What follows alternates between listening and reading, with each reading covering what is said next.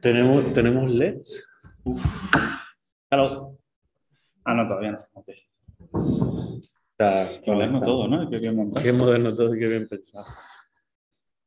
¿Tú sabes si se puede compartirlo eh, Instagram directamente?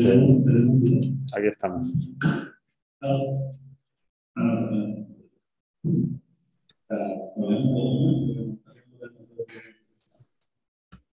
Silencio. A ver, silencio.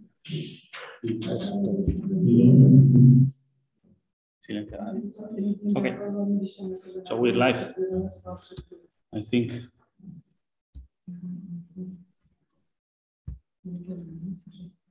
Here we are. Mm-hmm. Okay, good morning, everyone. Good morning. We are starting the the second the second day of our international conference on wildlife conservation in human landscapes. And uh, we have the pleasure to have with us uh, Arthur, Arthur from Save Elephants in, in the Czech Republic. And he's gonna talk about mitigation of human wildlife conflict in Central Africa. Uh, welcome, Arthur, and, and uh, whenever you want. Yes, um, good morning, everybody. Uh, I'm glad to be there with you, um, unfortunately on distance. So I've recorded my presentation uh, a few days ago uh, because of the poor internet connection. I'm actually now in, uh, in Congo. So I would like to uh, present you the, the pre-recorded presentation and then I will be back to you uh, once, uh, once it's uh, finished in like 20, 28 minutes, I guess. And I will be ready for your questions and remarks. And of course, uh, now when uh, double thinking about what uh, I could have said better or precise, more precise, um, I regret. I regret that I didn't include all the information. So if you will have questions, especially about the figures of our projects, about mm, some quantification of the of the results, uh, I'm here to reply you once once the pre-recorded presentation is, is finished. So I would like to ask the the organizers whether they can they can play uh, and they can screen screen the recording.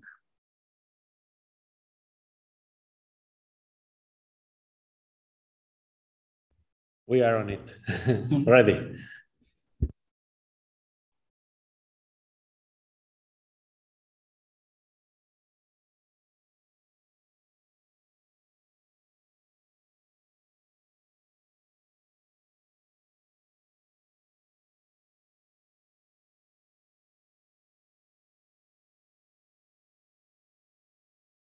Okay, you can tell.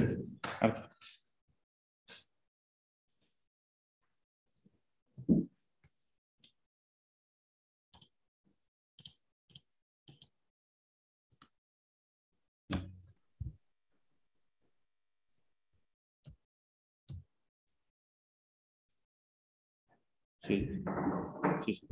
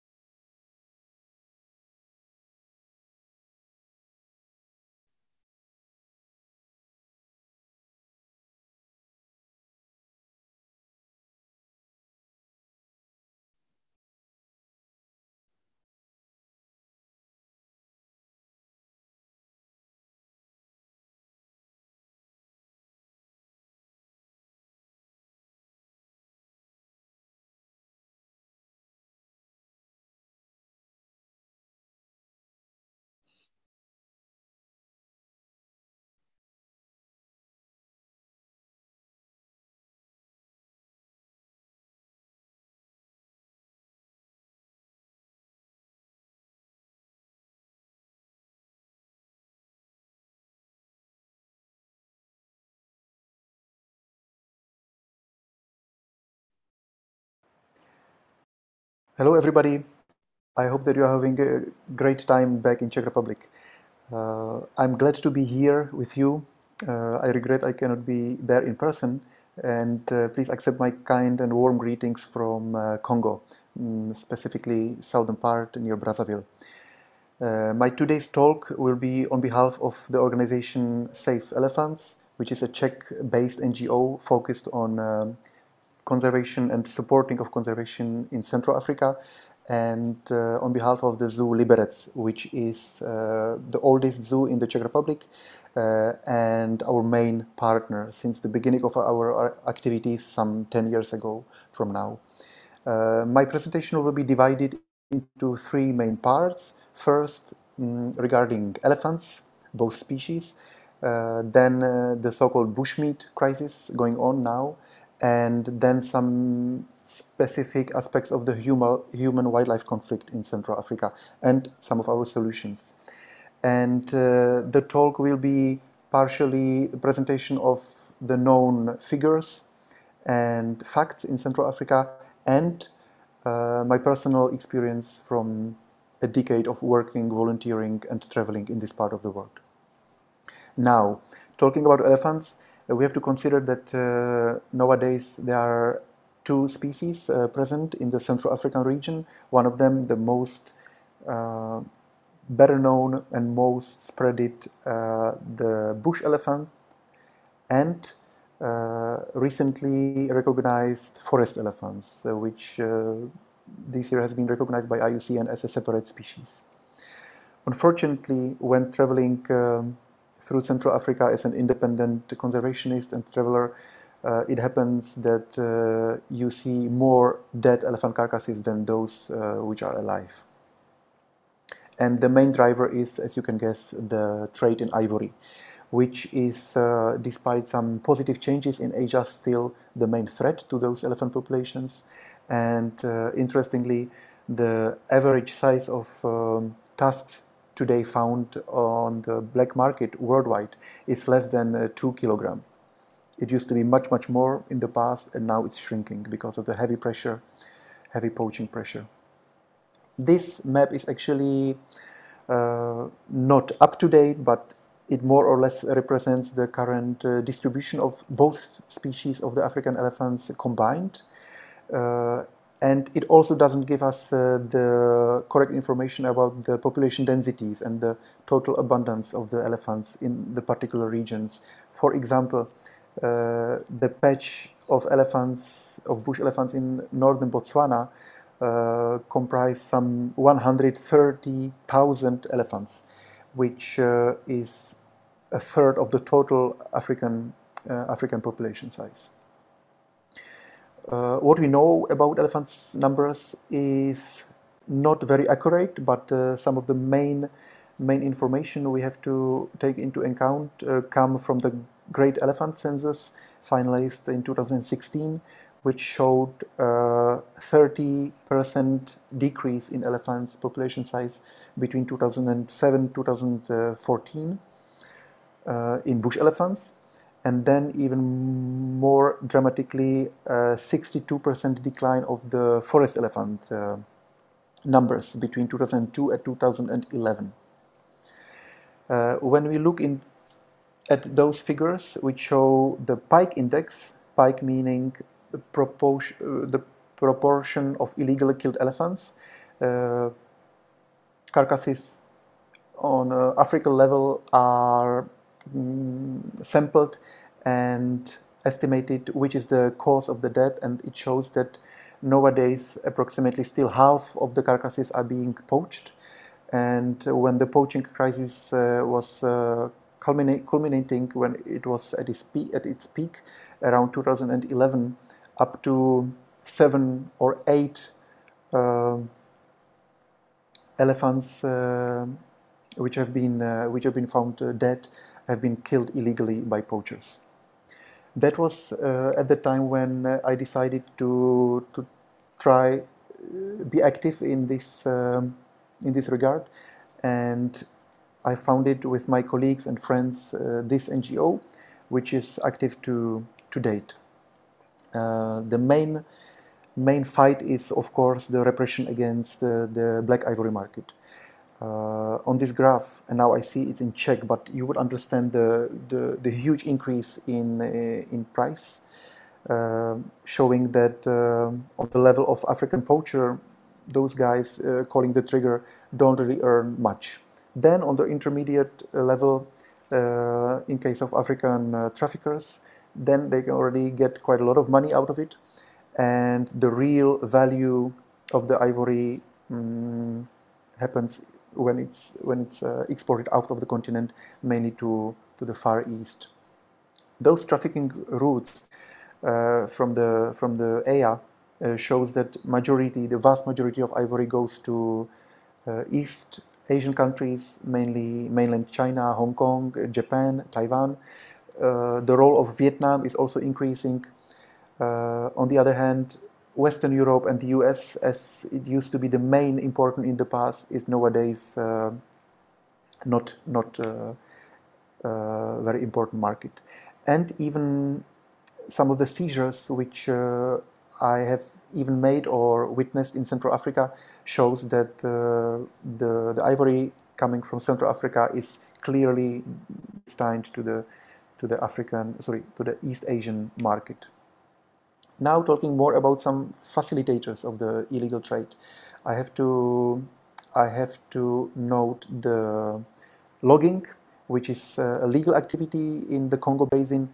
It is happening on the selective scale uh, with average one to two trees being extracted from one hectare, which is not a lot, but you have to take into account that uh, we got to approach each of the single trees and this means creation of vast road networks. This, this map shows uh, forestry concessions in the Republic of Congo, where our project is mainly active, and those concessions belonging to either Chinese or Malaysian or Singapore companies um, represent uh, more than 55% of the total forest uh, concession uh, area, and it represents a big uh, threat to the local elephant and not only elephant populations because of the uh, steady presence of the Asian nationals and the, the presence of the of the exporting routes and, and so on.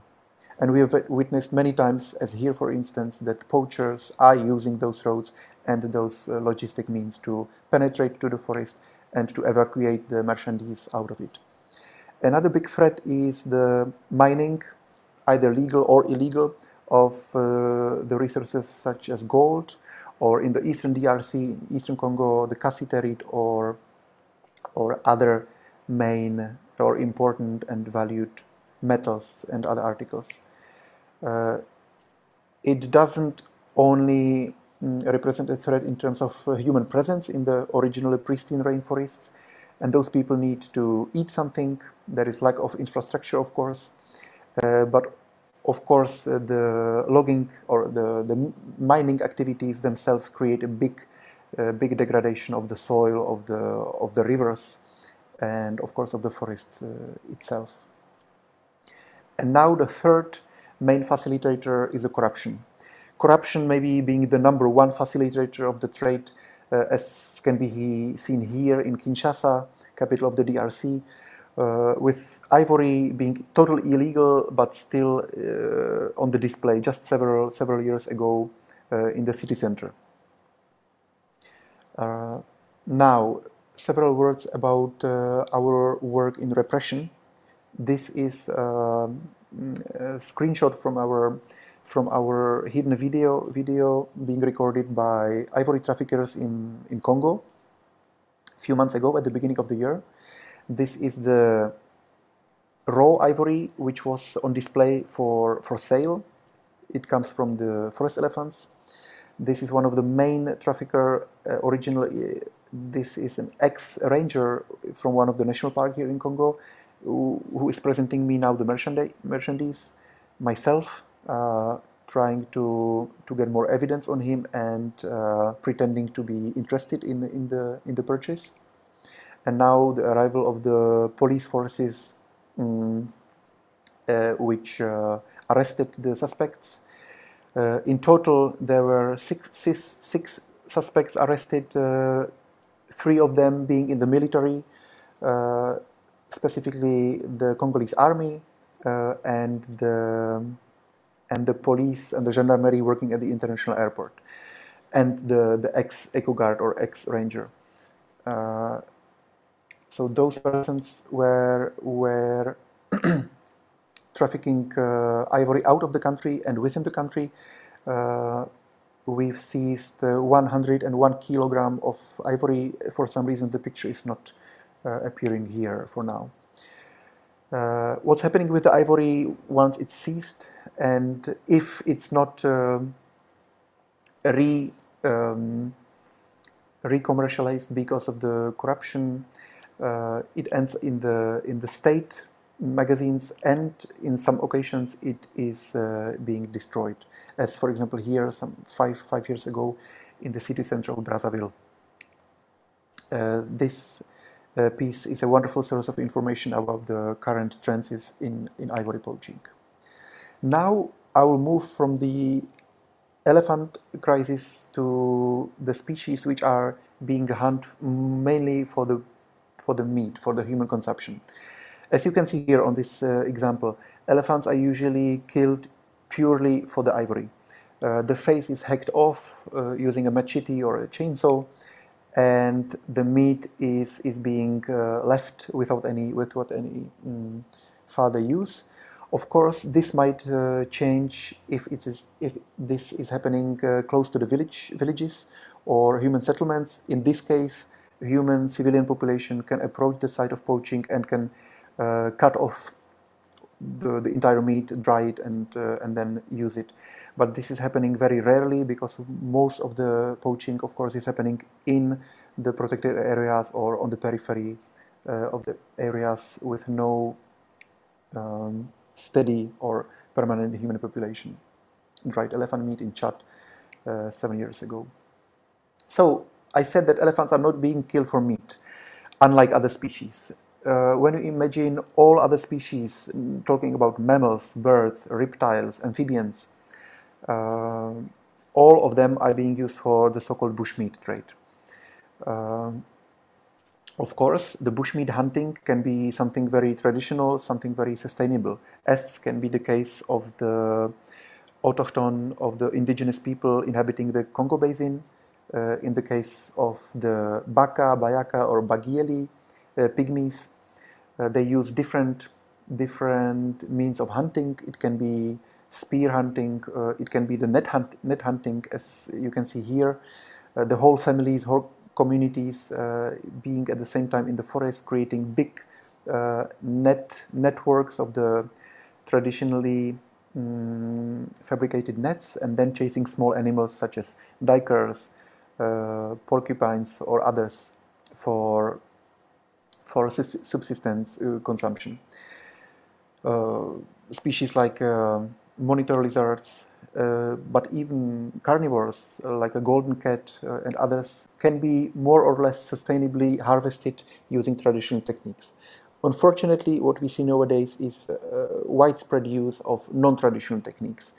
Um, metallic cables, metallic snares, uh, which, which are unselectively catching all sorts of animals, including uh, apes sometimes, is a big, big danger. And of course, uh, firearms. Uh, fire, firearms are um, also as, as a heritage of uh, civil war, civil wars, but also due to corruption in the military military circles available broadly on the Central African countryside, and they can be used not only for hunting small animals such as here, but also uh, to hunt our closest relatives, for instance, chimpanzees, bonobos, or, or gorillas for meat.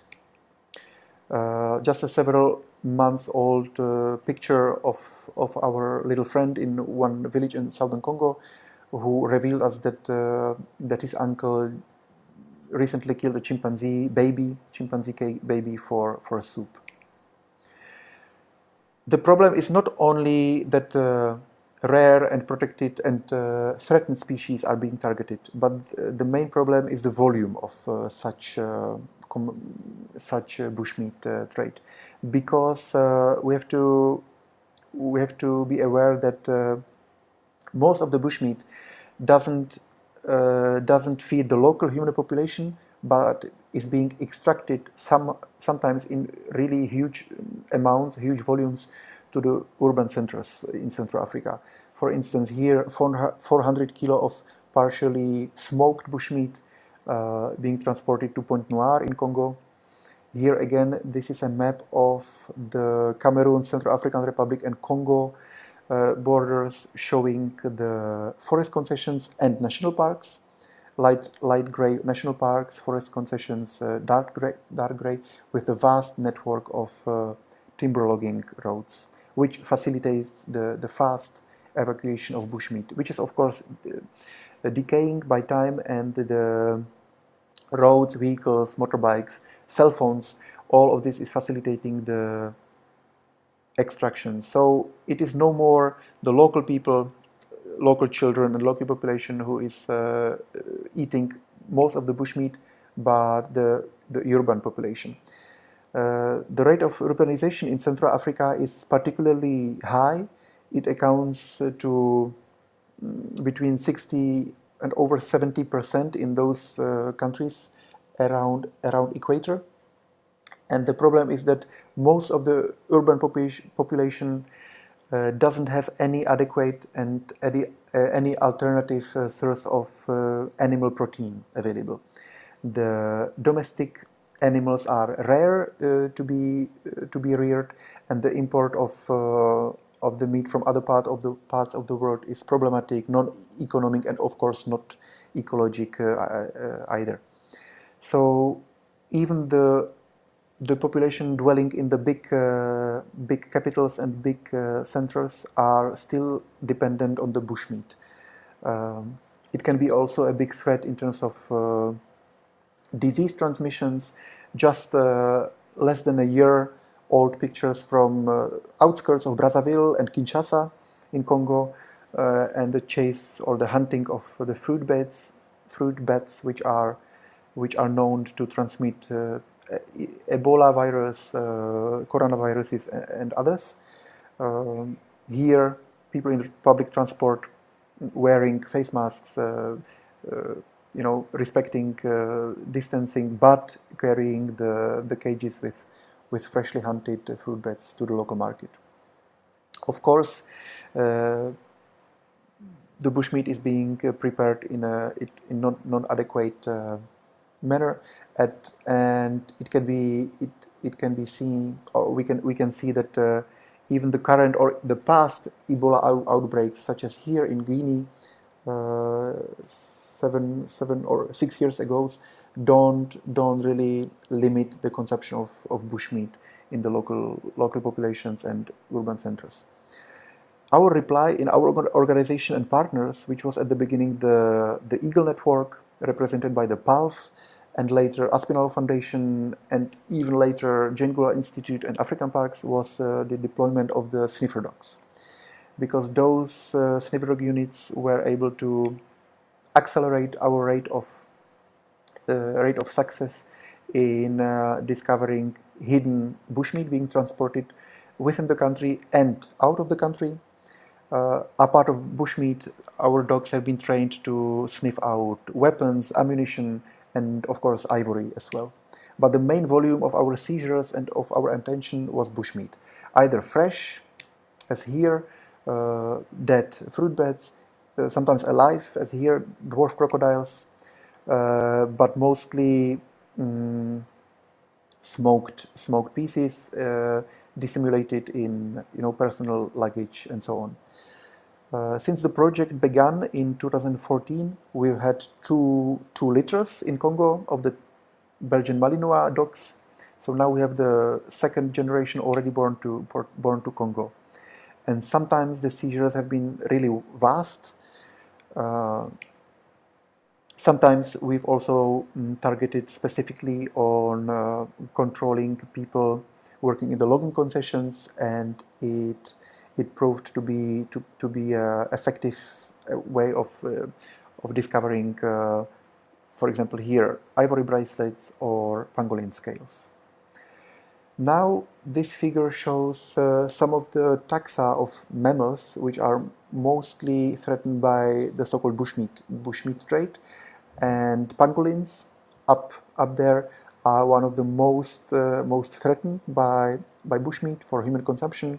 Uh, primates as well, mm, up to half of the primates are, are killed uniquely for, for bushmeat trade. In pangolins it's almost 100%.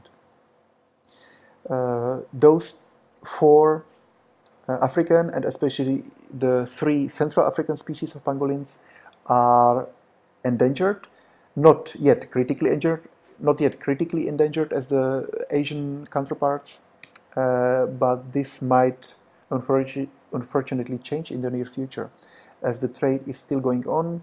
Uh, despite the, the ban, despite the highest level of protection in Congo, the pangolins are still, be, are still being displayed, sometimes alive, sometimes dead, for, for the bushmeat trade. And of course, some people start to trade also in their scales. And the destination for the scales is mainly the East Asian market.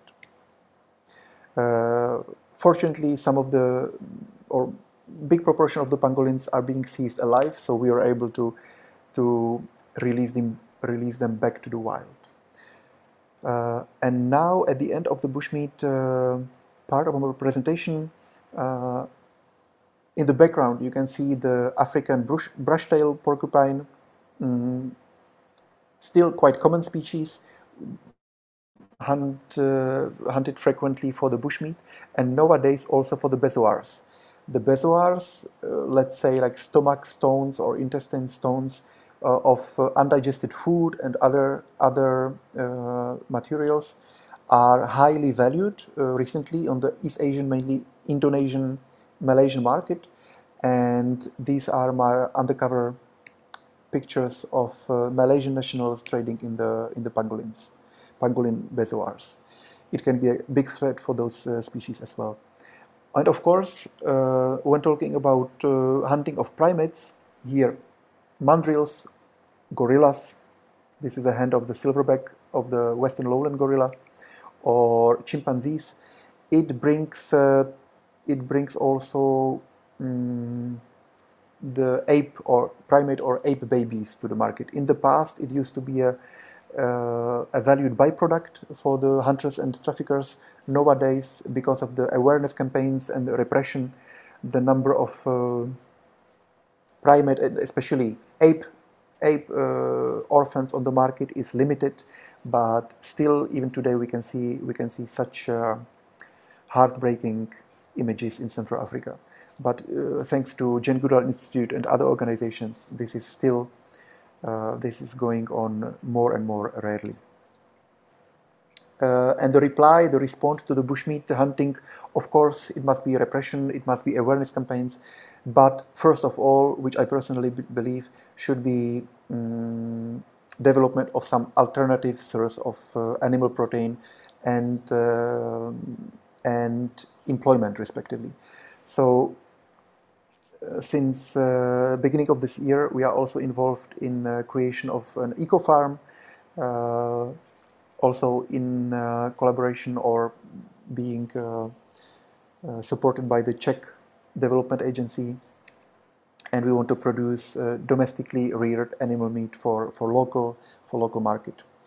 And we also also participate in uh, in awareness campaigns of course and now for the couple for the last five minutes of my presentation briefly about the human wildlife conflict which is going on and now I will leave the Congo Basin and I will move more northwards to southern Chad and northern Cameroon, where clashes between the megafauna and humans uh, appear. Uh, one of our projects which we started to deal with uh, beginning now, 2021, is penetration of hippos, the amphib amphibious hippos to the farms of local local farmers in Chad. So we've selected uh, one area with quite heavy disturbances from the from the hippopotamuses on the local small scale small scale farms, and in collaboration with a local NGO, which we know from several years ago, we've started to build uh, electric fencing around parts of the of the selected uh, fields.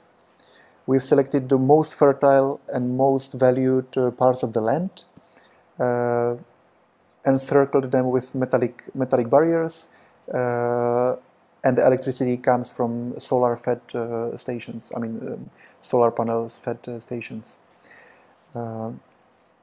We've selected three sites on both sides of the, on both uh, sides of the Logone River in southern Chad, altogether mm, approximately 60 hectares.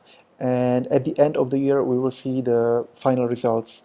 Uh, till now, it seems that the fencing is working uh, quite effectively. There are only few cases of penetrations uh, from the hippopotamuses inside, probably due to some mm -hmm, some failures in um, in the electricity power or or the the voltage being being uh, uh, present.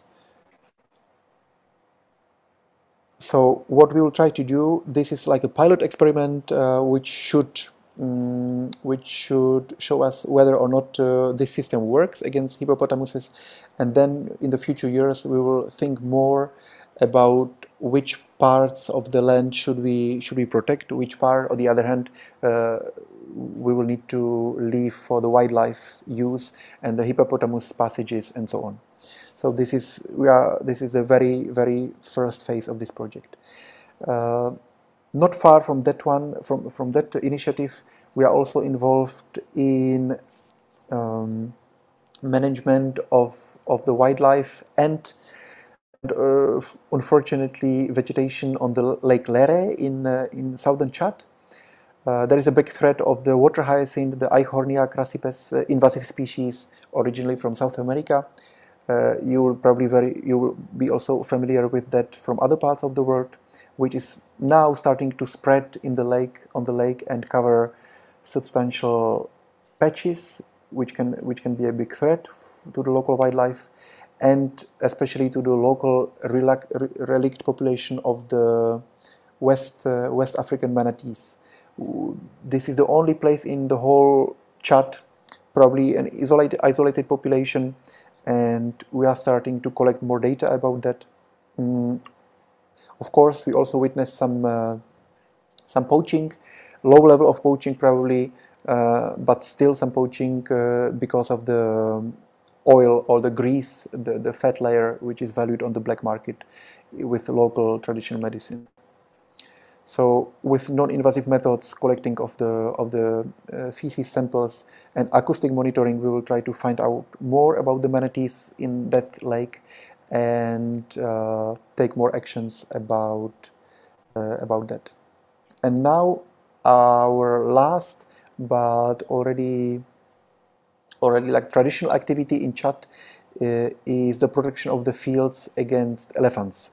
Um, we use the biological beehive fence method, which has been being which has been tested in East Africa since uh, six or seven years ago by Lucy King from Save the Elephants, and we've transmitted this knowledge to Central Africa. Uh, so we work here in Chad since 2015 with local associations and we transform the local beekeeping in traditional beehives uh, from straw uh, or, or clay and we use uh, more modern methods the Kenyan top bar hives which are which are easily accessible um, for multiple multiple honey harvesting throughout the year uh, and this can also increase of course increase the the yields in honey uh, the method is quite simple. You get to encircle the whole field or village uh, by beehives, 10 meters from each other maximum. They are interlinked or interconnected by wire or another another another cord. When the elephants uh, try to pass, they uh, they shake or they sometimes totally destroy the the beehive, and of course the bees protect themselves, they protect the hives and attacked, at, they attack uh, in vast numbers, thousands of individuals, the, the penetrator. Uh, so far, this project works, uh, works very well. Local people are are happy that uh, we brought them another source of incomes in in the form of honey, and uh, each year we multiply. We don't multiply. We increase the number of uh, of fields and communities which are involved to that project. So still looking for some new uh, new collaborations on the local scale and new source of finances, finances to, to accelerate uh, such a project. Well, that was uh, in short what we've been doing in Central Africa uh, since uh, since now nearly 10 years, and I'll now be available for your questions, remarks, and uh, and discussions. Have a wonderful time, and my kind greetings back to Czech Republic.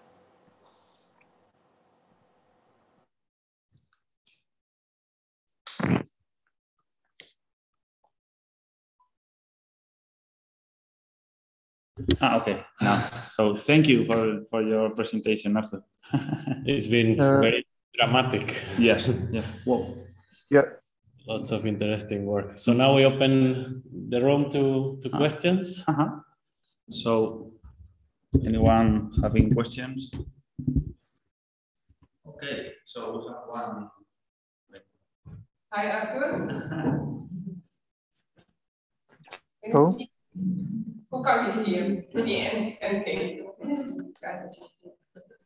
Arthur, I would like to ask if you see any changes in uh, bushmeat consumption after the COVID time. If you can say even now this change or not, or if you see any differences. Uh, it's uh, pretty uh, tough to evaluate all the trends uh, going on now within the last year or two. And from my personal impression, but the, as I said, this is not uh, backed by some hard data. My personal impression is that uh, here in the Congo Basin, uh, there is no like positive effect in reduction of the bushmeat consumption. Uh, there are several exceptions that some communities, some traders, especially those in the urban centers, tend to avoid some species like uh, pangolins. So maybe in the top restaurants in, in the city center, Brazzaville or Kinshasa, they, there would be less pangolins uh, uh, available, you know, for the for the high high clientele. But it doesn't mean that the um, hunting level of pangolins is has been decreased because of that. Because of course the the hunter can um, either consume it uh, on his own or he can uh, sell it to the local market.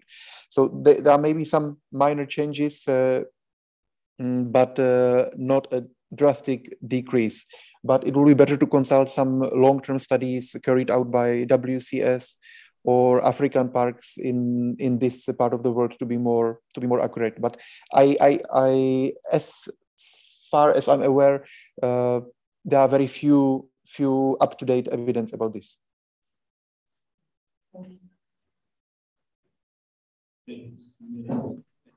Hi, Arthur. Uh, I would like to ask you if you could tell us um, which partners do you uh, cooperate with? I mean, with the government or other NGOs?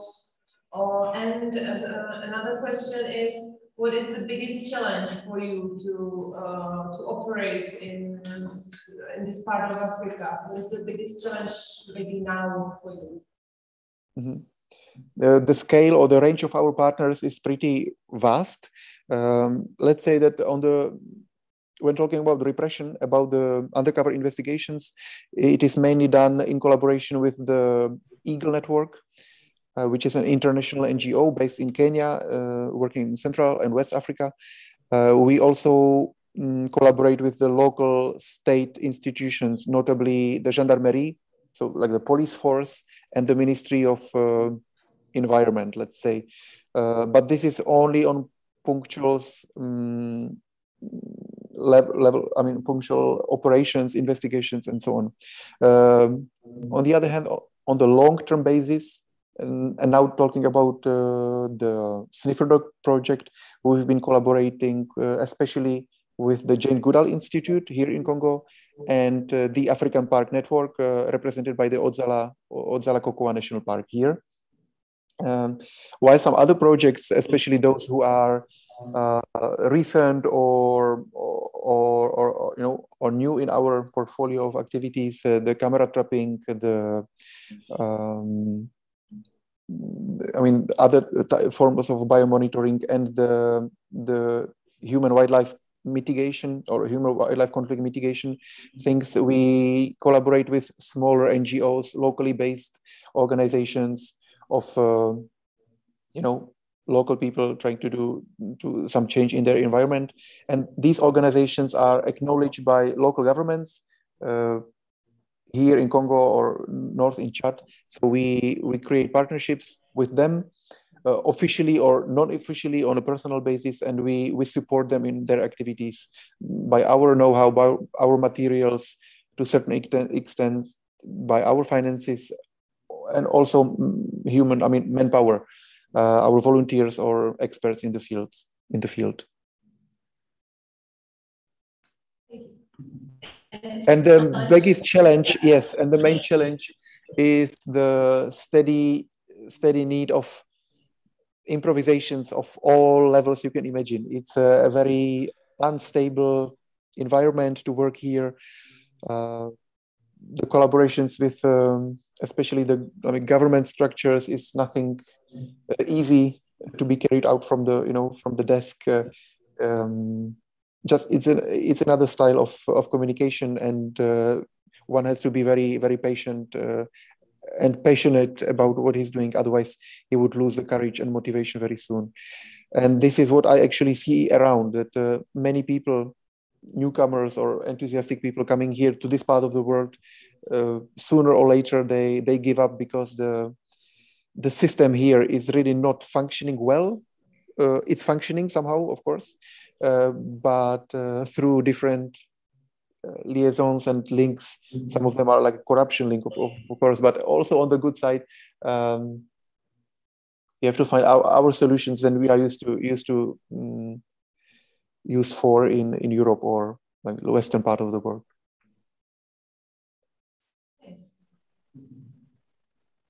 Hi, Arthur. Uh, one of the goals of the conference uh, in Glasgow uh, was to stop deforestation up to 2030 all over the world.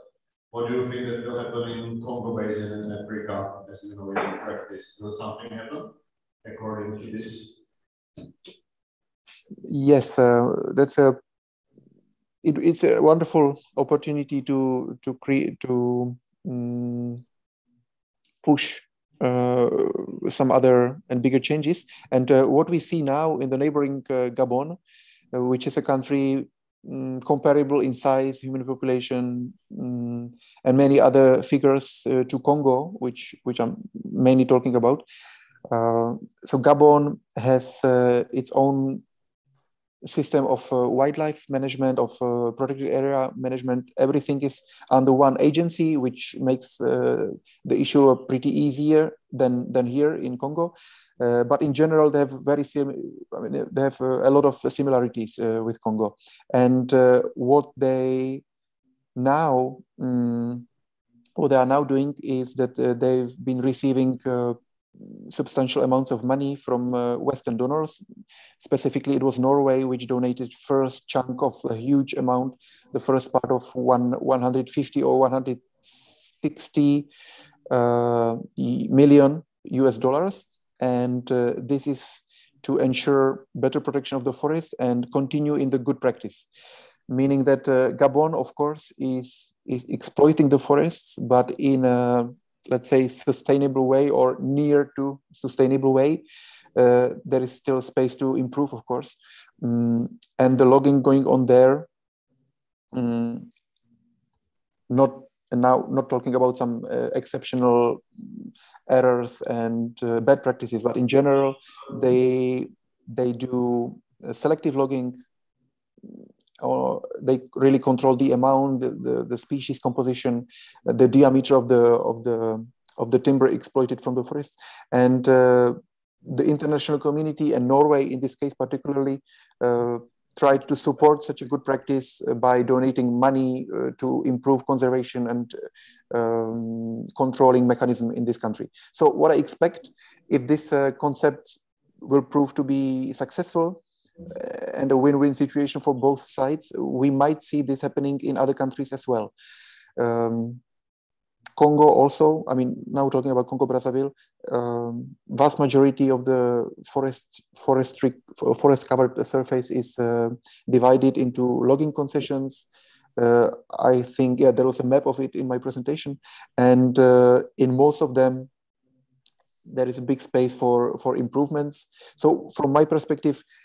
Uh, I expect uh, that maybe some new protected areas with no human touch will, will appear. That will be wonderful. But already the, the, the, the steady, uh, I mean, the, the current number and uh, total size of the protected areas is not bad. You know, it it's like a big, uh, big percentage, big proportion of the countries. So if this is uh, really grasped responsibly, and if those neighboring forests are managed are managed in a more sustainable way via sustainable selective logging that would be a solution to yeah to um, to um, to to enable the, the, the wildlife to sustain here. Uh, of course there are countries which are very problematic looking uh, across the river to drc democratic congo or central african republic I really I have I'm not entitled to to preview what will happen there because these are very very difficult countries.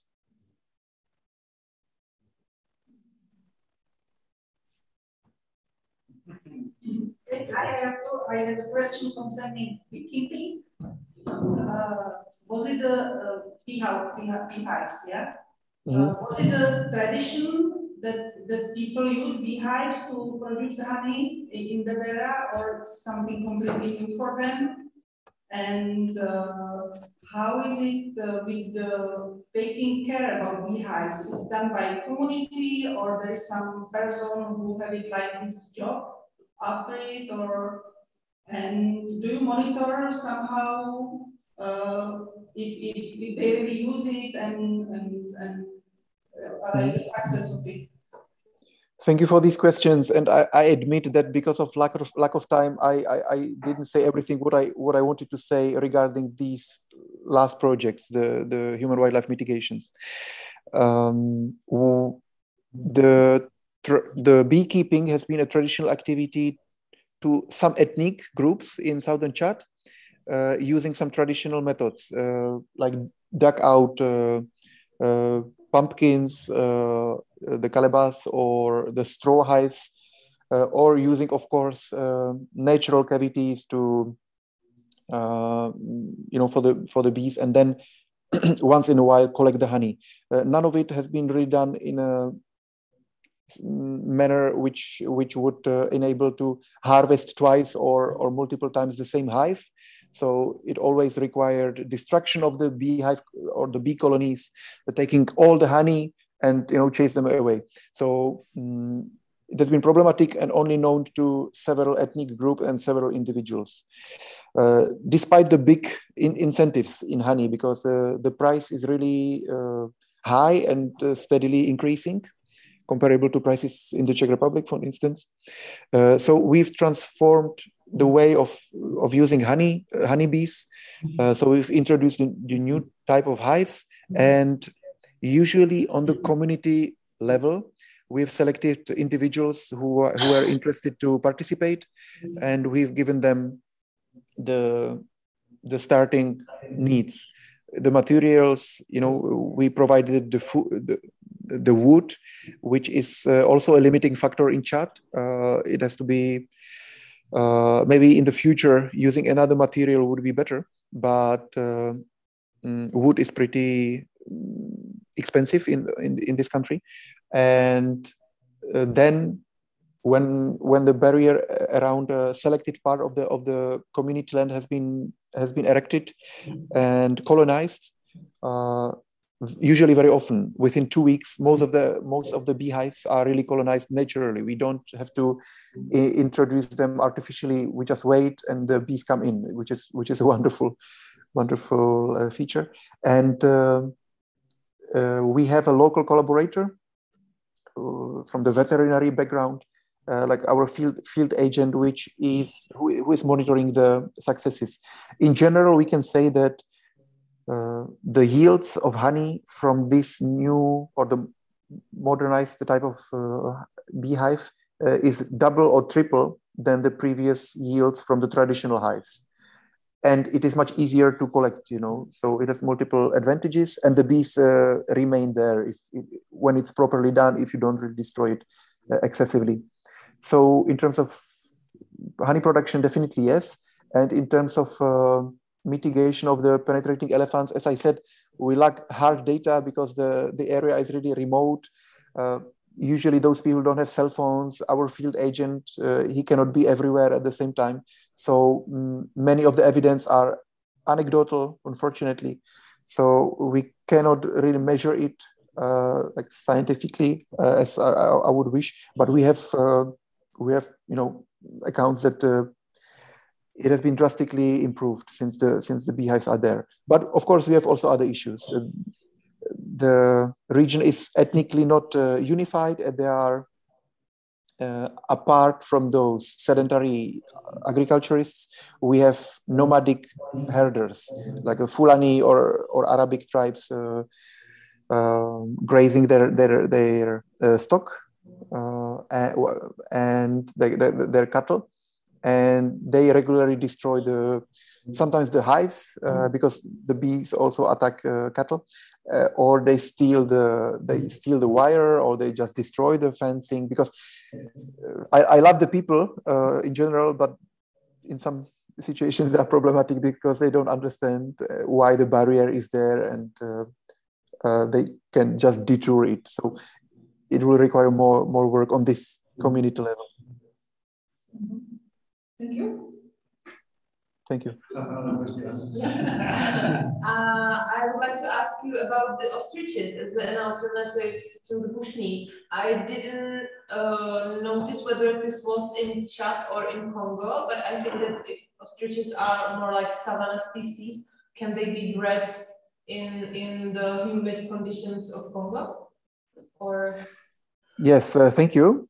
Um, this project which we now uh, which we are starting is in, in the congo um, uh, indeed. Uh, in the southern part of the congo which is as you can see on the satellite image predominant, pre predominantly covered by savanna. And the precipit the precip precipitation rate is also not huge. It's like 1200 1000 uh, you know uh, 300 millimeters per year there is quite a long uh, dry season and uh, from experience uh, from other countries, Malaysia, Brazil, Nigeria, uh, ostriches can thrive well uh, also in more humid uh, conditions than usual. So we are placing the project here. Of course, uh, it would be maybe easier, maybe even more. Um, maybe the production of ostriches would be faster and more with easier in Chad or in more savanna or more Sahel like environment. But the problem there is that uh, we would have hard times in, uh, in um, being able to sell the meat for good price, which, was, which would enable us to run the project. Because unlike Congo and other equatorial, originally forest areas, Chad is uh, well known uh, to, to have like 10 folds more cattle than human population. There is like surplus of, uh, of meat mm-hmm. from uh, beef, uh, goats, camels, etc., uh, etc. So the problem there is not the lack of meat itself. The, the problem there is lack of uh, uh, good distribution or a fair distribution. you know, and I would talk more about it, but it's a, it's a complicated story. So we we place the project here to Congo because mm-hmm. here there really there is the lack of meat people people want to to buy it they just don't have alternatives. Mm-hmm. yeah it's true that ostriches can thrive well even in our conditions so even in snow you know yeah, even in snow. so we believe we, we believe it's a viable viable method and now uh, i'm here actually especially to to move this project for, forward. Uh-huh. great. Thank you just really fast, fast question. Really fast. I just was thinking that you mentioned that you have the fences, the electricity fences for people, and it's for solar panel, if I'm right. So if if uh, people don't steal the, the solar panel, because in Indonesia usually if they place the solar panel for some lamps or whatever, so people will just steal it and take it home. Yeah, of course, uh, there is a threat of that. But so far, since the beginning in May, uh, those solar panels are there. One of them has been somehow destroyed by by a lightning, probably, but it, it was not. It was a natural cause. We've been re, re, we've replaced it, and uh, so far, so good. It works, and yeah. Well, thank you everyone, and, and thank you especially you. Th thank you for the invitation and enjoy the. I can't be there. I, I have to run to the field right now, and uh, uh, I would be happy to see the presentations later if possible. It was clearly a, a very interesting talk, and, and, there might be many more questions in the minds of, of all the people. But what we can do is to collect them and, and maybe contact you maybe tomorrow. Can be. but anyway, thank you very much. Thank you. Thank you. Okay, so let's go with the next lecture. Uh, the next is called Refuge, Environmental Landfill, and it's from Krakow, and he's in the waiting room. He's waiting for us. Okay. So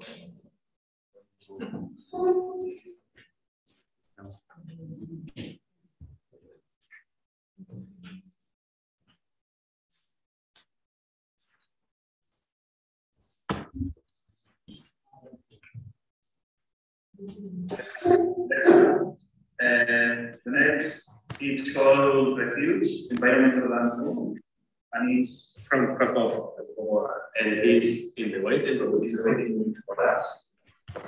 Okay. Hello, good morning. Hello, Thank you for, for your patience. It's it's always the same with with conferences. they drag and drag. no, no, it's perfectly fine. I'm uh, I'm sorry not uh, for not being there with you, which I was originally uh, planning, but uh, I got stuck. Uh, next, it's called Refuge, Environmental and from Krakow. and he's in the waiting room. He's waiting for us. Okay. Hello, good morning. Yeah. Thank you for, for your patience. I think it's, it's, it's perfectly fine. I'm uh, I'm sorry not uh, for um, not being there with you, which I was originally uh, planning. Yeah, yeah. I think it, yeah, it's off. It's, it's already off. Yes, you turn off yours. Okay. Yeah, sometimes we get all these echoes and we don't know which of the seven computers is coming now, from. I think we don't hear you. First of all, I have to I have to uh, quit. Uh, I probably have to quit my uh, YouTube channel. Yeah, perfect. that was, that was the, perfect. Was okay. Uh, and now, uh, am I supposed to to share share uh, my screen desktop? Yes, you already can. Share screen. Okay, I'll try. Here we go. Okay. Okay. Perfect. So. okay, I have to scroll a little bit. At the beginning. So you can you can hear me? Yes, mm -hmm. perfectly. Okay, okay. Okay, so, so all yours. All right, all right. So I'll I'll try to be. I understand that we're uh, in a slight uh, uh, delay, so I'll I'll try to be quick. Uh, basically, um, uh, I was invited for this uh, conference to present uh, uh, present let's say position of private investor in um, in environmental in environmental protection. So uh, I, I, would like to introduce to you uh, my fund, which I'm starting at the moment. Uh, the, the, the whole uh, presentation is in uh, present uh, tense, but this is more, let's say, this is more happening at the moment. I'm just starting this fund and not everything is ready yet, but basically the fund Refugium is environmental land, land fund and um, uh, uh, this fund is to be a portfolio of naturally valuable habitats in the Czech Republic. Uh, these lands are characterized by their exceptional biodiversity and the presence of species of European importance. At the same time, uh, they provide indispensable local ecosystem functions. Uh, Refugium seeks to protect and restore these habitats based on uh, ESG principles, which is green, responsible, and sustainable investment strategies. Um, uh, basically, we all realize that uh, our planet's wildlife uh, is disappearing and at a staggering rate. And by joining the Refugium Fund, I believe that investors can uh, act actively participate on uh, in savings uh, in in saving it for the future generations. Um, maybe I maybe I should start it uh, maybe without introducing myself. Um, my name is Prokop Svoboda, and uh, my background is in, uh, I'm a businessman. My background is in real estate. I live in Prague. And uh, also, I consider myself as an amateur uh, biologist. So that's uh, where this idea came from. And the idea is um, of establishing uh, the fund uh, is coming from my lifelong interest in, in nature, specifically wetlands and steppes, which are demonstrably the most endangered in the Czech Republic today. Uh, wetlands and water retention have recently been discussed from A to Z, whether in the context of landscape, landscape adaptation to climate change, uh, small water cycle, or the loss of uh, biodiversity. Similarly, the protection of steppes and dry, dry grasslands is a key um, is key to preserving our natural heritage. Um, I believe that investing uh, in these types of land uh, is worthwhile, uh, environmentally responsible, as they can act as a natural uh, preservers of financial resources and as society becomes more and more aware of um, the natural value of these disappearing habitats, uh, it can rightly be assumed that their financial value will uh, will also increase. Um, this is pretty much uh, here. You can uh, here you can uh, see me on the left and my colleagues uh, digging a ditch to prevent uh, agrochemical runoff from surrounding fields into habitat uh, during the heavy rains. So of course, part of um, part of the fund is, is not only uh, buying and creating this portfolio of of naturally uh, valuable land, but also uh, management, uh, revitalization, and of course sustainability. Um, uh, the goal funds, uh, um, as you can um, as you can also read here, it's uh, purchasing naturally valuable lands and managing them in cooperation with experts uh, preserving our natural and cultural heritage for future generations, traditional, traditional um, organic uh, agriculture, uh, protecting non-productive functions of water, forests, and farmland, improving ecosystem services, water regime, natural water retention, flood and extreme drought prevention, local climate uh, recreation. Uh, growing environmental awareness among uh, stakeholders, uh, local communities, and general public, and of course, reducing our uh, carbon footprint. I don't. Uh, I think we we all understand the threats um, uh, to the modern landscape. I think I don't need to go through this slide. I think it's, it's pretty clear that it's loss of natural habitats, its uh, high impact on chemicals, air and water pollution, extensive eutroph eutrophication of the environment, uh, loss of traditional landscape structure, industrial husbandry, large-scale farming, uh, invasion of non-native uh, plants, predators, and competitors. Water and wetland, uh, wetlands are rapidly disappearing uh, from our intensively farmed landscape and with them uh, wetland species, uh, amphibians, birds, insects, uh, or plants. Am I still there? I'm sorry. Uh, yes, all, all going good. yeah, good, good. Can you, because because I only see myself at the moment. Okay, uh, uh, this is about um, about the fund itself. You know, um, we are. Um, it's it's me and a um, few of uh, my friends and colleagues. Uh, we are currently in the process of founding uh, an investment company registered uh, at the Czech National Bank under paragraph 15 of the Act on Investment Funds. Um, it's a type of uh, alternative investment fund and um, and um, the fund already owns um, um, a portfolio of land uh, of, I think, increasing value. The current uh, estimated value of the portfolio is approximately 15 million crowns.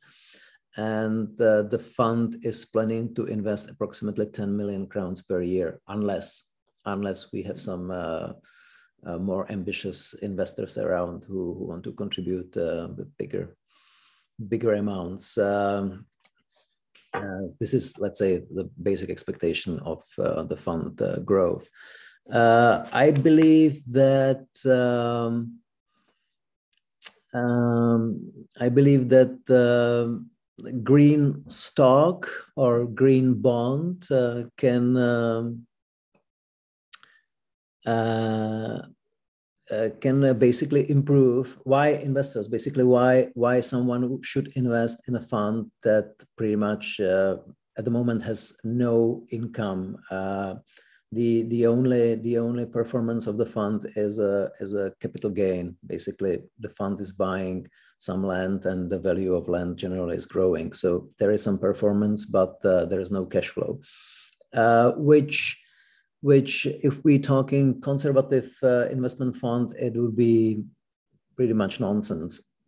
Uh, however, there are there are some assets uh, in the investment world that produce no income that only uh, represent uh, value preservation. So the, the, the the performance of the fund is based on um, on uh, the capital gain. Also, in the future, the fund has has uh, uh, ambition to to be involved in uh, in organic farming. So in the future, we believe there will be some income, even some cash flow. But at the moment, it's a it's a it's a value preserver, and we believe that the motivation, the, ma the main motivation for for the investors, should be the fact that green stock uh, or green bond can improve rating of their investment portfolio, especially these days when where the ESG principles are discussed on a daily basis. Uh, so this would be the, the, the main, uh, most likely the main motivation for the investors. Uh, but at the same time, it can be a question of uh, social responsibility, environmental statement, or just becoming of the community community around the fund. So um, uh, this is pretty much about uh, the the the fund uh, itself. Of course, the fund should uh, would be regulated. Um, it, it is uh, it, it's it's registered with Czech National Bank, and there there is there there has to be some regulation. We plan on investment committee expert, environmental experts, advisors. Uh, this, this, this, this should be, um, the fund should have a pro proper structure from that perspective. And uh, as far as the securities, the fund should, um, should uh, issue uh, shares and green bonds.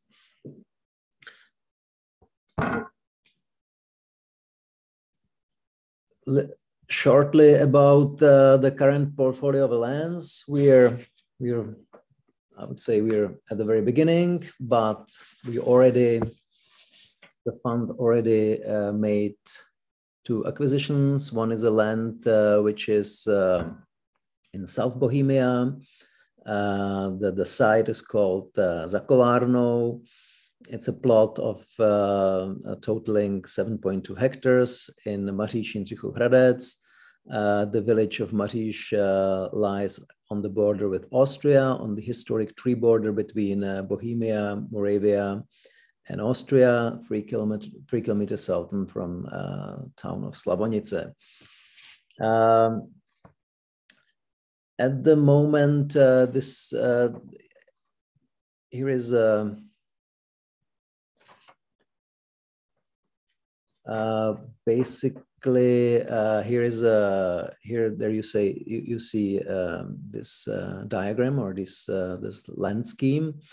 Uh, the the plot consists of um, of wet meadow, mesophilic meadow, beaver marsh, alder and and some wood wood plants on, on on the left. Uh, it's uh, it is located in a in an important uh, spring area. Uh, water enters the area via uh, three tributaries and several springs. Uh, um, the, the, the, the, site con contains this um, beaver marsh, which is particularly interesting. Um, uh, and signifying a shift back to wildlife and uh, the establishment of many natural and self-regulating uh, mechanisms. Uh, also, um, such a large biotope uh, with this exceptionally well-preserved water regime provides uh, a maximum level of ecosystem services in the form of water retention, self-cleaning, cooling effects, and a source of biodiversity. Uh, due to its location and size, um, it can largely function independent, independently, which is rare, which is quite rare in today's landscape. On the other hand, the decades of uh, pure land management have resulted into degradation of the original grassland habitats uh, and uh, something like new wilderness uh, uh, uh, appeared. Um, we are we are we are in the process of uh, of um, uh, we are in the process of um, uh, land of land consolidation, scelování pozemků, land consolidation, uh, we are at the moment in negotiations with the owners of the of their neighboring uh, land. So uh, very likely we will be able to uh, to buy more of the carr woodlands. And you see on the on the west there is a, there is a pond that should be that should become part of this uh, this habitat, and also we're uh, in negotiations with the with the farmland owners on the south. So th th there's a, there's a pretty good chance that we would create a more buffer zone, bigger buffer zone, uh, buffer zone for for for the site itself. Um, so this is uh, the land in uh, in in Maříž, um, uh, as I mentioned before, the, the, the, the, area's water regime is, is, is very, very good. Uh, here we have few pictures of the uh, alder carrs. This is the Beaver Marsh.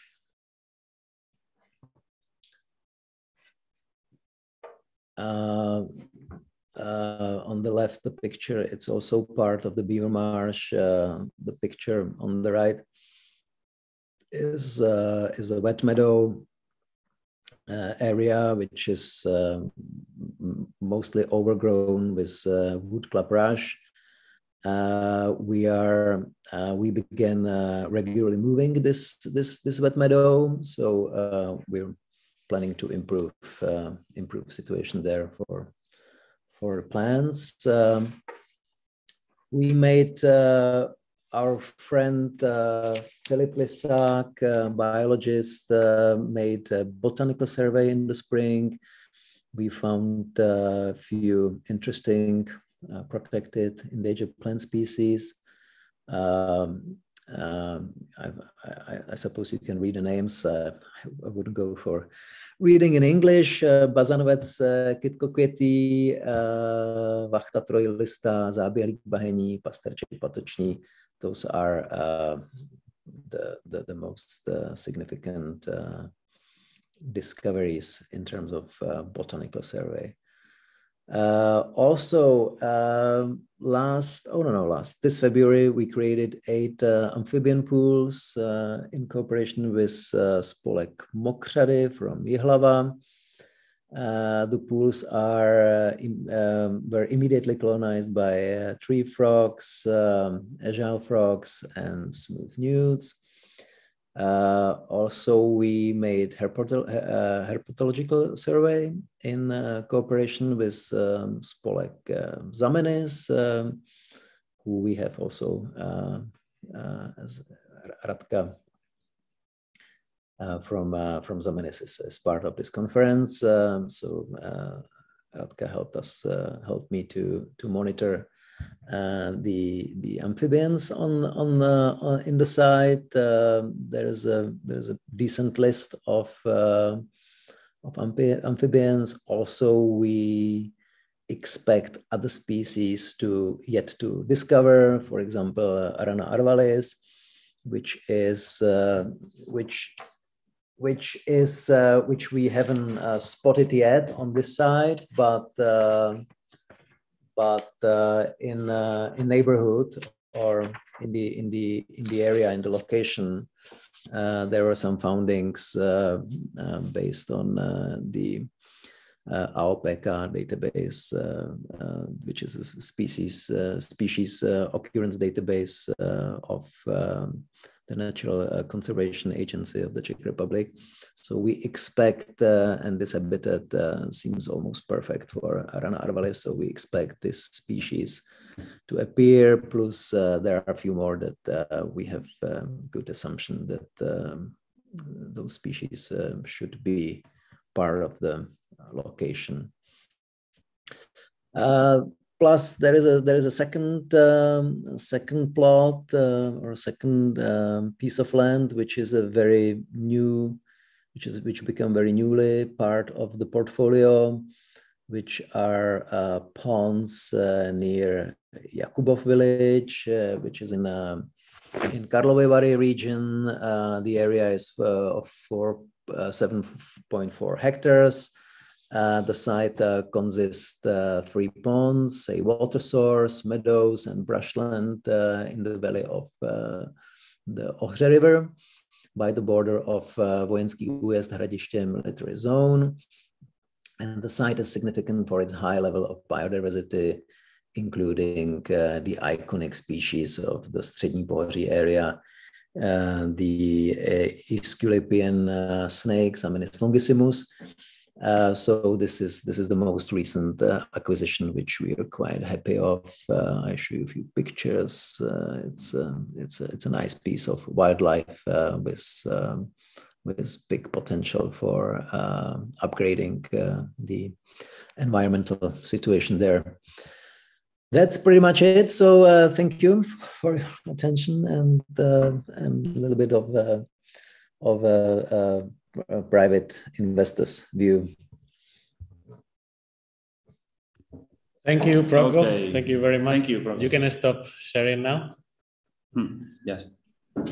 That's it. It's uh, sometimes, I mean, it's amazing what having leverage, having leverage can do so much more for conservation. You can try to to work on a on a very small area and trying to to to push your project.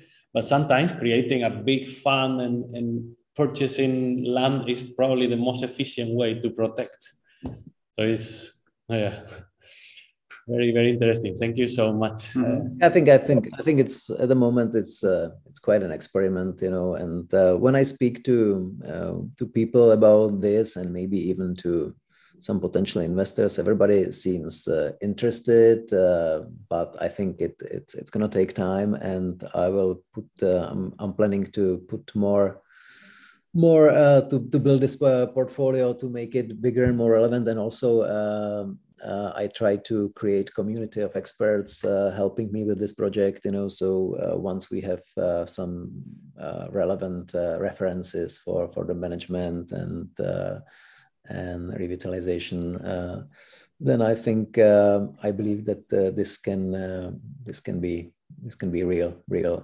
investment fund. It looks great. I'm going to open the, the room for questions. Okay. So, at the meantime, can you please, Prokop, stop uh, sharing screen? Excuse me?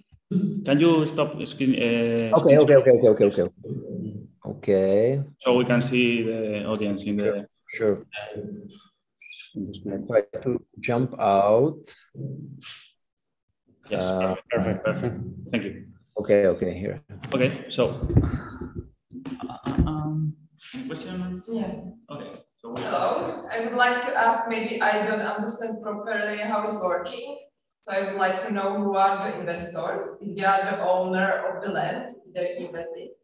And how is this secure that they will not use the land for their own purpose, like it will be not in environment today? Like how this is working, because I don't understand actually the, the system of the investors and the owner of the land. Okay, uh, at the moment it's only uh, me myself. Um, I I think uh, I uh, I know that I have to start somewhere, so I'm uh, using my private uh, resources, financial resources, and bu- I'm buying such uh, habitats or such uh, sites. And uh, uh, the moment I open the fund, basically, I expect people either either they they find it um, useful and environment responsible uh, or they even see some uh, financial potential behind it. I expect uh, some investor to, to join me but at the moment it's me myself and i have to i, I think i have to put first uh, uh, portfolio which is relevant and which makes sense and um, then i believe that uh, there might be investors from the outside joining me. Again uh, I, I i try to explain maybe i wasn't clear enough uh, what what should be the motivation for the investors? Either they like the project and this is sort of charity for them or i think in today's um, investment world it's it's it starts it starts to be more and more important to be to be environmental responsible basically uh, from from a perspective of this ESG strate- strategy, uh, which uh, which there is a there is a there is a there is a high pressure, and I think there will be more and more pressure on investors to buy green bonds on or green assets. You know, and it's this is not necessarily that that that such uh, asset in their portfolio would perform some income, would create some uh, this, this is going to be more about the ratings that investors have with their banks and with their investors. So I believe that uh, this could be very, uh, this I can create interesting uh, green uh, green asset that would basically help investors to improve ratings of their of their portfolios. And in the investment world, it's of course those uh, those lands in the portfolio will produce if they produce an income, it's going to be very small income, maybe from uh, from uh, from some uh, eco farming and uh, uh, and maybe um, maybe we can sell some some biomass, but but it's more about the the value of the the property. It's called capital gain in Czech. It's uh, it's the term is uh, is uh, kapitálové zhodnocení, kapitálový výnos. So you don't you don't necessarily need to have an income from the rent, or you, you don't need to necessarily have a, a, cash flow, but the performance of the fund can be based on the of the on the on the fundament itself, you know, and it's a it's a it's this uh, gain um, um, capital gain.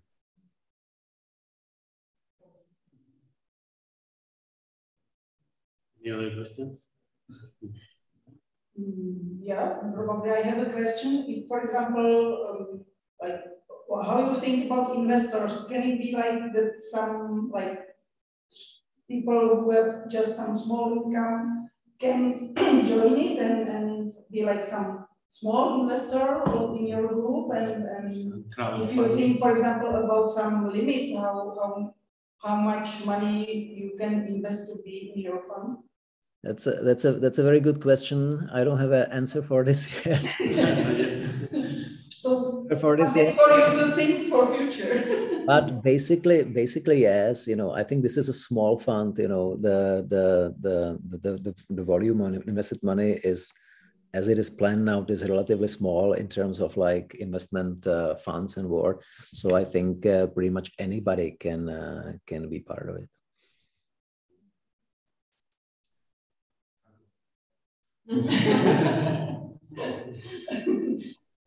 I don't. I don't have a limit. I don't have a limit at the moment. I don't have a. And uh, to be honest, I still have to think a little bit about it. Uh, I'm still this. This. This. This project is is rather happening. Uh, uh we're establishing the, the, the company. We just started buying uh, the, the, the land.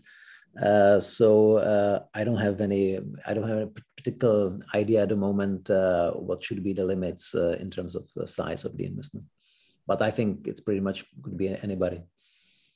I, I have a, a, thought. I don't know if it's yet yet a question, but um, I don't know much about this. But in Spain, for example, it's very common that politicians sometimes uh, change the denomination of some land or some plot to increase the value. So, for example, if it's just a field somewhere, it has very little value. But all of a sudden, if we if you transform it and change the law so that you can build stuff there, then it gets much more value, uh, potential value.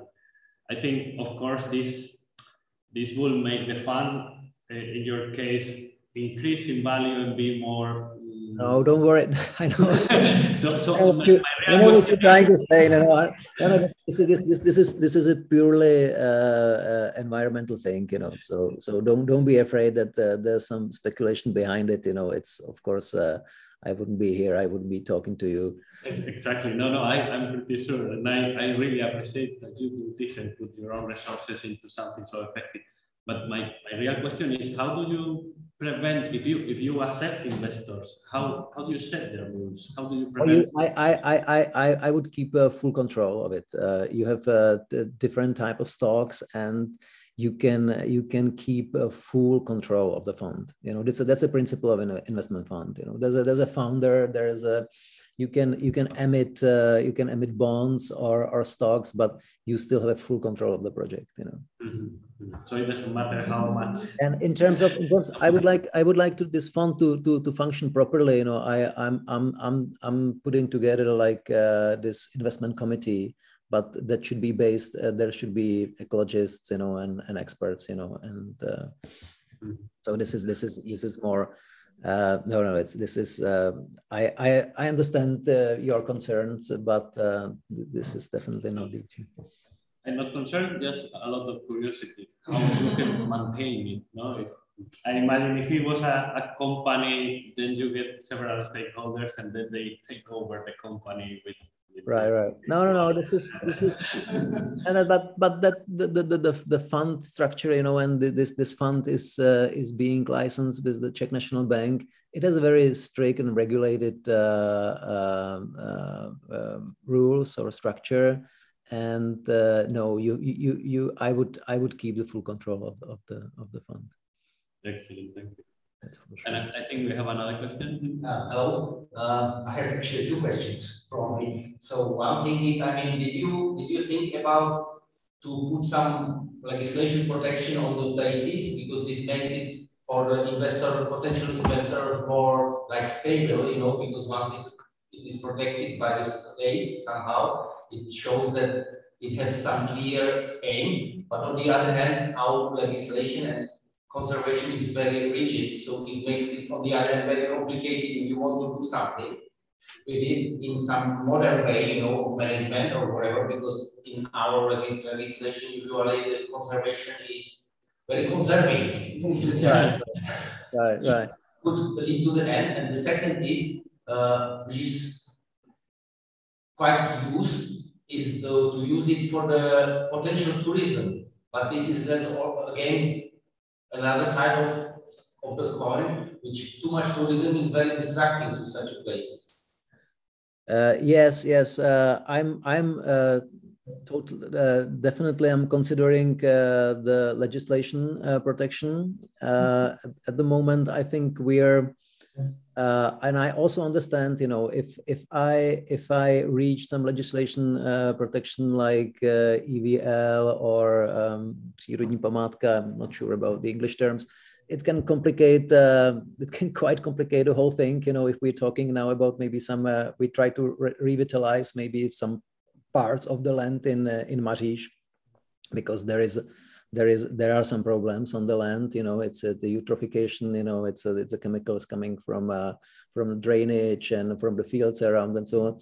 So uh, yeah i'm i'm, I'm just learning th those issues and i'm talking to uh, i think very relevant people in uh, in uh, odbor životního prostředí, Jindřichův Hradec, Dačice, you know, and I'm, and I'm talking pretty much to everybody and they say like, wait with this, you know, like do, do what you need to do. But for the future, you know, I think for the fund, you know, it's, uh, so I can, I can, um, I can keep uh, the, the idea or the, the, uh, what's the English for? Uh, yeah, uh, this this mission of of the fund. You know, I I would uh, I would uh, uh, try to get the legislation protection for those lands. You know, some some some kind of uh, protection or uh, the, the, the the nature uh, conservation. Uh, also, the tourism and and agriculture or eco farming. It's a it's a it's a it's a tough tough tough thing. You know, on one hand if uh, the portfolio becomes bigger or we try to consolidate, you know, uh, the land in Maříž, and it's there, there is a good chance that the, that we will double or triple the, the size of the land and we will buy some uh, some fields uh, uh, in, in, in, around this around this plot. You know then we have to deal with some to make the project sustainable we have to deal with some eco farming otherwise it's not sustainable it's impossible. So uh, eco farming and but we i think we're very interested. It's it's a big challenge. I know nothing about uh, eco farming but again you know i'm already uh, meeting people who are good in it. So and and tourism yeah i'm actually in particular about tourism, I would be very careful. And I, uh, I and I'm, I'm afraid of tourism because uh, those habitats uh, are so nice and so uh, has uh, this great biodiversity mainly because of no uh, no traffic, no human traffic. So yeah, I would be very, very, very careful about the touristic function. Mm -hmm.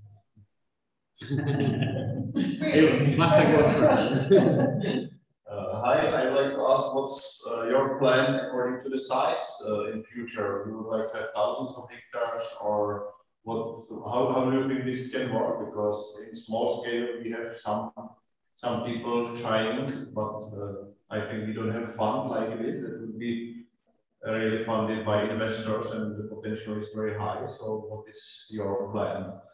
If everything goes well? Uh, I, I have no idea, to be honest. Uh, uh, I, as, as, I said, at the moment, you know, based on my uh, private resources, I am I should be able to invest 10 million crowns a year. Uh, so uh, this would reflect the size, I think, today you're buying you're buying wetlands and meadows and uh, or I mean the agriculture uh, it's it's the, the the price ranging from uh, from uh, 30 to let's say 50 maybe 60 crowns per uh, per meter. So we can uh, there's an easy easy calculation behind it. So th th th this is this is this is the this is the growth that that is based uh, that is based expected uh, expected on my private resources. The question is if I what invest investors I would attract, uh, how much money they would like to invest that can make the, the the fund growing faster. Also, it's about the habitats. You know, it's it's it's. Uh, I already um, talked to few people that helped me to to identify um, those habitats. You know, at the moment with this this this plot in Maříž, I was only lucky. You know, I, I love this area. I spent a lot of time there. I was lucky finding this uh, this this place that was for sale. Uh, the one in uh, Karlovy Vary region, I think uh, I I got. Tip from uh, Radka Musilova from from Zamene some time ago, and I was just lucky that that that that that uh, that I was able to buy it.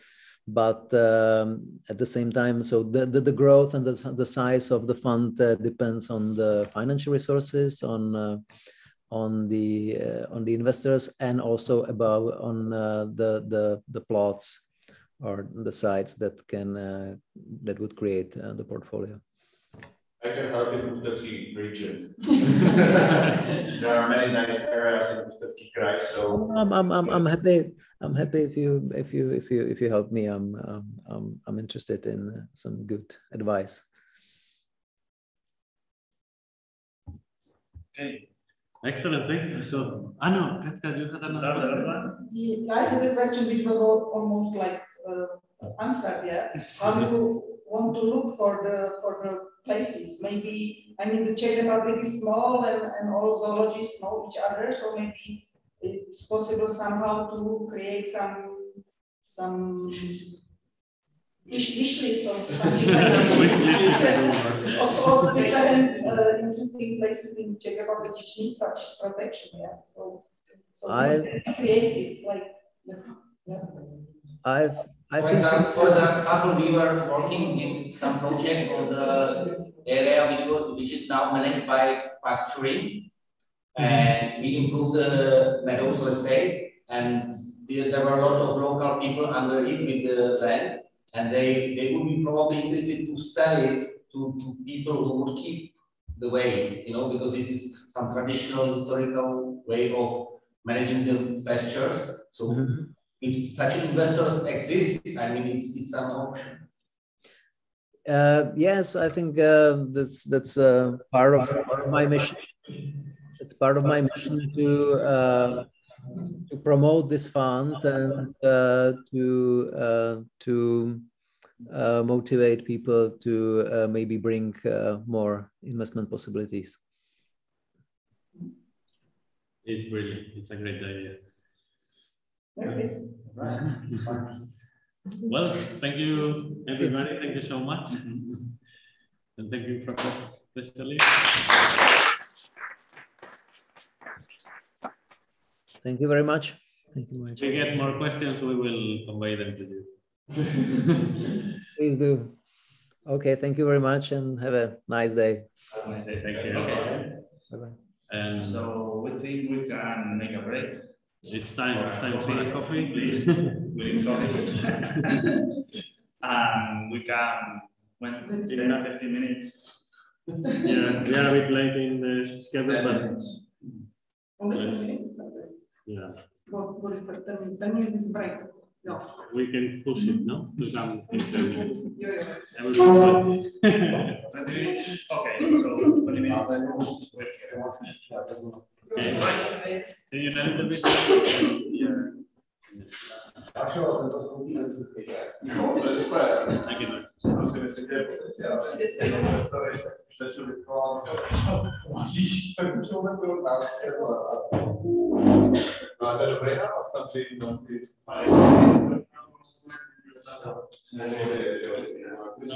Evet, para si queréis poner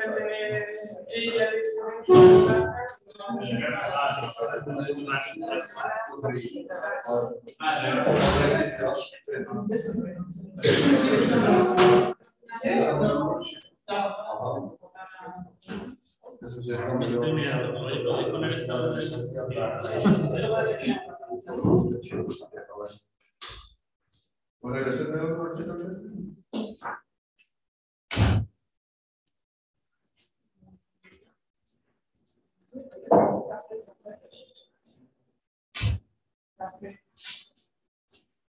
Cuando tomes tu café.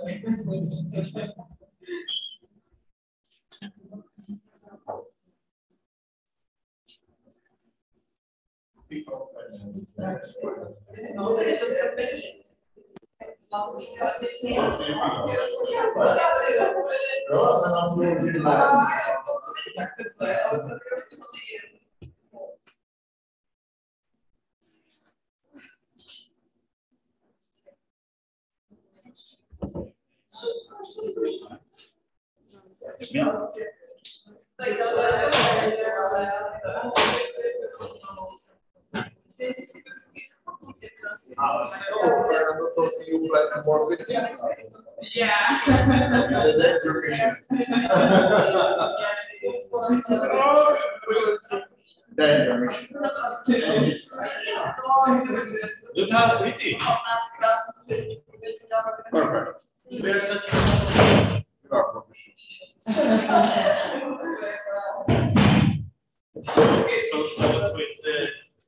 No sé porque.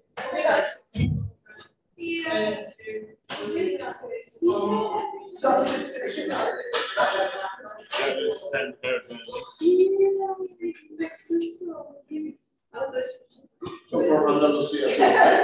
say, let's say reference. Yeah, very Last day I was working on Friday. I was, you know, a teacher, the sun was like twenty degrees. To Andalusia in winter is not Yes. the best time there. I think it's pretty nice to hear from here. Yeah. I think so. Would be nice. um, But the snow is gone already. But maybe it's gonna work. I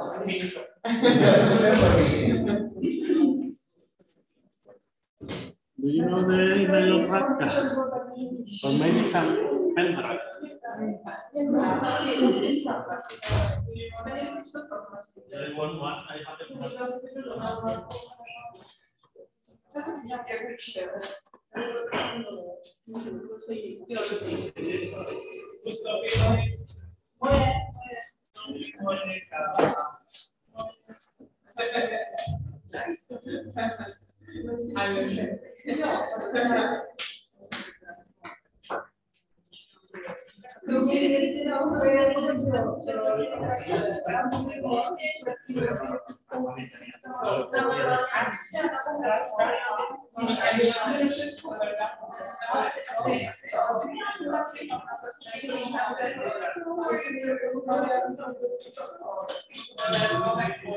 you Jo, proč? Tady Robert dostane.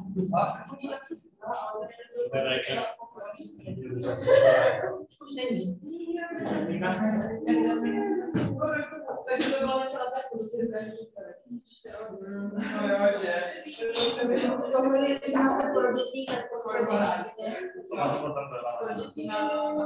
Takže má určitě There is one one, I have it. I will share. Then I can ¿Cómo seríamos de nada? Voy a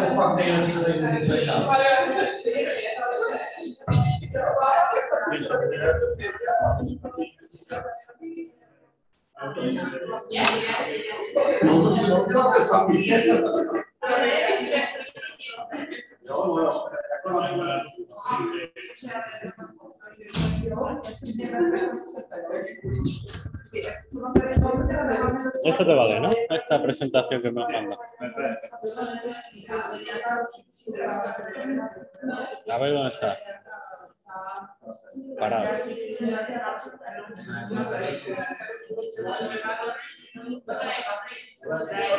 ¿Estás nervioso?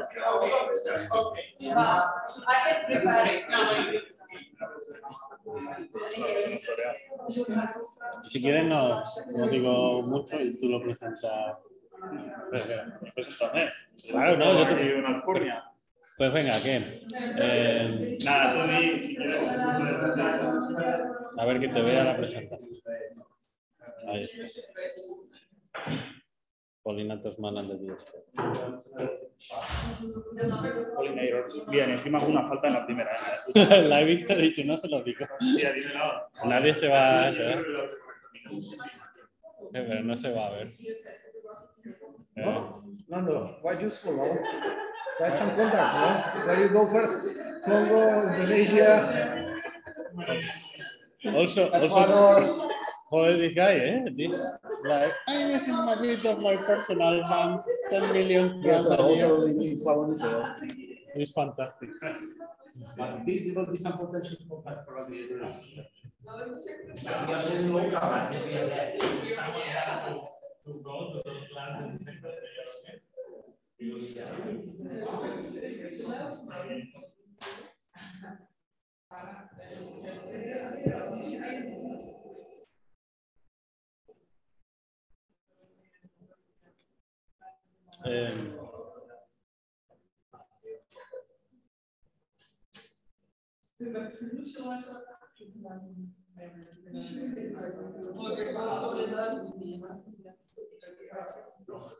No,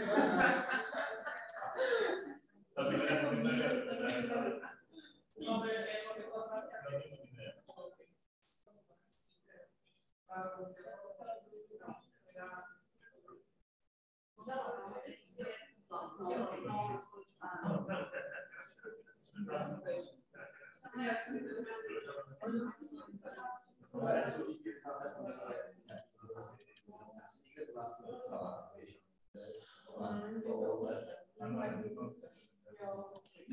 slyším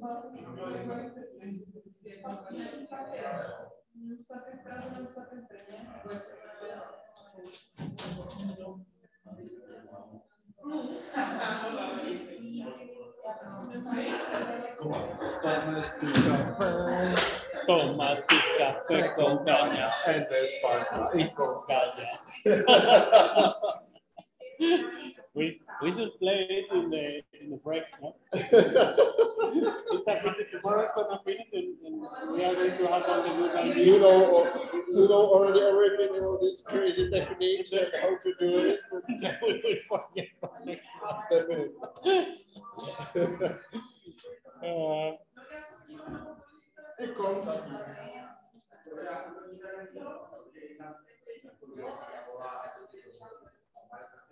Grazie.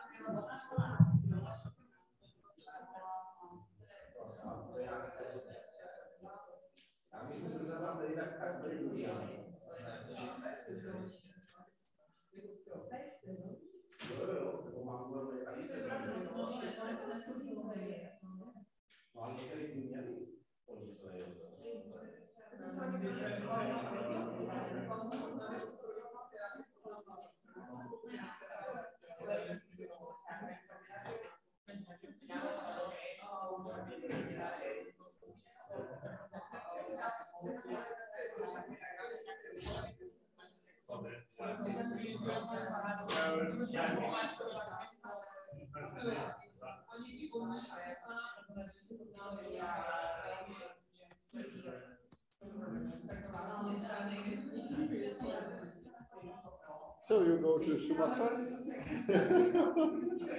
it's, it's cool, no? it was so nice, and I think she will be up for going anywhere. That's a good thing. That's a good thing.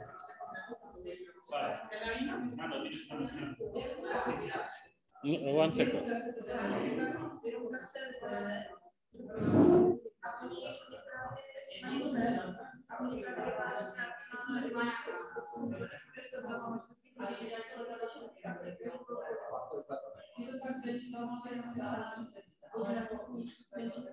Nossa, eu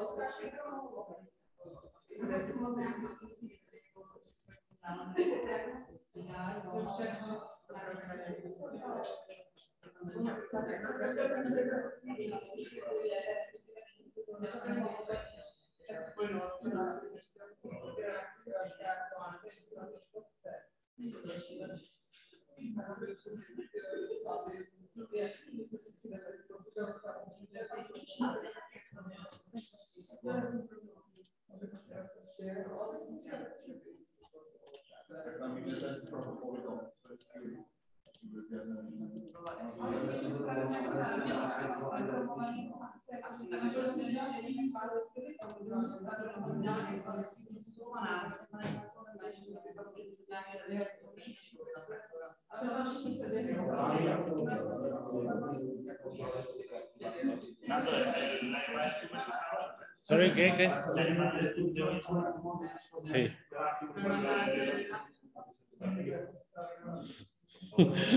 Cerebro. es imperativo.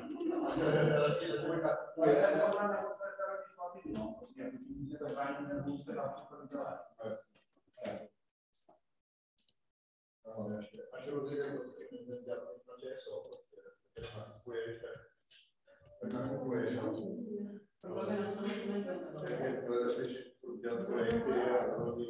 But uh, email.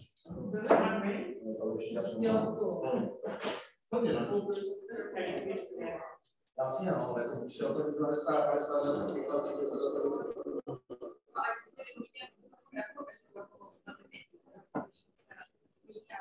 email. Tienes una misión crítica. A ver, dime. Critiquísima. O sea, vas a. Sí. La foto, ¿no? Eso, bueno. La foto. Pero vamos a hacerla ya. No, no, no.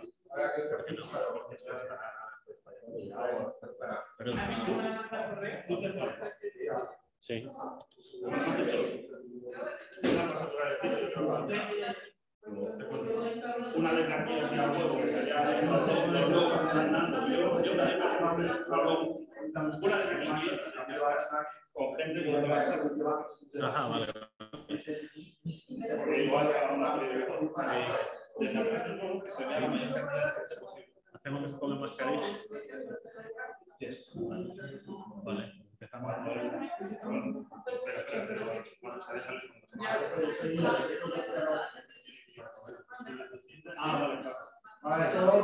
Hello everyone, please. Um, request, but I, it's important because of? Uh, gonna take a photo. The institutional photo for the funding of the project. Currently we require to. So you could please for one. But I think you you don't have to do it because you have no. So it, it will be like, no, no, because, because it will be like from the, from here. So everybody is. Ah, and there is no hair. No, no, no, no, it's like me and the, the, the. Use No, Use the audience. I guess. Okay. I don't use audience. So, So you know, if you watch there, you don't need much.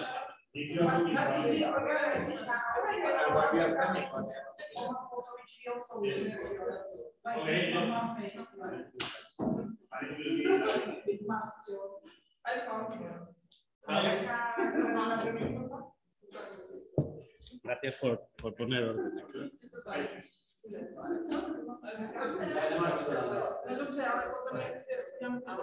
Vale, si quieres.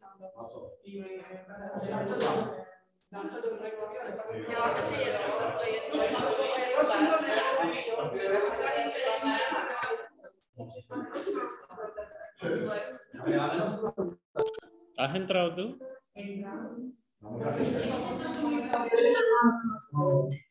Aquí estoy. ¿Lo sabes?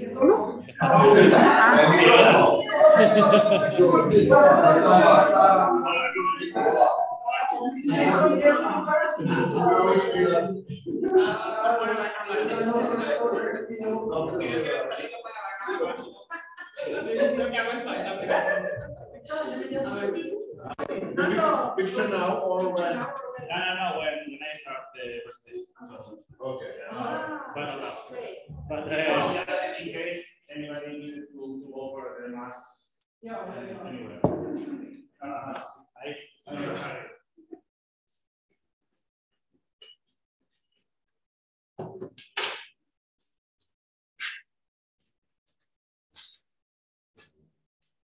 Otra.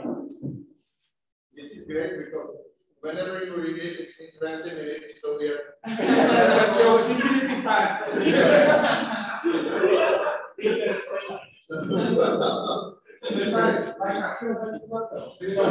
Pero never reach it. Vale, vete tocando, ven. Por favor. Actualiza la base de datos.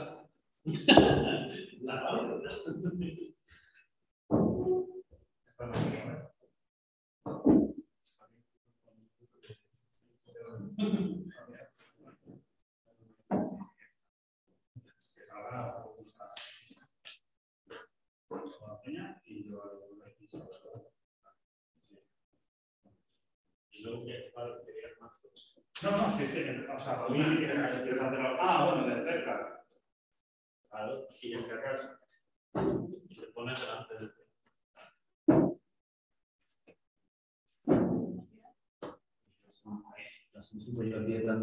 Y tomando, tomando por las siglas,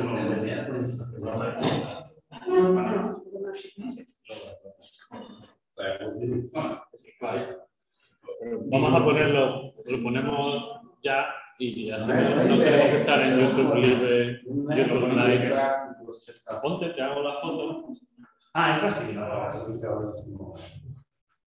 Pon. Pero claro, tendría que estar Pues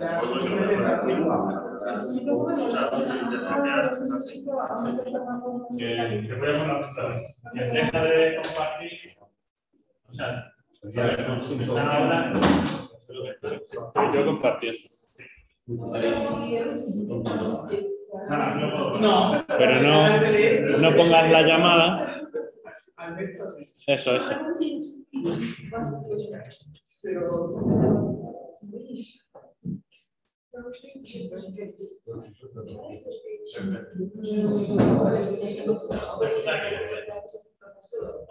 Ya,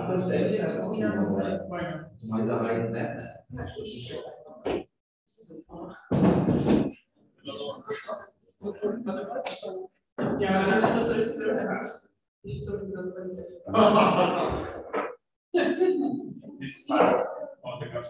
Don't smile, don't smile, it's serious. Yeah.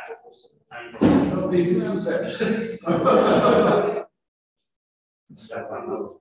I don't need that book. We can.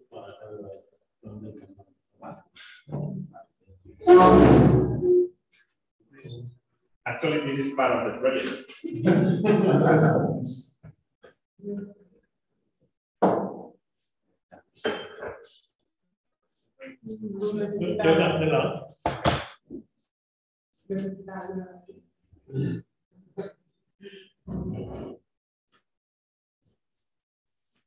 Seven people look at it when there is a. They are, no, maybe they are, but with me, twenty feet. We are so unpredictable that they better stay there, you know, and watch. Yeah. Loud volume. That is the only thing.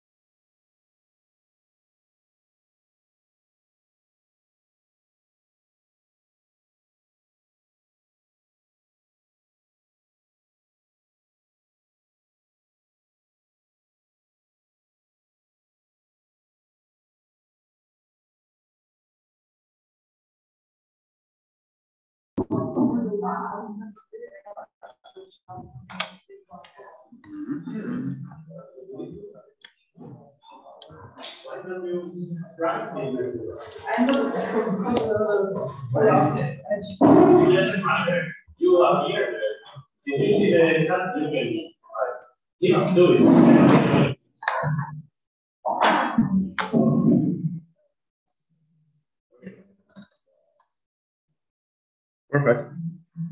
I think I'm live. you asked me. Would you honor me presenting myself? When I appear. No.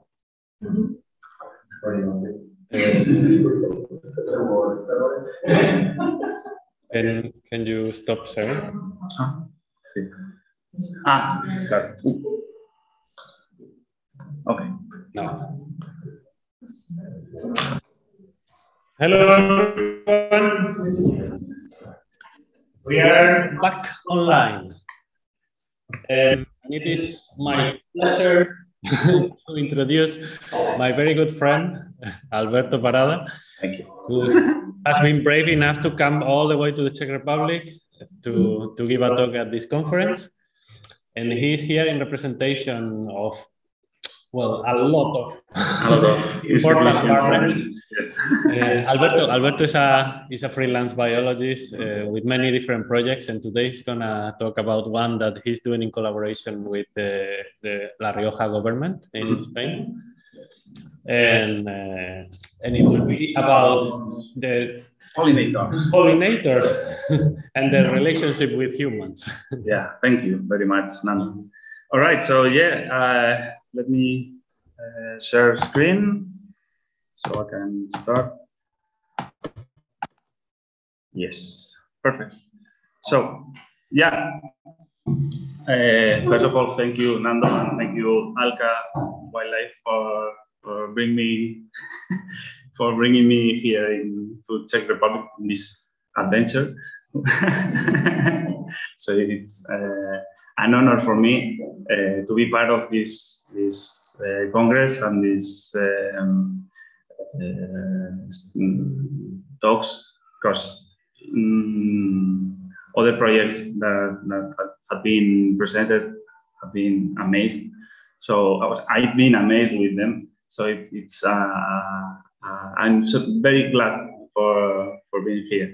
And yes, I I'm going to, to talk to you about uh, uh, one of the projects. I think one of, one of the coolest projects I'm uh, involved in, uh, which is organized by the government of La Rioja, which is a region in the northern Spain, and I am collaborating as part of the work team uh, nowadays in it.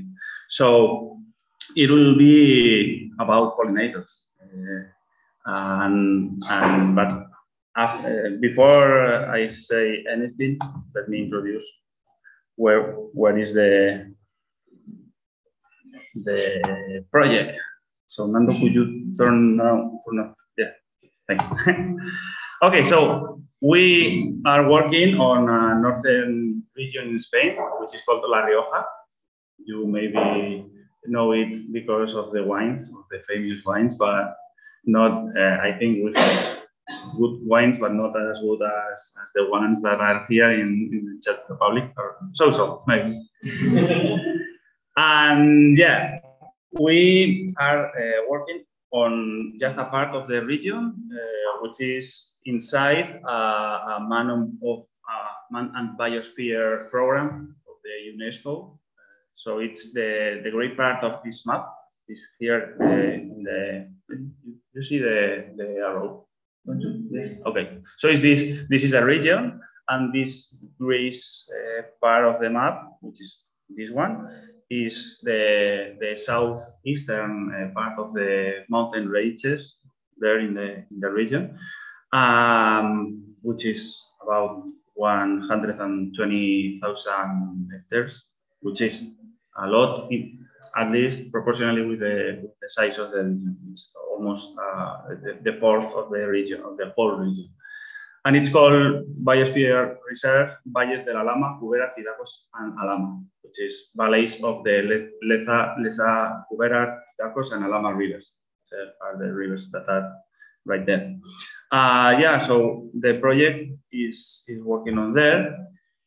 as I said, because of this program, which is it's the, the, the, this biosphere reserve is inside the, the man and biosphere program, which is a, a program inside UNESCO. It's, it's, worldwide, and the main the main aim of this program is, as you may know, is to establish. This is literally what they say. This is to establish a, a scientific basis to connect people with their environments or with their uh, landscape. So um, I think the best um, uh, with the best uh, way to explain it is with this meme. Uh, so it's it's about all of this project is about connecting people because that that that region is a low density population region and, and it's um, inside all the, the La Rioja, it's one of the um, lowest um, population uh, parts. So, so yeah, we wanted to, to carry on a, a project not only for wildlife, but also for, for people living in the place. So the main, the main aim always will be to connect both places on both, sides uh, through, through the science. So this is the, the name of the project. It's called Objetivo Polinizadores, which is like a, a play, uh, a, a, a word, words play with objetivo, which means in English, uh, in Spanish, it has two meanings, more, but, but we, we want to play with two meanings. With one is the uh, objective as a target, as our mission. Our mission are pollinators in this project. And uh, it also means the, the lens, the lens of a camera. So because they are on the on the lens of the of, uh, our camera or, or, uh, or eyes. Uh, um, and this is the, the logo of, of, the this, this biosphere reserve. So we, as part of Man and Biosphere program, we wanted to, to continue this, this same and, and connect people with their environments throughout science and in, in, in this case throughout the, the local fauna, at least pollinators. So we'll have, I think, the, the standard path in any conservation project, which is uh, this has uh, three mainstays, which are first of all research. We are going to to we are planning um, some some mainstays of this project because it's in the very beginning of, of its development. So we we are now in a in a in a stage of designing all the work. So then the government uh, will check it out and, and, decide whether it continues or not or, what to do or, or anything.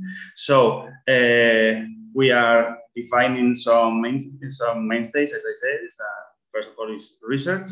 Um, the other one uh, we think it's, it's important is outreach because it's not, it has no sense just to work with fauna forgetting people. So we, we want to, to show it, to show all the work or to show all the, the research it's gonna be do to, to all the people locally, but then uh, we always want to to say abroad, abroad the region, abroad the Spain, whatever. I'll, I'll talk about it later.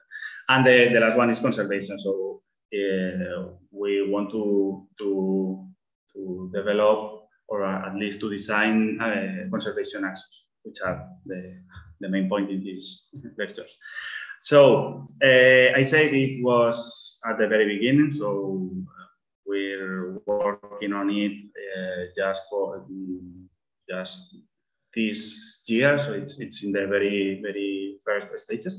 So, but we have already done some, some I think, some cool work. At least I, I consider it uh, because I like it a lot. So first of all, we have uh, been, uh, we have done a, a, study of the current status of the Asian hornet, because as you know, it's uh, an invasive species in the southwestern part of, of, Europe. And in Spain, we have been a lot of problems with this, with this invasive species.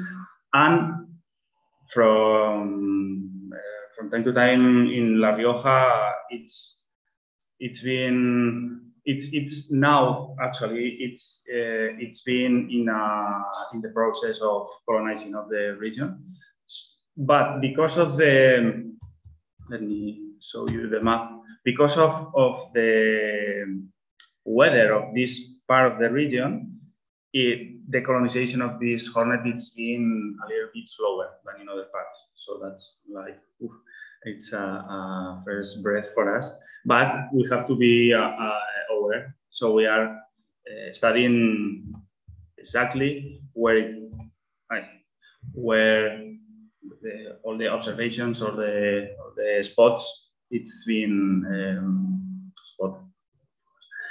So um, other kind of activities that we've done is, is to connect uh, or to, to speak local people about the project itself and also about pollinators as, as a, a big group of animals. So we've been done um, a couple of activities uh, there in the region within the, the, biosphere reserve.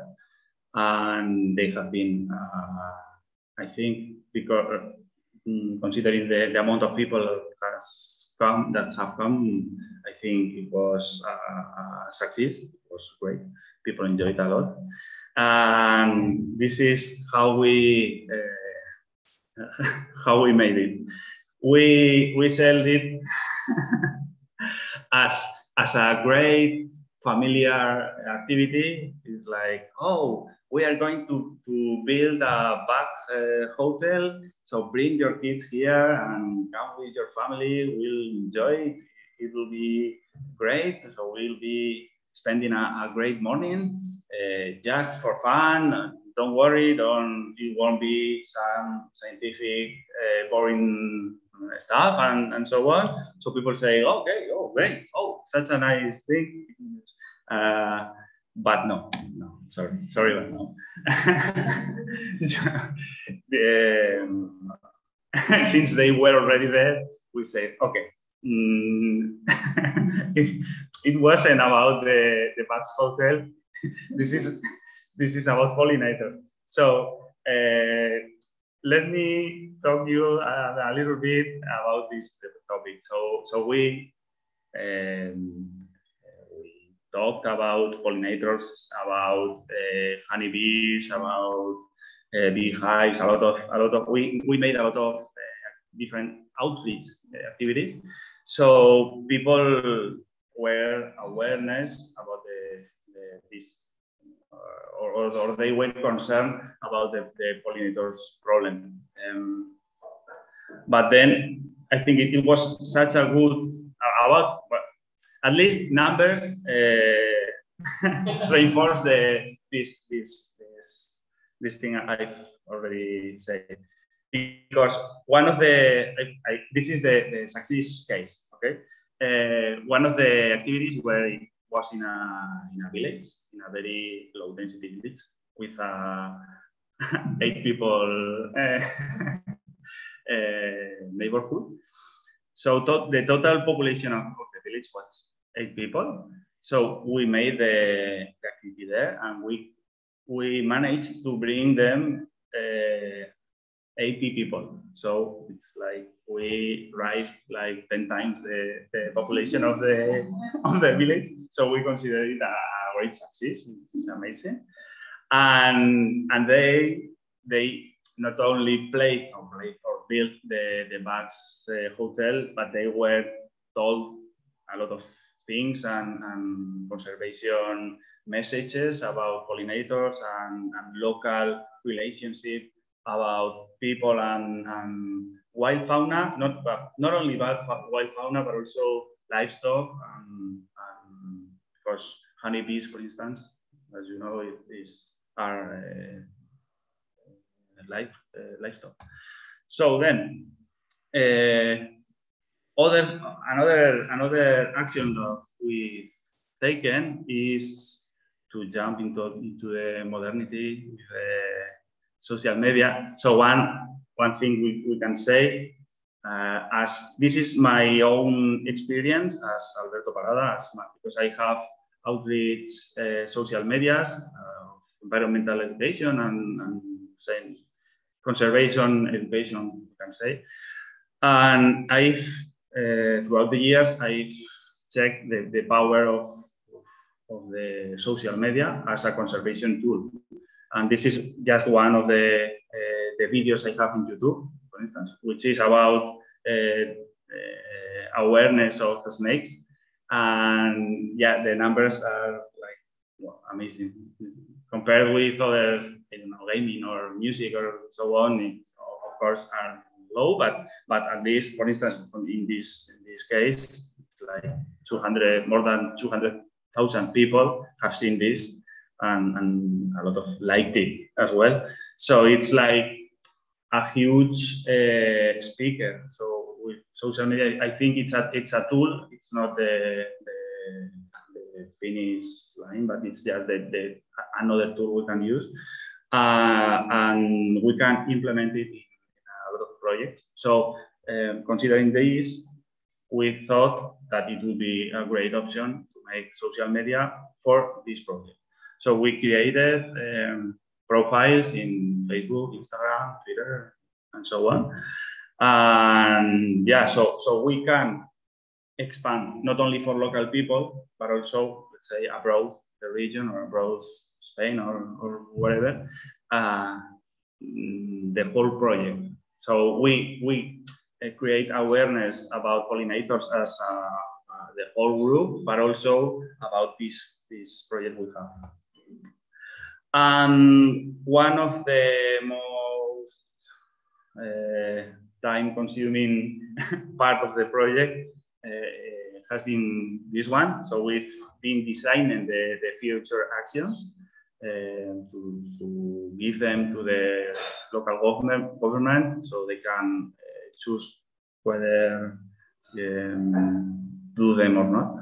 And, and we've been we've been thinking about what kind of conservation actions uh, carry on. So this is our proposal. So this, these, these are our um, points. We think they, they would uh, work well since the important relationship between pollinators and, and flowers, we think one of the most important uh, one of the most important actions we can or the project can um, carry on is to create or to build uh, pollinator gardens. Since they with with obviously with native plants and native flowers and and there are a lot of places where they can be built. For instance uh, we propose to speak with local companies like uh, farming, for instance, uh, because the, the all the region is, or most part of the region is um, is farmed. So there are fruits uh, or vegetables or something like that. So there are not many, but, but some uh, companies that, that run uh, their business there. So they could spend a little percentage of their uh, lands to, to build this kind of gardens, promoting uh, local species, local plant species. Then we propose to, to speak with councils and city halls and all kinds of administration people, say, so they can um, they can make some something like that uh, as well, like like companies, so they can spend part of the lands or part of the, the territory to build a pollinator garden. So so we can um, rise the bio, the plant biodiversity. So it, it will uh, it will be such a good thing for raising the pollinators uh, biodiversity as well. And one of the the main things are as well, it's been told in, in past lectures, is to keep boundaries edges between uh, croplands and so on uh, alive. So, so um, the, we propose to keep those that are already alive and to make uh, decisions or make actions in order to, to raise the, the to increase the, um, the number of uh, living ages. So, so we can as well plant um, native species of, of plants and flowers so they can attract uh, pollinators and increase the, the biodiversity of the, of the place. And then one of the, yeah, I think uh, an important thing as well is if we propose to talk with farmers, with local people, of, of course, but also with agrarian syndicates and so on, so they can magnify the, the kind of actions. So uh, not only we don't only propose the, the project itself or people working in, uh, on the project itself to carry on all of these actions, but also we want to magnify it. So we can, so we, so we are proposing to, to make uh, talks or, or lectures with, with this kind of, of people. Uh, at the end, one of the things that um, at the meantime we were designing all of these actions and, and so on, we we thought about this this uh, problem, the, the problem of, of the exploitation of beekeeping, because since since beekeeping is is uh, livestock uh, work, it's uh, bees are or honeybees, are uh, cattle. Um, we we better we, I think we, we can better imagine it with uh, with big animals uh, example. So we can we can imagine uh, the we can figure out the, the problem of overexploitation with I don't know cows or, or sheep if a, region is overexploited by big animals, you know what what the problems on biodiversity are.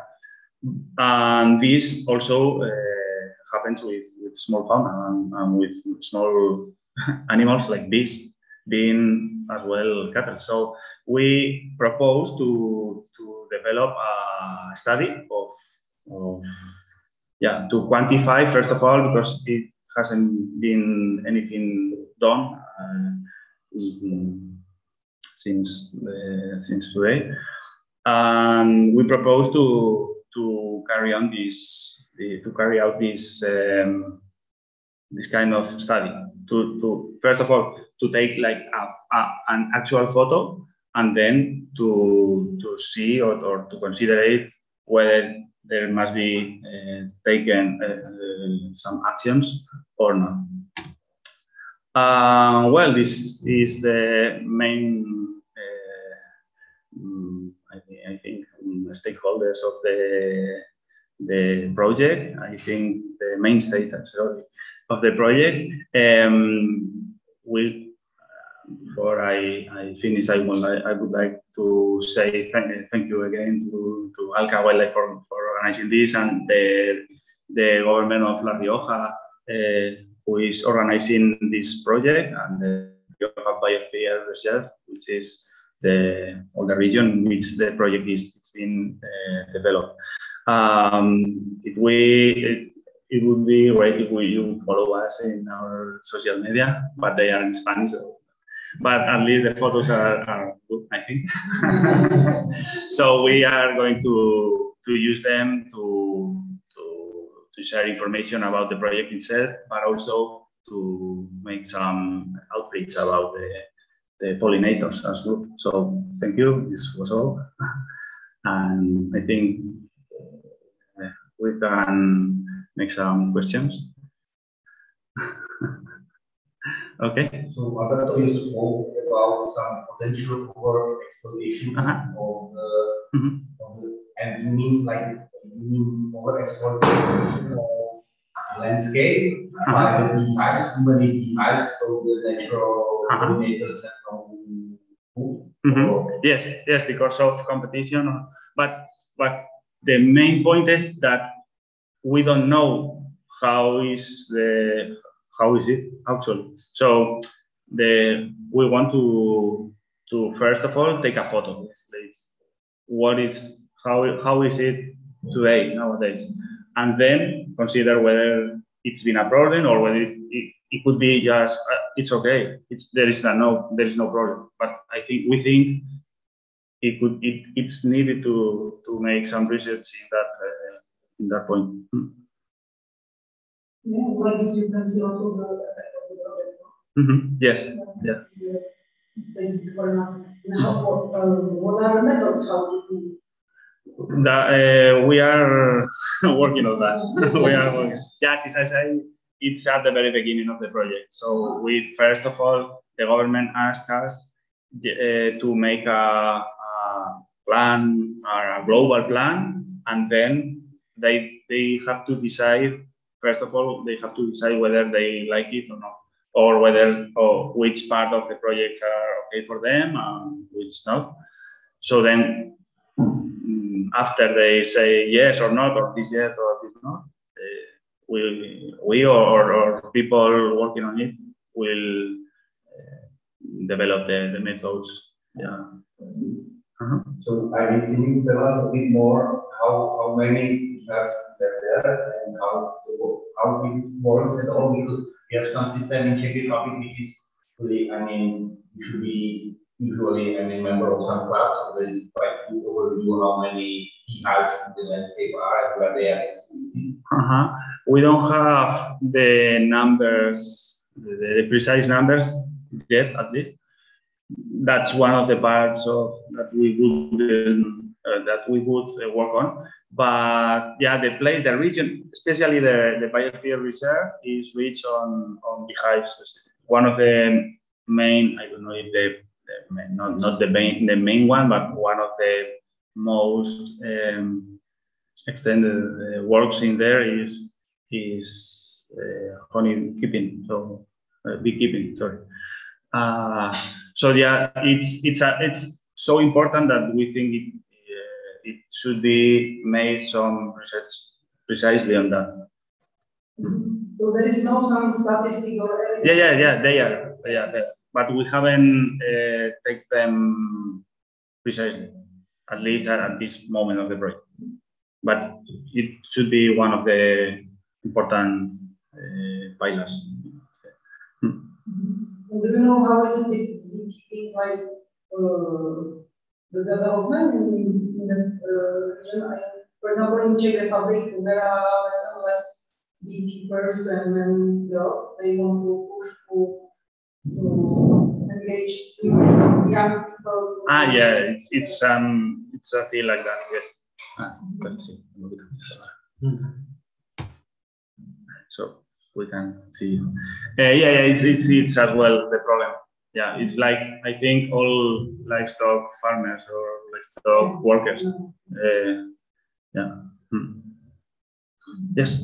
I would like to ask you, uh, when promoting the uh, flowering gardens Uh-huh. or meadows or so, uh, do you somehow focus on the, you know, uh, the mixture of the seeds of the plants? Yes.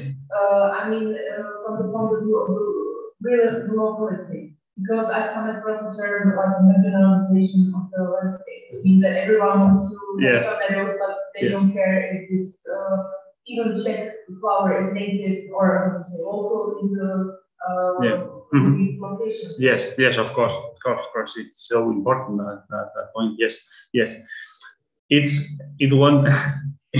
I think it will be suboptimal work because I, I I don't know how precisely um, could it be at least to run all the project. So so the the um, our wish is that that to, to be uh, the more precise, even locally, uh, with the selection of, of seeds, of course. But, but yeah, as I said, the aim, the, the, the global aim is not to, to, is not that this work is uh, will be done um, by the teamwork, but we want to, to, in, to involve local people. So we want to, at the, at the first stages, that work will be, of course, done by the project. But but that uh, we think it's important to to have those talks I about I talk about with local people to involve them so they can be um, so we can be aware of, of which seeds are good or or which seeds shouldn't be planted like basic species or, or non-native species. Uh, so it would um, yeah run throughout the time without the the, the, the I think the, the most utopic scenario is that the project runs itself without our help as, as any conservation plan. So we are uh, uh, making emphasizing that point. At least when I when we talk with the government and we say oh, you should do this this way because it should be better, but we would do this way, but at least the decision is not on, on our. The last at least. But yes. I, I have just a comment. I mean, I, I know that the Czech Republic have some commercial uh-huh. seeds packages. Yes. And for the uh, blooming gardens, and they are really bad for the nature because there are quite some yeah. original. Yeah, I think it's it's a trade-off because pollinators are getting famous in, in society, let's say, globally. So that is like a trend, and when wildlife mm, becomes a trend, it's like oof, oof, oof, like a. But I think it's not bad or good by definition, but it's like a, a trade-off. it's like okay, people is is getting awareness about this problem, so they want to to do nice things like this one, like buying seeds to, to plant them for pollinators. But it's important that they are they they know which which seeds or which which kind of actions are good or, or could be even worse if they carry them out. Yes. Huh? yes. I think maybe it's better way, it's probably a lot longer and difficult, but to get to the flowering places, not like buying seeds and putting them there, but by good management, no? Because yes, the management the seeds are in the, in the soil, Yes, yes, yes, yes. Yeah, mm, the the the, the seed plant is not the only action. Of course, it's one of them, but we propose to to make actions to keep uh, edges or borders uh, between the, the local farms or, or when, uh, whatever. But if, if they are well kept mm, in a natural process, it will be uh, recognized by, by native plants. So of course, yeah, it's a mixture of, of both of both actions. Yes. One more. One more. Great. Uh, you try to go to farmers Uh-huh. to, to tell them uh, to do this nice uh, meadows. Mhm. Can you offer them something or how you want to engage them to do it?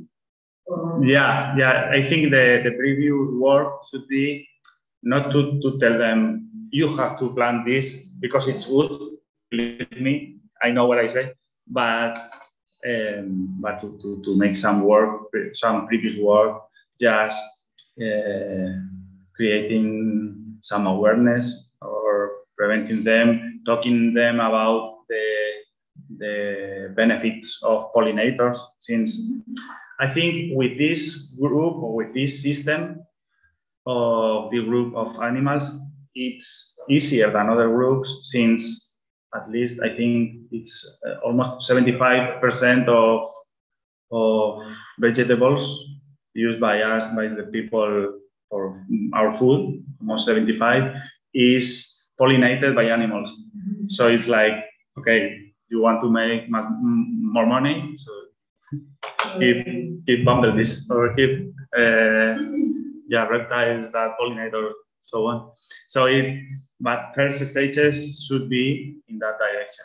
First, making them um, understand the importance, the, the importance of this group of animals or, and the relationship between plants and, and pollinators, and then in a, on a second stage or a, or whatever, to to give them the tools and say, okay, those are or these are the good actions to to be carried out.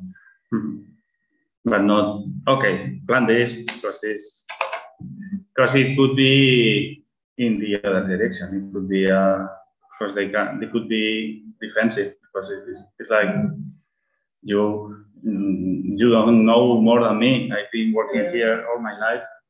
You come from the city. You don't tell me oh, how I should work. So yes. Mm -hmm. Any other question? Okay, so thank you for all. Hope you enjoyed the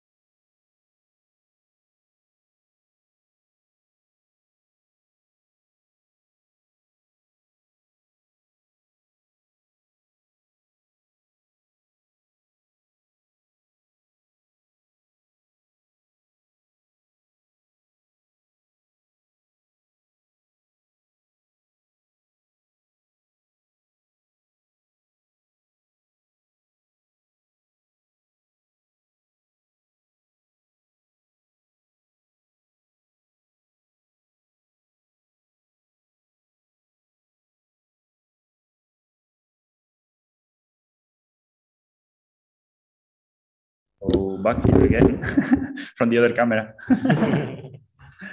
Great.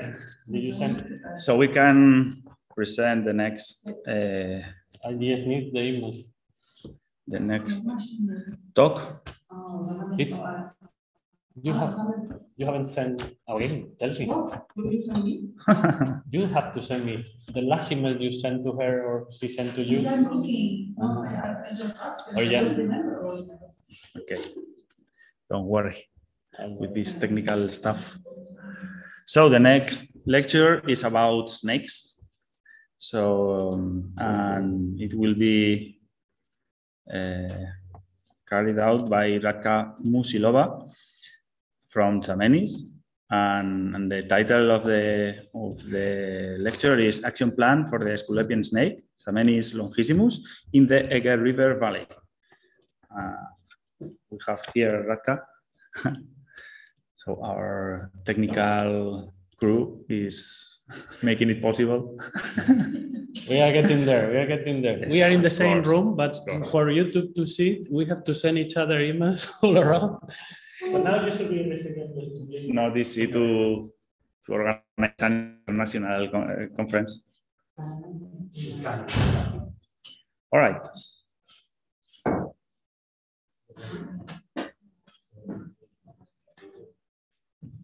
So thank uh-huh. So this will be the last uh, talk before having lunch.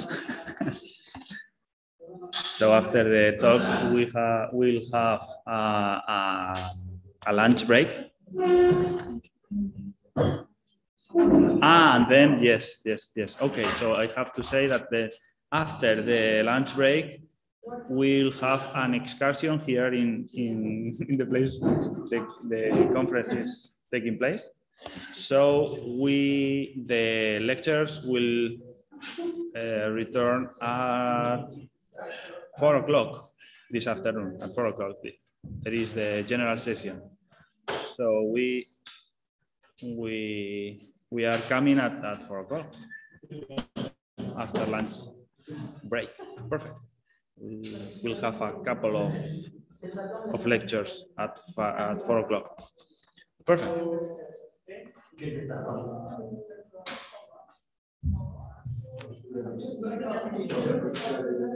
Okay. So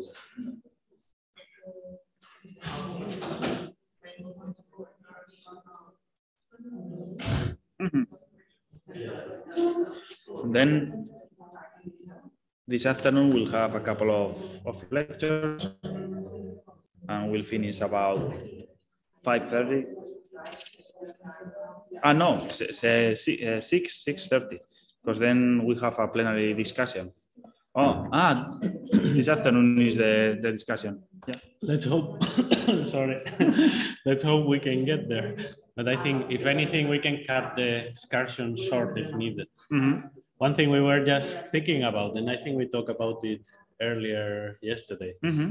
Is that maybe for our plenary discussion, we could invite people already. Mm -hmm. uh, anyone interested can contact with us. Contact and, anyway, like sending an email to yes. Alka or, Yeah. or to me or in social media, tell us. And then we will share with every, everyone interested, we will share a Zoom link and we can be all in the discussion like we have been doing here. Mhm, mhm. And we have several topics to talk about. Yeah. Which are the main topics for the discussion? I like it. I like the selection of topics of this plenary discussion. I think originally our idea was to focus on outreach and engagement. Uh-huh. But uh, we have had so many good presenters Yes. and nice, interesting talks. So I think inviting them, and and if any Yeah. of them can come, we can talk about conservation in Africa or how to go to Indonesia. How to go to Indonesia, yeah, yeah. we can talk about pollinators. Maybe we can think, depending on who's coming, Mhm. what, what to talk about. I think that's a good idea. Yes.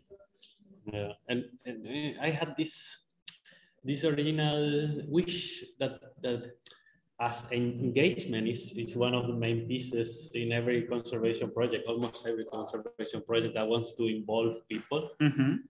Uh, one good topic was the our original one. Uh, let's admit, which is I don't talk about our experience with engagement and yeah, all of this using social media and what what are the hardships, Be- technology being one of them. Yes, yes, well, yes. this is hard. Okay. We are almost there. Yes. Dear, dear presenters, dear audience. Yes. um, Yes, perfect. We have our technical committee. there. to- No, no. eso es. Ok. No, no. es- No, porque su hueso está. Ya está. Yeah. Yes. Okay. So here we have Gata. Okay, Hello. so thank you. Hello to everybody. Uh, So, thank you. All yours. Yes. Thank you for invitation to this conference. Uh, my name is uh, Radka Musilova and I'm from uh, NGO Zamenis. And as you, uh, you can see, the Zamenis is the name uh, of the snake. Uh, it's the rarest snake uh, in the Czech Republic. Its name is Asclepian snake. Uh, and today uh, I would like to share some information uh, from the action plan that uh, is realized uh, in the northwest Bohemia. Uh, it's a place um, along the river, the one of the major river in the Czech Republic. Its name is uh, Ohře in Czech and uh, Eger in the English. So this will be about the snake living uh, in this uh, locality. the Asclepian snake is quite unique snake species. Uh, and uh, almost in all, all languages, uh, you can feel the like connection to the god of medicine, Asclepius. and almost in all languages, it's already in the in its name. It's Asclepian snake in English, Äskulapnatter in Germany, Asclepiopoulos in Russia, uh, Couleuvre uh, Desclop in France, and Colubro di Esculapio in Italy but in Czech, uh, the name is only like three snakes, so the only name that is not uh, involved uh, Asclepian, but it used to be uh, Asclepian snake as well. And today uh, you can see this uh, snake, uh, it's a symbol of pharmacy, of the doctors and so on. and the other, I think, quite important thing is that it's quite a big snake. It can reach uh, almost two meters. But uh, in our locality, the, the longest snake that you can see here at the picture, uh, it has, I would say, only 100, 1 meter and 70 centimeters. and it can be, for the local people, it can be uh, easily distinguishable from all other snake species because of its size uh, and also the color because the um, like uh, the snake has brown the uh, the the side and uh, the uh, the ventral side is yellow. So the back the back is brown and the belly is yellow. So it's quite easily for the local people to, uh, to see that this is the not the venomous one. But uh, at our locality uh, the snake has been unnoticed to the by the scientific community until 1880 and uh, there's the first notice in literature that the snake is uh, living uh, in this valley. It was a long time ago. And it was uh, quite, I think, uh, strange for the people because uh, here, as you can see in the map, the, the, our locality is marked by a blue point. And as you can see, it's maybe 200 kilometers far, far from other localities. So uh, the first hypothesis, uh, the first question was how the snake could live such a far from the, uh, I would say, current distribution. And uh, one of uh, the first uh, answers was that it might have been introduced. But the question is when, why, and who could wanted in the history to, to introduce snakes. But there were some hypotheses uh, the, the oldest one is that uh, snake was introduced by ancient Romans, uh, then later by some noble families from Italy or France, or even later by some Greek merchant. Uh, but uh, today it is considered to be a relic of wider uh, distribution that was about several thousand years ago. And you can see that there is not only our population, but there are also uh, few more uh, populations that are isolated above the northern uh, edge. And this, this fact can be supported in two ways, I would say. The first one is that we have fossil records. Uh, it's quite clear evidence that the snake used to be distributed, used to live uh, even in the northern part of Germany, uh, Denmark, and in Poland. and then there is a second way how to prove it uh, that uh, based on some genetic research that was done maybe uh, 10 years ago and it was part of my uh, PhD study. Uh, uh, we did some analysis in Europe and we, it was revealed that there are two clades in Europe and also one in Asia. And as you can see, the Aru population belongs to the eastern one, uh, together with uh, all the other isolated populations. So we can exclude the introduction theory from France or uh, Italy based on this uh, study. Uh, but uh, you can you can feel that the situation of isolated population is not easy because uh, it's like more thermophile species and it's distributed mainly in southern part of the Europe. But there are some isolated populations above the northern limit scattered around the Europe. And some of them are already black. It means uh, they uh, are extincted, but uh, some of them still survive uh, until today. But it's not uh, easy for them because the climate conditions are not very suitable and it depends on the year. So there are, there are some fluctuations in population size that are typical for, for the locality. So uh, we started in uh, 2005 by a systematic snake study. Uh, and at this time, uh, we revealed that there is there might be around several hundred snakes, let's say from 400 to 600. Uh, it's not a critical value for the snake, but still it's not enough to, to be perspective population. Uh, and also there is uh, other problem that the area of the snake is quite limited. It's only uh, 12 square kilometers. And uh, then uh, it's quite uh, sure that there are some key places for the snakes because of their annual cycle.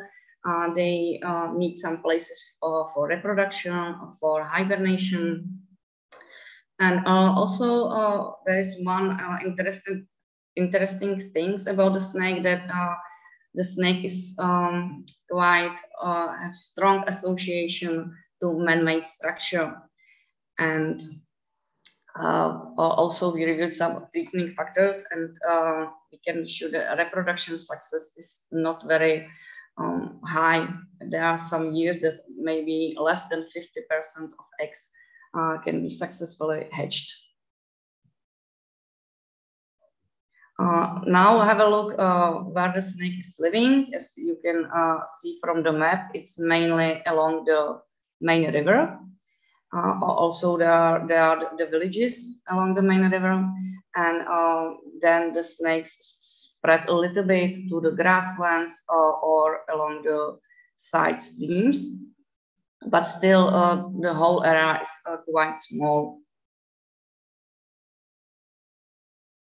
Uh, and I would like to mention here that probably somewhere, uh, somewhere here there is a small settlement with the name uh, Osveno, and uh, we will mention it later. There is some something like snake center today. Um, we started with some uh, population uh, size of study, uh, and uh, it's not because we are studying the snakes maybe for 20 years now, but uh, we are not, uh, it's not a continuous, uh, we do some like short-term studies based on, focused on population size. So one study uh, was from 2005 to 2006, and then uh, 10 years later, we did the same just to compare uh, how the population size changed. and we revealed some, um, I think, good information uh, here you can see our famous snake because um, the, the, the, study is based of marking and recapturing uh, snakes and um, this snake, uh, we were able to catch him maybe 10 times, but uh, this was not the reason why he's famous, but uh, we were able to catch him like 10, 10 years later. Uh, you can see 2005, 2015. Uh, and um, at that time, after 10 years, know the marking uh, it's uh, uh, not recognizable anymore. But uh, if you make photos of head, uh, you can. there are some specific, I would say, scales or anomalies, so you can you can determine the the specific individual based on the on this photo. So we have huge up to now we have huge collection of photos and it was not only this one snake, we uh, later discovered that we know at least maybe 20 snakes from the previous study. So it can be sure that snakes can survive a long time in, in this locality and it's not uh, exception that they are maybe uh, more than uh, 20 years old. And these snakes give us a lot of information about uh, the life and the secret life of the snakes, how they uh, grew and uh, how they live and so on. So if we compare the uh, two population size studies, we can see that in the uh, during the first study, um, we assessed that there's maybe 500 snakes, and 10 years later it was 600 snakes. So it might seem it might seem to not to be such a huge progress, uh, but we think that it's a step into the right direction. Uh, at least 100 uh, more snakes, um, and there is some other positive aspects uh, that um, the proportion of young animals is growing. You can see from 14% to almost 20, and it's always good to have a lot of young animals. It's like uh, evidence of the, the population is growing. And uh, what are the main threats for, uh, for this isolated population? At the first place, it's of course the isolation itself because it's uh, more than 200 kilometers to uh, some other population. So uh, anything that happened to the population, uh, to the population, it can be supplemented by some other animals because 200 kilometers is too far for snake to move. And also there are some, some other problems. Um, it was already mentioned, the landscape changes, especially in the second half of the 20th century. Uh, some traffic problems, some uh, of, and because it's a snake, there's still a lot of people they don't like snakes, so there might be problem the direct persecution. And uh, in the recent period, it's also pets and non-native predators because the snakes are usually living in the vicinity of human settlements. So they are dogs, cats, and uh, also the non-native predators like, for example, raccoon.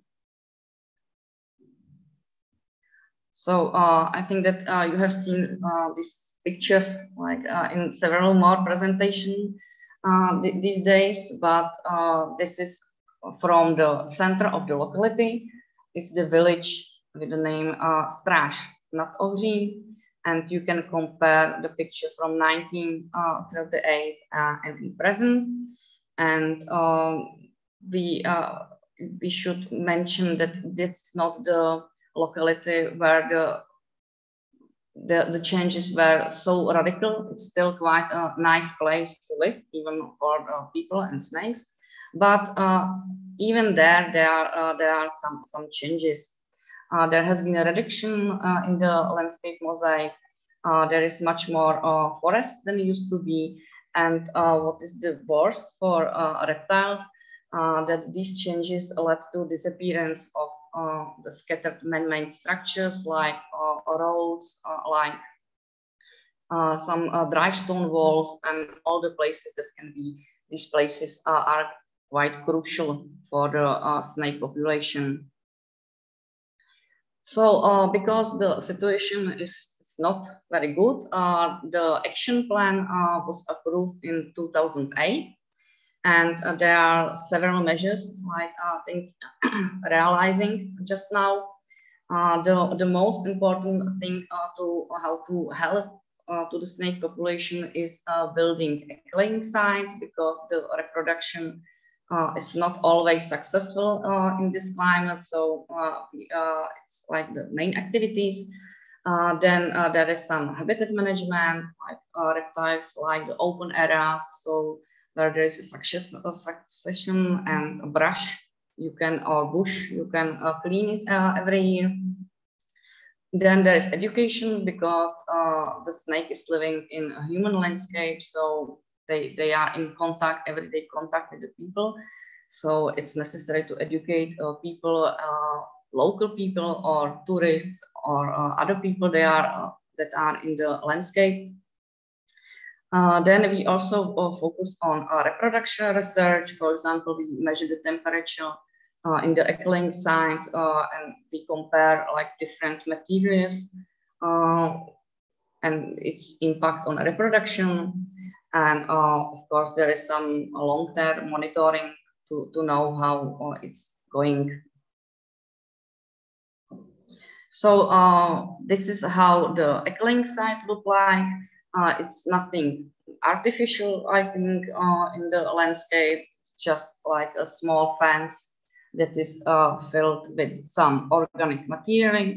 we use uh, usually sawdust, uh, bark, straw, or some mixture of uh, garden garden waste, let's say. Uh, this is quite a big one. It was uh, this this um, egg-laying site is one of the oldest one, and you can see that on the top it's uh, also from the top because some some it's like prevent from other animals to go inside and eat, for example, eggs.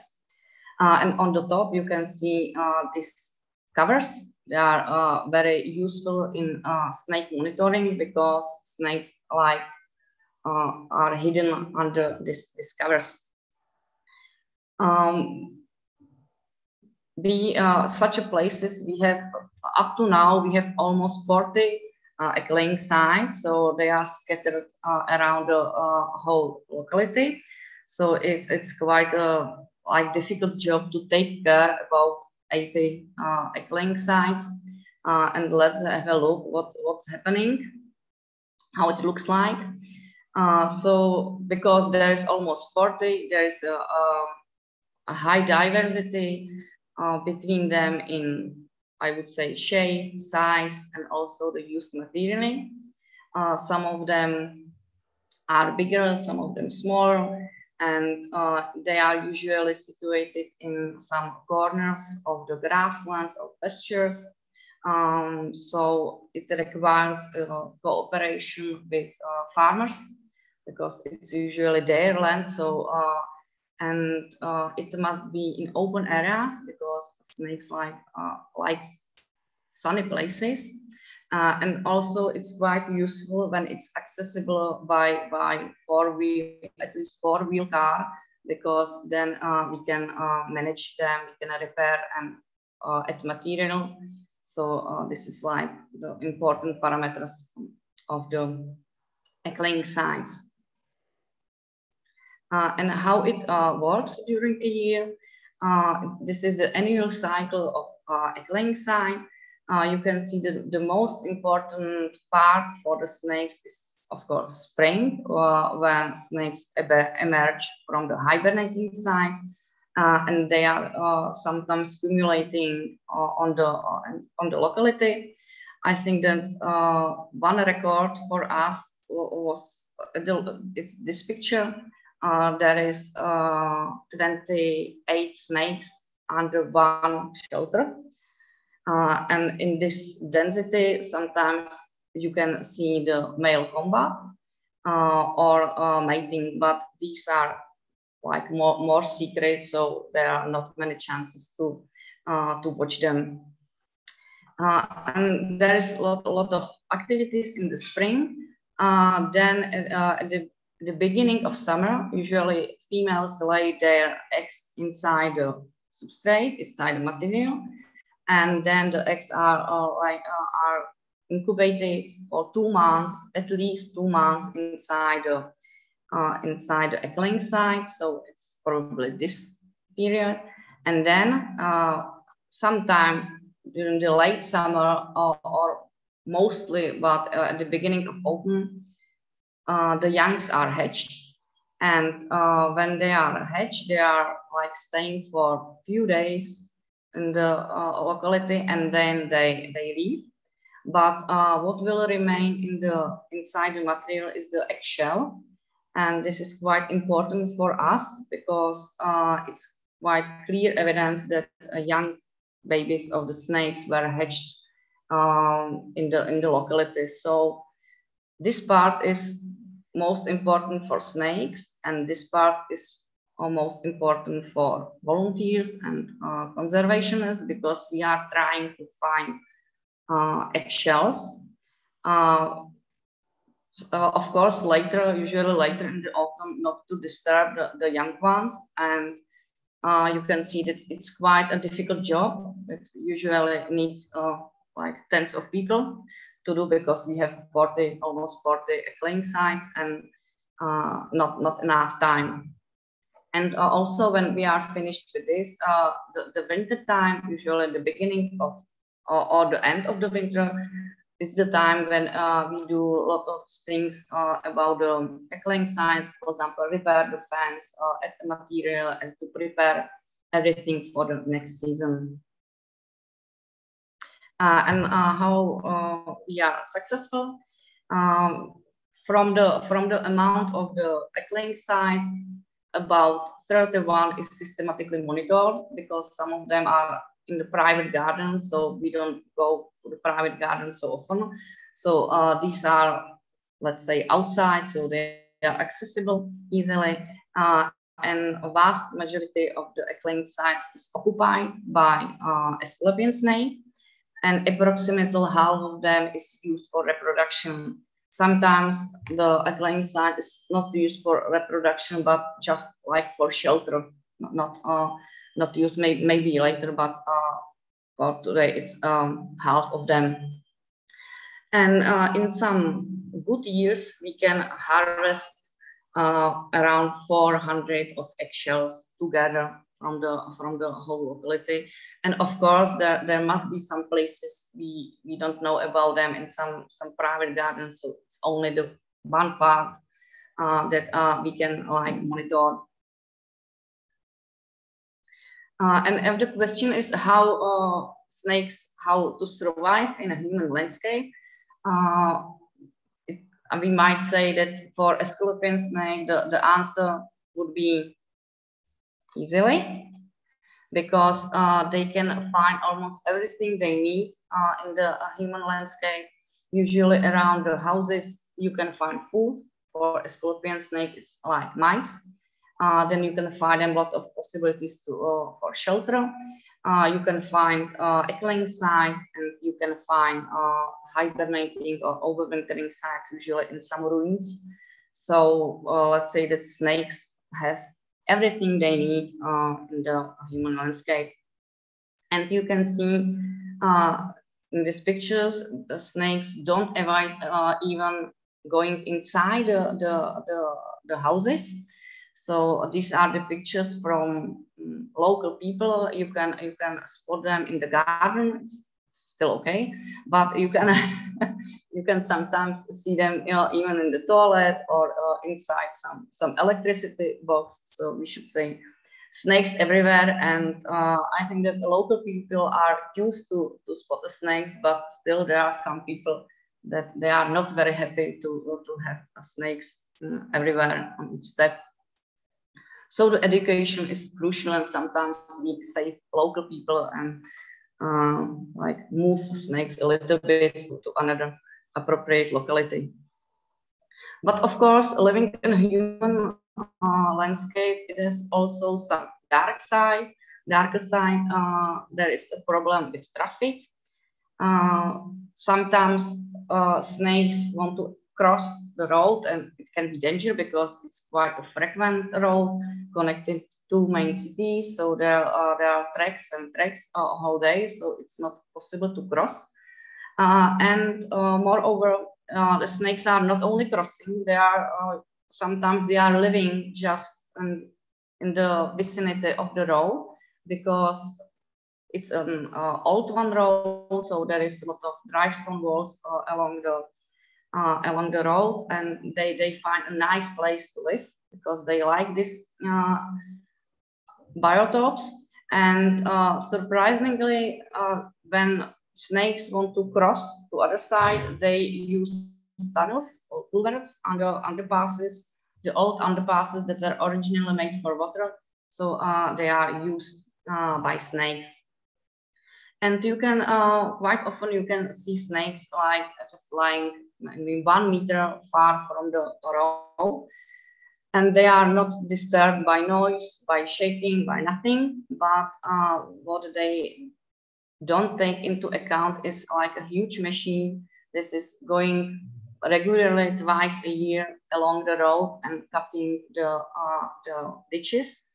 So uh, it can be quite dangerous because they don't escape. They are used to uh, used to live there. So uh, that's the chance for volunteers. We usually uh, like um, have some people and we are like trying to, to search snakes and uh, to save them. And in this case, it's quite good that it's only 12 square kilometers because we wouldn't be able to do it in the large scale, but these are just a few kilometers, so uh, it's possible. And uh, we are able to save I would say 20 years, uh, 20 snakes per year at least. So it's not, uh, it's not useless. Uh, and because the snake is living uh, like near, near, near people and near settlements, uh, the education is a, a crucial part for uh, essential part for, of the project. Uh, it's, it's very important and uh, it's, it must be intensive. the earlier, the better. I can see that usually children are not afraid of snakes, but later there might be developed some mental blocks. So, but it's uh, it's more difficult to get used to snakes later. Uh, and uh, it was the education uh, and uh, I would say snake conservation and snake project was the reason why uh, I personally moved from Prague to, to the to the locality and became a local in, in this context and um, now we uh, now we live uh, in Osvinov. It's a it's not even village. It's like a settlement, only a few houses, and at this place there there is more horses than than people living in, the, in this place, and continuously uh, the, this place become a snake snake center. And uh, today, apart from our family house, uh, there is like uh, small information center open to, to public. And since last year, there is like a big uh, environmental institute uh, that is in, in cooperation with Prokop Svoboda. Uh, you could hear it some uh, presentation before. And there is a few more houses that are not connected uh, with snake activities, but still there are there are people uh, that are cooperating. So uh, now we have place uh, where we can realize a lot of activities. Uh, there is uh, in environmental institute, there is uh, some possibilities to accommodate a few people. Uh, there is a hall for presentation and that this is the small information center. It's mainly in the summer because it's open from the main road, if I can say in just this small village. Uh, and uh, we have also a park with uh, activities for children. There are some some insect houses and some uh, boxes for nests and some information boards. Uh, and we also have uh, all other snake species in outdoor terrarium, let's say. And so, so people can can see the snake alive when they wanted to, to see it, and they are not uh, they don't disturb them in nature. They can see them uh, in our uh, in our center. Uh, and before the COVID time, we used to have uh, several like big actions for for public.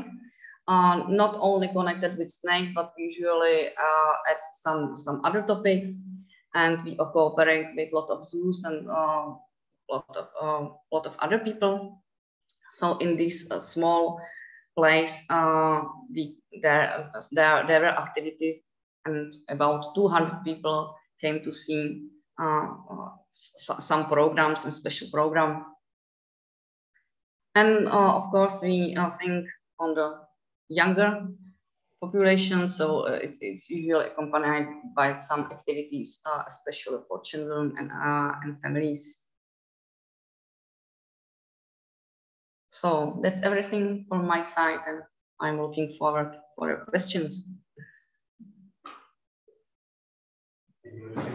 questions. Stop sharing. This one? Uh, no, the, the red the, the red button. The red, uh, this one? The, the, yes. Perfect. Thank you. Okay. Thank you, Radka, for your uh, presentation was we love such snakes. interesting. yes, yes, yes. Team snakes. uh, do we have echo somewhere? No. Yes. Okay. No. Okay. Perfect. Good. So we are ready for questions. Uh -huh. Anyone who's Any question? Okay. Yours. Actually, I have two questions. Uh, question one is uh, if the population is so isolated, so the actually the genetic keepers should be really low. So if you see some like inbreedings, uh, like anomaly or something, it's, it's occur in this really isolated population? And my second question is uh, if you have any evidence of the uh, predation of especially like domestic pets like cats or this problem, special population Okay. Really, like very close to the, to the Okay, uh, the first question, uh, there are some, because we make a photo of each snake, we can confirm that there are some uh, anomalies, uh, maybe uh, in the scales, in the pholidosis. Uh, I think it's typical for population, and they are not very vulnerable, not so vulnerable to, to this to inbreeding but uh, there, there might be some the problem, and uh, we are planning some uh, some genetic research that it will be focused on population itself. but um, I think that there are no, not, not many problems. Um, so, so maybe this is not a problem. Uh, we will see. Uh, and the second, uh, because snakes are usually living in the gardens, there, there, there is sometimes there is conflict between snakes and some uh, pets. And we have some evidence that usually the local people inform us that by accident her cat or dog like um, was able to catch a snake, but we can't avoid this because the snakes are like going to the garden. So so it's not happening so often, or oh, not, not so often, but times not, not so close to the. because you know the, the, the snakes are usually uh, like secret they are they are usually hidden so there's not many patients so sometimes the snakes are living in the garden and the people don't know about them until they are doing some reconstruction and they are going to the like abandoned corners or something like that so because I don't know the problem if I even try to make some like uh, the friendly places and shelters for lizards and everything. And I, I don't have the, the cats, but my neighbors have the cats. So I see that they, they are catching all lizards and this.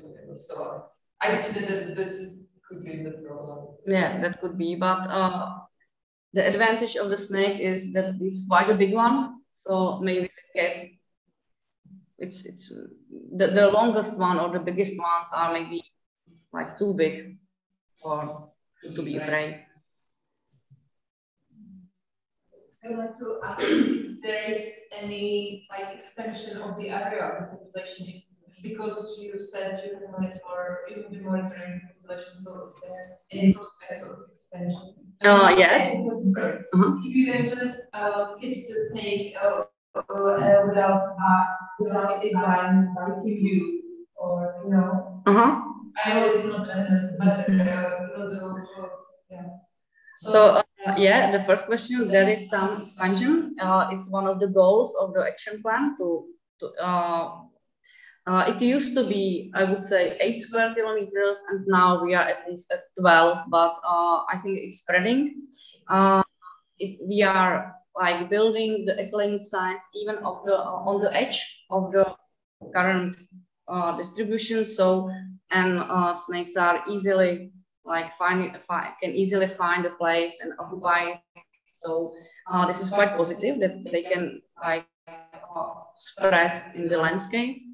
Uh, and because uh, today we, uh, we also use the social media and you know some people are making photos of the of what, what's happening in the garden so we found a lot of localities based on information from local people. So now we know that there are some localities a little bit few kilometers and snakes are like prosper there for a long time. So uh, that's good. Uh, and uh, the second question, uh, sometimes it's possible to avoid biting and sometimes sometimes not, but the snake is not venomous. So I uh, uh, because we don't, we try not to disturb uh, snakes so much. So it's why there is like study and then there's 10, 10 years gap and then another study. study. We like monitor snake all the time, but um, in this gap we avoid like catching them or disturb them. So, but when there is the study, you need to catch them and you are always like bitten.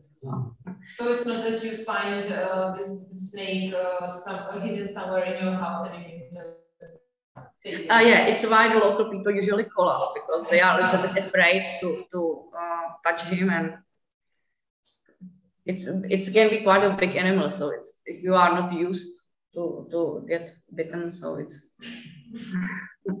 nothing pleasant Uh, how do you uh, assess the population? You count eggs, but also do you count somehow uh? And Mhm. if you count them by communities um, in your breeding site or you do some um, whole area assessment or I mean, if you look for it in the field? yeah yeah. Uh, uh, the the population size um, assessment is based off mark recapture study. So uh, we mark uh, individuals by uh, cutting a small triangle on, onto the central side and uh, you can recognize them easily maybe two or three years later. So uh, it's made only on adults because young ones are too small to, to make uh, so, such a mark uh, and uh, at this time, not only on the design, but everywhere in the landscape, every part. So, so it's uh, on the whole area. But there are some uh, places you are not able to uh, go, for example, private gardens and, and so on. So uh, we think that the population size a little bit is a little bit higher because there is some part that uh, are not accessible for us. So the, the, the number, the 600 is uh, based on the area we are able to systematically uh, monitor and visit. Just, just, uh, uh, how, you, you mentioned that you, you have some, like, after ten years, some, some recaptures. Mhm. And uh, what was the proportion from the whole recapture? Uh, I think it might be maybe 10%. Uh, quite a lot uh, because th- this was the, the, the number of 40, uh, 54 uh, was the famous one because that is, uh, the snake had a lot of anomalies. So uh, when I catch him, I easily recognize that, that the one from the previous study. Um, I didn't have the idea that I could even meet the snake from the previous study. So uh, later, when I uh, uh, I had a closer look to the database of Otto, and uh, I found maybe 20 more snakes that were already uh, in the first study. So after 10 years, they were still surviving, and surprisingly, uh, usually at the same place. Yeah, how many eggs they had? Uh, the one female, one female uh, can have from eight to twelve. So when you find, uh, at the, I think that our record for one laying sign is, for example, 120 eggs. So it means 10, at least 10 or 12 females together. It's typical for them that they join to to do it like the, together. I'm just thinking, you have a lot of data, it would be fantastic to for example, the it, to see, I, I have a feeling that the, quite high survival. Mhm. And it doesn't go much up for the population, so there should be probably high mortality of, of immigration or mortality of, of young ones. There is So, a- and, and if you have such a data, it would be really nice to do some models and see what can be the problem or, or what to do more. I think there is high mortality of uh, youngs. Surely there, they said that there is 90% mortality during the first year, first uh, overwintering. Uh, and uh, but uh, there was not a, huge progress in compared to first and second study. Uh, but mm, you know the uh, the population size assessment is based on adult animals, and uh, it takes five years to become like adult ones. So if we if we just started with egg-laying sites and all the things, I think that 10 years is not enough to include the animals that, that were already born because of our, our measures of egg-laying sites. So maybe the next one after the 10 years, I'm we will see. So, so you are. Sorry. so you are not planning to do shorter term capture capture analysis because now that Kafka mentioned like with the special explicit capture recapture, it will be possible to see which part of the population is mm-hmm. which individuals are migrating or which individuals are dead. I mean, it's, it's a bit science fiction, this capture recapture analysis, but there are, there are supposedly, there are tools to, to divide this information mm-hmm. just to, um, because 10 years is so long. Mm-hmm. No, we can, we can think about that. Mm-hmm. And uh, I had uh, maybe a couple more questions. so, um, for people listening and all us watching, um, what would be the minimum thing, the easiest thing that anybody could do in their gardens to to promote having snakes? I mean, I would like to have snakes. yes, it's small, but but I think it's possible. So it's quite easy, and it's uh, the best way how to protect the snake is to convince the local people that they have something unique and uh, to do uh, something for snake. And uh, it's not difficult. Uh, snakes usually uh, like the compost heaps, and usually who has a garden has also the, the compost. but it's necessary to put it on sunny place and don't dig for example, in the summer because there, there might be the eggs inside. So I like to uh, to adjust the the timetable of uh, of the activities. So uh, and uh, also usually they, they can find shelter um, in, in some wood. Usually in garden you have some wood prepared for fire or for something like that. So so this is usually to protect it from rain. They are covered by some shelter, and usually snakes love these places. So, hmm. so uh, I think that there is uh, don't disturb the snakes. Uh, be careful when you mow the grass because uh, that's the activity that is quite dangerous for for uh, not only snakes but a lot of amphibians, reptiles, and so on. And Mm. and have a compost. yeah, I have a few of those things, still working on it, but, but yeah. and um, another question, maybe it's a bit more difficult and, and worthy of, of a whole discussion, but you, you saw an image, a fantastic image of, of a, a terrified woman holding a snake.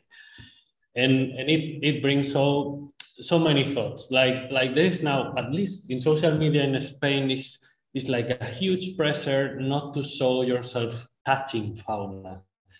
This it's it's getting even scary. Like even as a biologist, that you have to do it, I post it, like put it or not. But it's clear that in some cases the value is immense of of a very care person still still I'm gonna there, I'm gonna touch the snake, snake and I'm gonna feel that it's not dangerous so, so I don't know if there is, if there is a question here, but what do we do?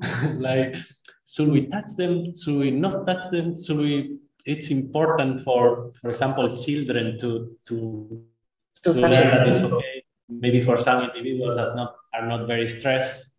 Uh,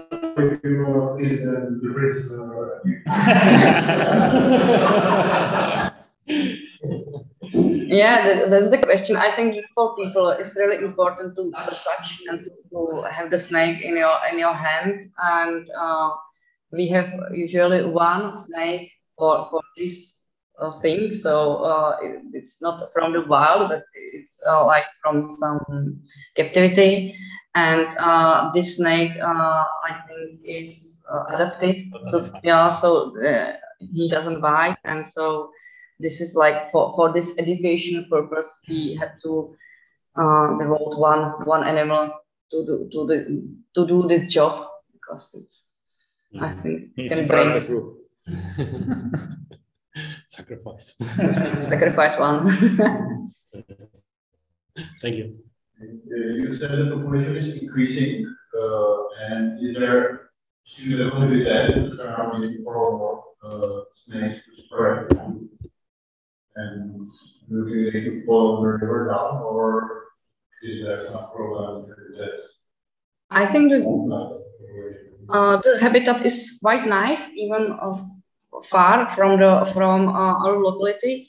Uh, it is necessary to say that we don't know exactly why the snake is uh, just only at this small place. It's because there might be uh, very steep slopes uh, with a lot of uh, scree and uh, stone, stony places.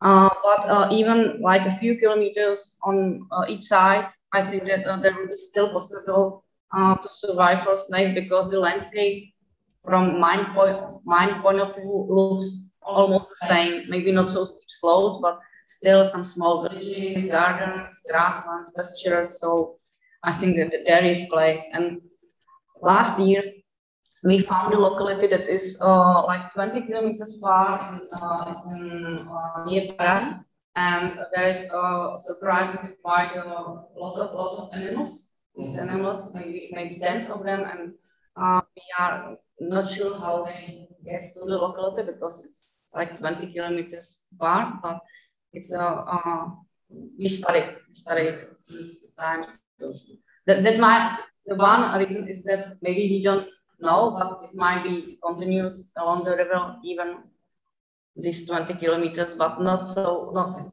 such a, a huge density as we are from scratch, so this, this will be studied. Okay, I have a question. Do you think that they can benefit the states from climate change? It's getting warmer. Sometime, uh, I think what uh, I'm afraid uh, the climate change, uh, it's not that if there will be only warmer, it would be good, but there might be some, you know, uh, like peaks, and that's not, not because, uh, especially uh, when the winter is moderate, uh, we can we can uh, meet much more young animals, like the newborns after the first hibernation than in years when there's uh, like harsh winter, so uh, it surely have impact. But you know, there are, there are three moderate winters, and then it comes like with 20 degrees under zero. And Okay. Any more questions? Maybe just one shot. There's some, uh, something, uh, risk for them, you know, how the. Yeah, yeah. Uh, Or if there is some problem for them. we are we can't be sure because you know if the animal died under the ground, uh, we probably won't know. Uh, we know there are some famous hibernating sites, so we can see the snakes in the uh, before winter and after winter. Uh, and I think that the main risk is especially the, the low temperature. Usually the, the wintering sites uh, are not uh, affected by floodings because there are no, no floodings um, in this area. So only the, only the uh, or for example, uh, reconstruction. Uh, the animals are hibernate in some ruins or some old houses. You never know what can happen during the winter. Okay. Good. So I think we can make the lunch break now. It's about time, So, no? First of all, thank you, Radka, for your Thank you presentation. for attention. And yeah, we can stop Go for a break. and start eating. Start eating. For people watching, we will be on a little field trip after lunch. Mhm. We will be back around 4 p.m. Uh, Central Euro- European time. And so keep an eye on the YouTube channel and we will appear there shortly after 4. hopefully. okay. Okay, see you. Bye bye. Should I leave? Yeah, you can turn it on.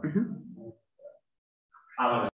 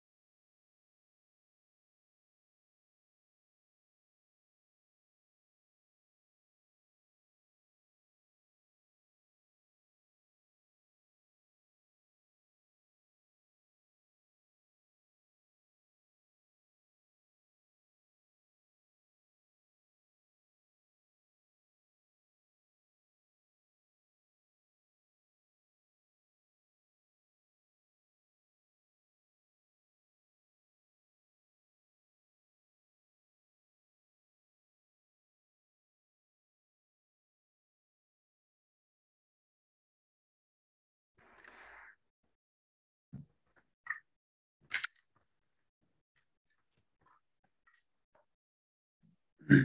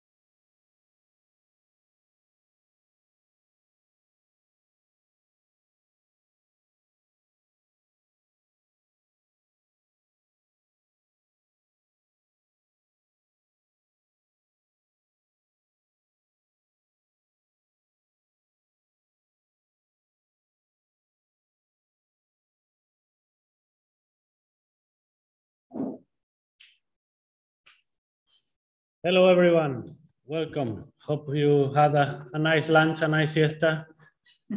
We are back in full strength, I hope. Mm-hmm. And Hello. while we wait for the rest of our audience, we are gonna say hi to our next speaker. He's calling us from Ecuador. Mm-hmm. And I'm about to let him in. Have a transatlantic call. Okay. Just a second. Okay. That's it. So, right. Right. So who is going to, to present now? Nando? David Jackson. Ah, estamos aquí. No sé a qué cámara voy a mirar. Yeah, which- one is my camera? Are, uh, David, are you there? I think we lost him. No, no, We just lost him. he's out. Yes. Yeah, let's. Okay.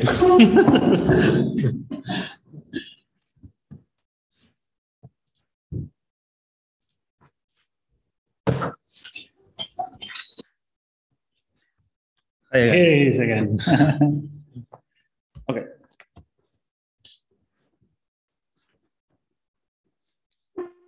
So yeah, we while we wait for the rest of the audience, we can say hi to David and and and prepare everything. I think the video is ready here. Mhm. Yeah, he's he's here. Hello. Can you hear me? Yeah. Hello, hello. Hi. Yeah. yeah. Hey. Loud and How's clear. everybody? Hi there. Still waiting for some of the audience, but uh, we, Okay. can, we can catch up a bit. I think we have a little bit of a delay. As mm. Ecuador is pretty far. That's Atlantic. As in a time delay between what I say and what you say when you receive it. Is that what you mean by a delay? Yeah. Yeah. Nah. I think Okay. it's not it's not bad enough so that we need to do like check break. Yeah. I think if we just give it after everything we say, maybe give a pause of a couple of seconds, waiting for a response, kind of like that. Then, Mhm. then we can't, We're not talking over each other. That that is advisable even in normal conversation. Yes. Yeah, that's very true. Some people like to talk too much. so, so now that we are just ourselves here and, and YouTube, uh, you could tell us where you are right now and, and uh, I mean, I think you are at a friend's house. You told me. I'm at a friend's house, yeah, in, in a town called Mera. Um, it's a beautiful place. There's a great view of the Rio, Pasta, Rio Pastaza just here, which is the river that goes all the way down to Peru to the Amazon River.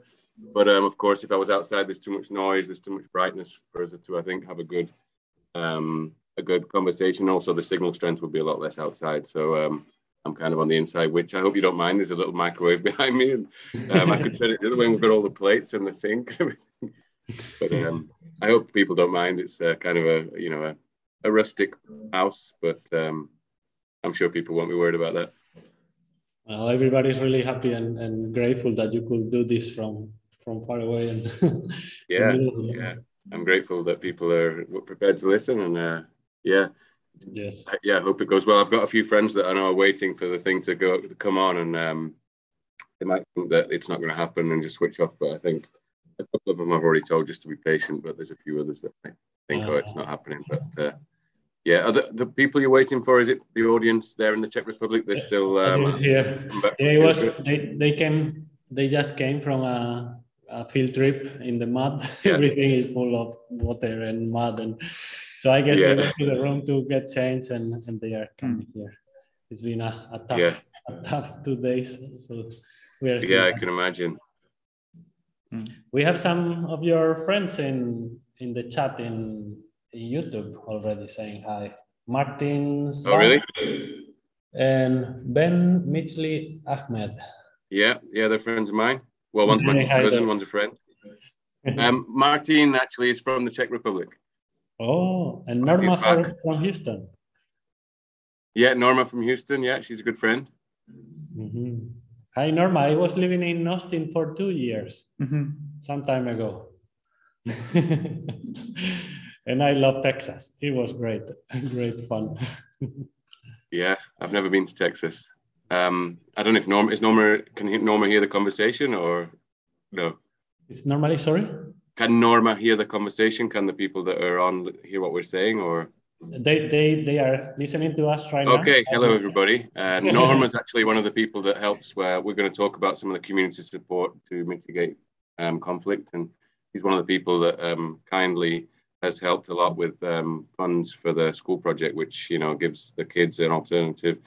Um, and it's something that's like a contraparte, almost like an agreement where the people get the support in the agreement that they come to us if there's any bear inflicted damages, so we can, um, you know, we can do that rather than going hunting the bears. There's always that's like a solution in a way. One of the one of the things we're going to talk about in the nice. in the conference. So, so Norma is one of the really important parts to that, and I really appreciate it for it. And, um, hey, Martin, Tronco. Chaval. And um, Martin's from the Czech Republic but lives in Spain, in Madrid. the world is an upking. it's amazing. Mm. What do you think? just go for it. Okay. Um, I, I, think people are okay in waiting. I just don't know uh, how long people are going to. I'm happy waiting. I, I'm sure everybody else is.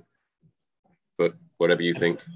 I think we will go ahead just to just just just to not to keep the schedule not to keep delaying it so sure. what we will do now is to share the video from our side and okay. we will silence here you will not not well will not hear our voice but you can see the video in, in youtube and by the right. end we will we will connect again with you okay, okay. sounds good okay so okay, well right. enjoy everybody david jackson mm-hmm. enjoy so, sorry for Okay. yeah, that's you. Thank okay. Thank you. See Dave. you on the other side. See you on the See you on the other side.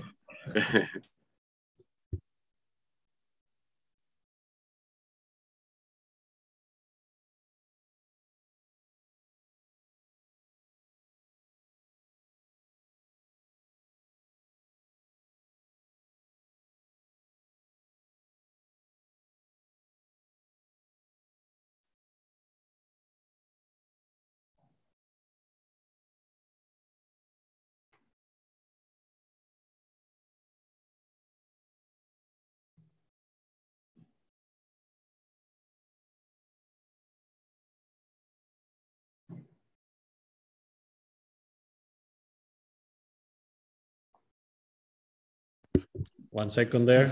We cannot get your sound. Voy a abrirlo con el otro por ver si se puede. Yeah. Hi everybody. Uh, success story from. Hi everybody. Uh, o sea, esto es el audio este. Voy a, I'm gonna open. Yeah.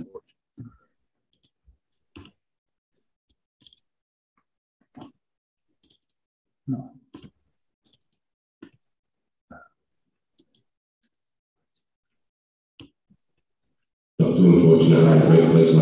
Vale, ok. Now, yes, it works. What was it?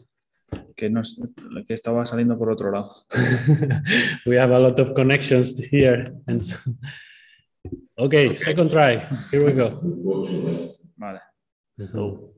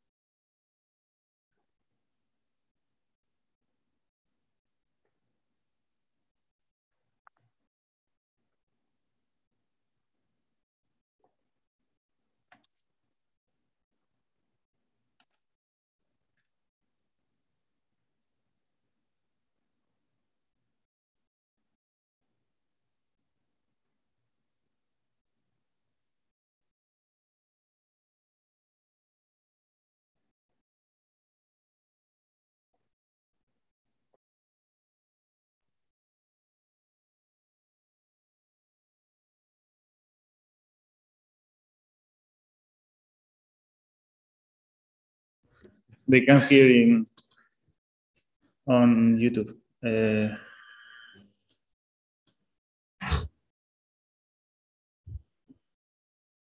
por aquí.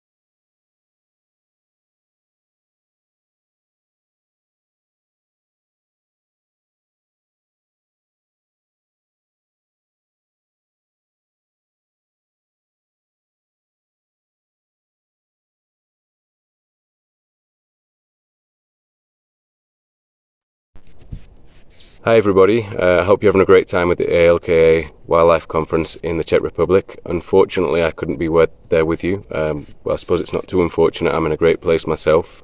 Here I am in the Amazon rainforest in Ecuador, this is where I live and where I've spent a number of years working on wildlife conservation projects in human landscapes and I'm looking forward to giving you a presentation on that subject.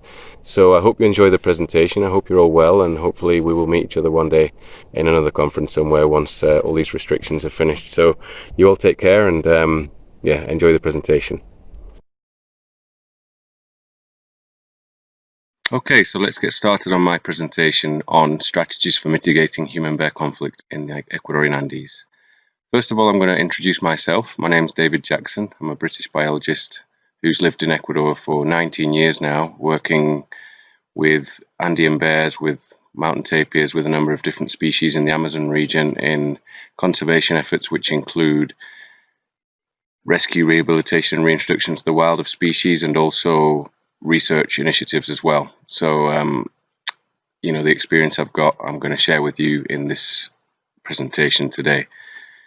Uh, let's begin with talking about why conflicts have arisen between human beings and wildlife. Um, of course, for millennia, human beings and wildlife have lived in harmony um, as one part of nature. And over the last few centuries, that's kind of changed where uh, human beings have kind of separated from nature and almost believe that they're superior.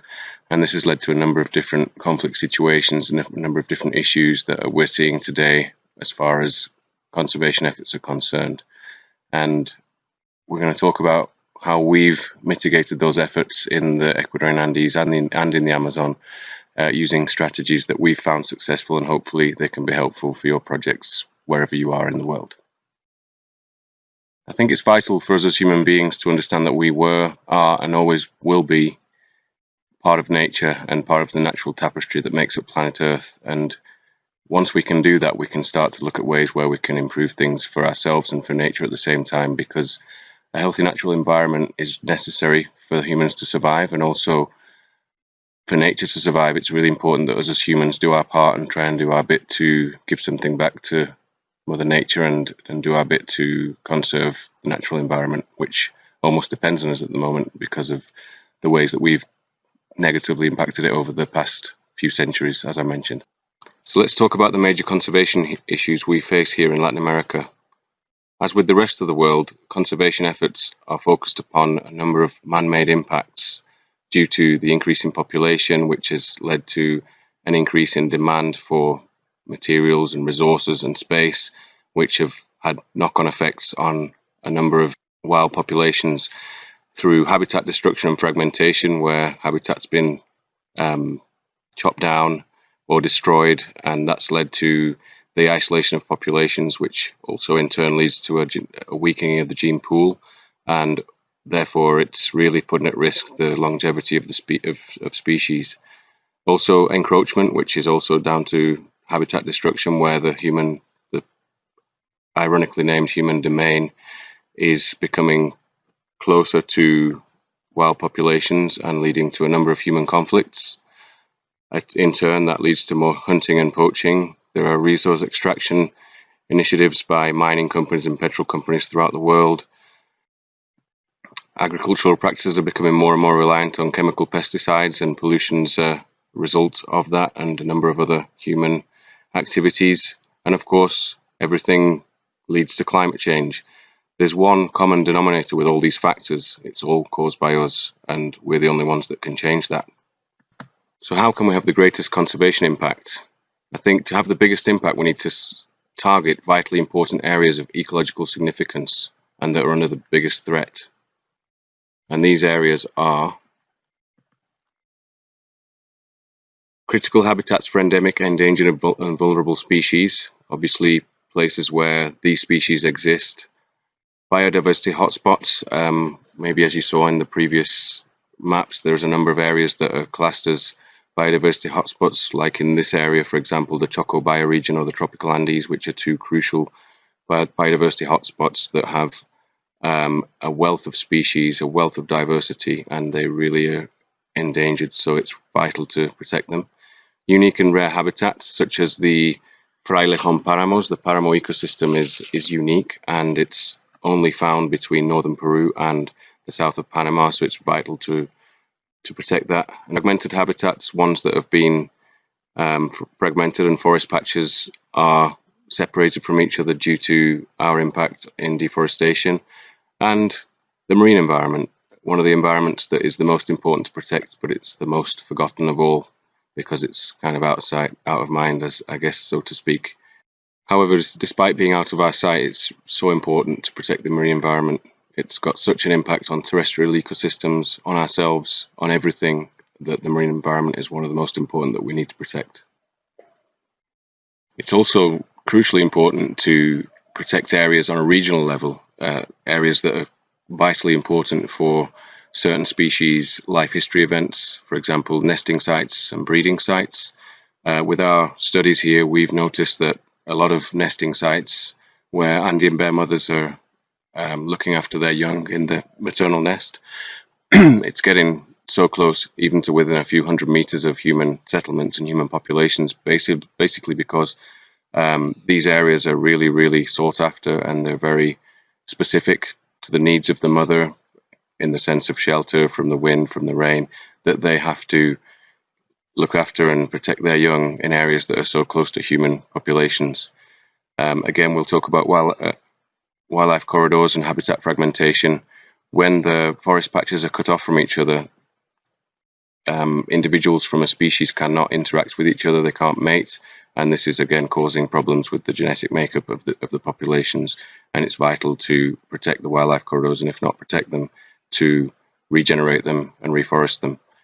Um, isolated patches of habitat abundant in foodstuffs so really important. There's a lot of places where, for example, there's a lot of, lot of trees that have certain fructification cycles where they're really important to a species um, longevity and a species and a population's um, proliferation. So it's so important to protect those areas too.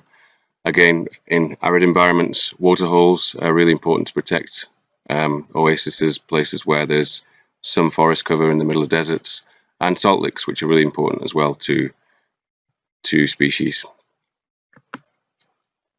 Also on a species level, I think it's really important to consider our conservation efforts in human landscapes. Um, critically endangered, endangered and perhaps vulnerable species, I think, should be focused on first. Um, the ones that are most in need, of course. Um, you know, whether they be large mammals, whether they be small insects, um, it's all the same, but it's really important to, first of all, study and then try and protect the critically endangered, endangered and vulnerable species. And maybe even the ones that haven't been discovered yet, of course. And also keystone and umbrella species. Um, for example, the Andean bear is, we like to call it the gardener of the cloud forest ecosystem here in Ecuador, um, basically because he has a number of behaviors that um, promote the regeneration of the cloud forest and also maintain the dynamic of the cloud forest at the same time. Whereas, in the sense that they will open up clearings through their climbing behavior, which en enables the undergrowth to come through. Also, they prune back um, tank bromeliads, which is vital for the hydrological cycle. So, species that have a, a great effect, and due to their protection, you're protecting a number of other species. I believe it's important to protect those species in particular. So let's move on to factors influencing conflict, and I'll focus specifically on our study area here, where you know obviously it might be different to other people's, but I'm sure there's certain things that ring true in many many ecosystems, many study areas too. So something that influences the conflict is the proximity of crops or pastures to wild habitat. For example, uh, here the the local people um, are unable to plant the crops right next to the house, which also is to do with the distance of crops and pastures from settlements, which is the second point there. Um, they have to, um, due to the land use here, um, often plant their crops and have their livestock right next to wild habitat and far away from the houses. Often people here um, have their livestock eight hours walk away from from where they live, so they've got to go maybe once every week, every two weeks even. And during that time, a bear or a puma or a jaguar or any other um, predator could have eaten a calf, could have eaten a, a live, a full-grown cow, and this is causing huge problems where um, it's really affecting the harmony that should exist between humans and nature.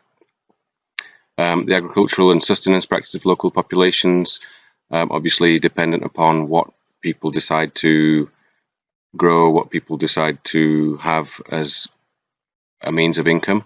And this is something that is always difficult, for example, where people will tie their cows up to better use their um, pastures, which is perhaps not the best way, but it's the way that people know. And because the cows are tied up, of course, it's like they're like sitting ducks, pardon uh, the pun, and they um, are easy easy prey for the for the bears or for the jaguars or for the pumas as well in in this environment, of course. Um, the movement and diet of wild populations, obviously it depends upon the diet of the population, whether there's going to be a conflict or not, and how they move, how they move between forest patches. We'll talk about the corridors again. When they disappear, they're more likely to pass through pasture land, which is going to cause heightened um, levels of impact of conflict. And cultural tra traditions. Um, often people go up not just because they want to clear land, not just because they um, are wanting to put cows in an area, they will traditionally, because it's been done through generations, they will go and burn the Paramo ecosystem up in the high grasslands, and this is causing a massive impact as well on wild populations of a number of species, not just obviously the larger species. It's it's having a whole effect on the on the entire food chain. So I'm just going to talk about um, one part of our project, which is the reintroduction programs or reinsertion programs of Andean bears back into the wild. Uh, basically, we work with the Ecuadorian Ministry of Environment and the Environmental Police to rescue bears that have been in very deprived conditions. You can see the bear cub in the top left corner here. Uh, we rescued her. She was tied up, chained up, um, stood up. She couldn't even lay down, um, sleeping in her own excrement. And um, basically, we rescued her. Uh, you can see our veterin veterinarian wildlife vet Leonardo there, Dr. Leo, and um, he's checking the the teeth of the bear. You know, he, they, they, go through a whole um, health screening process, and then there's a decision process made to see whether they can go on to a rehabilitation program or not, whether they can be re reinserted back into the wild. Obviously, that depends on, on a number of factors. But the same bear you can see in the top left corner, you can see here in the bottom right corner, and she is not just um, successfully released back into the wild, she's also um, had a cub. She's an offspring in the wild, which is a real success story from taking a bear from such conditions throughout the whole rehabilitation process. You can see a helicopter here sometimes where possible. We will um, take them to the release sites in helicopters, but unfortunately it's not always possible. So occasionally down at the bottom here you can see we have to carry them on our backs as well at times, which is not easy, but um, sometimes necessary. Um, and there we are, that's the rehabilitation and reintroduction side of our project. One of the real success stories, I believe, to our reintroduction programs um, to minimize and to um, to evade conflict is to select a suitable release site. The, the release site is so important. It's some something that um, perhaps a lot of projects don't consider, but it's really important, especially in human landscapes where um, you know if you release a bear or animal too close to a human population, you're almost certainly going to get problems because they've had imprinting throughout the rehabilitation process. As, as much as you want to minimize the contact that you have with those animals, there's always going to be something that will kind of attract them to human populations and cause conflicts. So um, through our uh, research program, which is another part of our study, which is on the next slide, um, we have found out a number of information on wild bear ecology, which is really, really helped our um, reintroduction programs. Apologies, I got cut off there. My battery ran out and I had to go and charge my computer. So, um, as I was saying, um, conflict situations really can only be mitigated in reintroduction programs and with any other conflict mitigation process um, when projects are complemented with a research initiative where where we learn about the bear's ecology, where we learn about various different species ecology to enable us to better manage, better handle those species and the conflicts that they have in human landscapes. And we're going to talk about the research side of things. So obviously with the research of wild animals, uh, you can find a number of information out. Uh, what we've done with the bears is we've captured bears, put radio or GPS collars on them to track them with telemetry equipment and we've begin to put together home ranges, core areas, movement patterns, habitat use, and a number of different information that is so important to mitigating conflicts and to, you know, pr preserving that um, harmony that exists or should exist between humans and nature. So you can see in the top left here, um, there's a eight, diff nine different bears home ranges. On the top right, we've got mountain tapirs that we've collared, and we've got the um, home ranges for those, and also the movement patterns and habitat uses. Also, um, you can see down near the bottom left here, you can see some arrows on the chart, which are wildlife corridors that we've identified through our research, which is really important. Um, again, with the conflict conflict mitigation um, activity patterns down, down on the bottom right here uh, which kind of gives us an idea when the bears are most active, when they're not active, and just a few pictures of, of me, I guess, and Armando, my colleague, um, collaring bears, um, taking blood samples when we've uh, captured a bear, listening for them with their radios, and, and so on. So research initiatives are so important. It's a crucial part of any conflict mitigation um, procedure in, in any environment, I believe. Whatever species you're working with, obviously you can't radio collar every every species dependent upon size, but um, to protect natural environment, it's really important to research the native populations. Okay, so um, we're going to quickly talk about the conflict mitigation. I, I, believe there's a number of ways we can do that. Um, and one of those is incidence mapping. Basically, when you're finding out the areas, obviously, that are agricultural areas, which are going to be at high risk for farmers to put their crops, put their livestock. And you can see a chart to the top right here.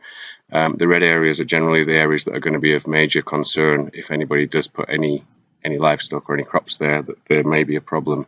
So we advise against that.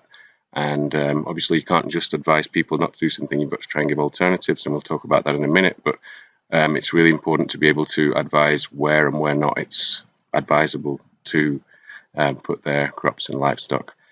Um, compensation programs, um, we'll, we'll, talk in detail about all these in a minute. Deterrence, um, like dogs, fireworks, and things like that. Non destructive alternative practices, provide community support as a mitigation tool, environmental education, awareness initiatives, and also, it's really important with the information you get from the research is to lobby for legislation change and government support to any project that you've got. Okay, we'll talk about incidence mapping really quickly. Um, so you can see the charts here. Um, you know, you start to get an idea of where the bears are moving, each individual bear, and also generally as a population, which areas they generally they spend more time in, probably due to the fructification cycles of certain trees, due to um, cornfields being planted near the near the forest in certain areas. So really it gives us an idea of where we can predict the areas of conflict and it provides us a tool to advise local farmers on the positioning of, farm, on, of farms, pastures, livestock and crop fields. So it's a really important tool and it's really good to work with the locals in order to um, you know get a, a better layout of, of human land use. Um, compensation programs, it, it, could be a um, a dubious one where a lot of people don't believe they work. I, I do believe they work. We've got first-hand experience that they do work. Obviously, we don't believe it's a, a long-term solution, but it, it certainly gives people a, a, tangible return for bear inflicted damages.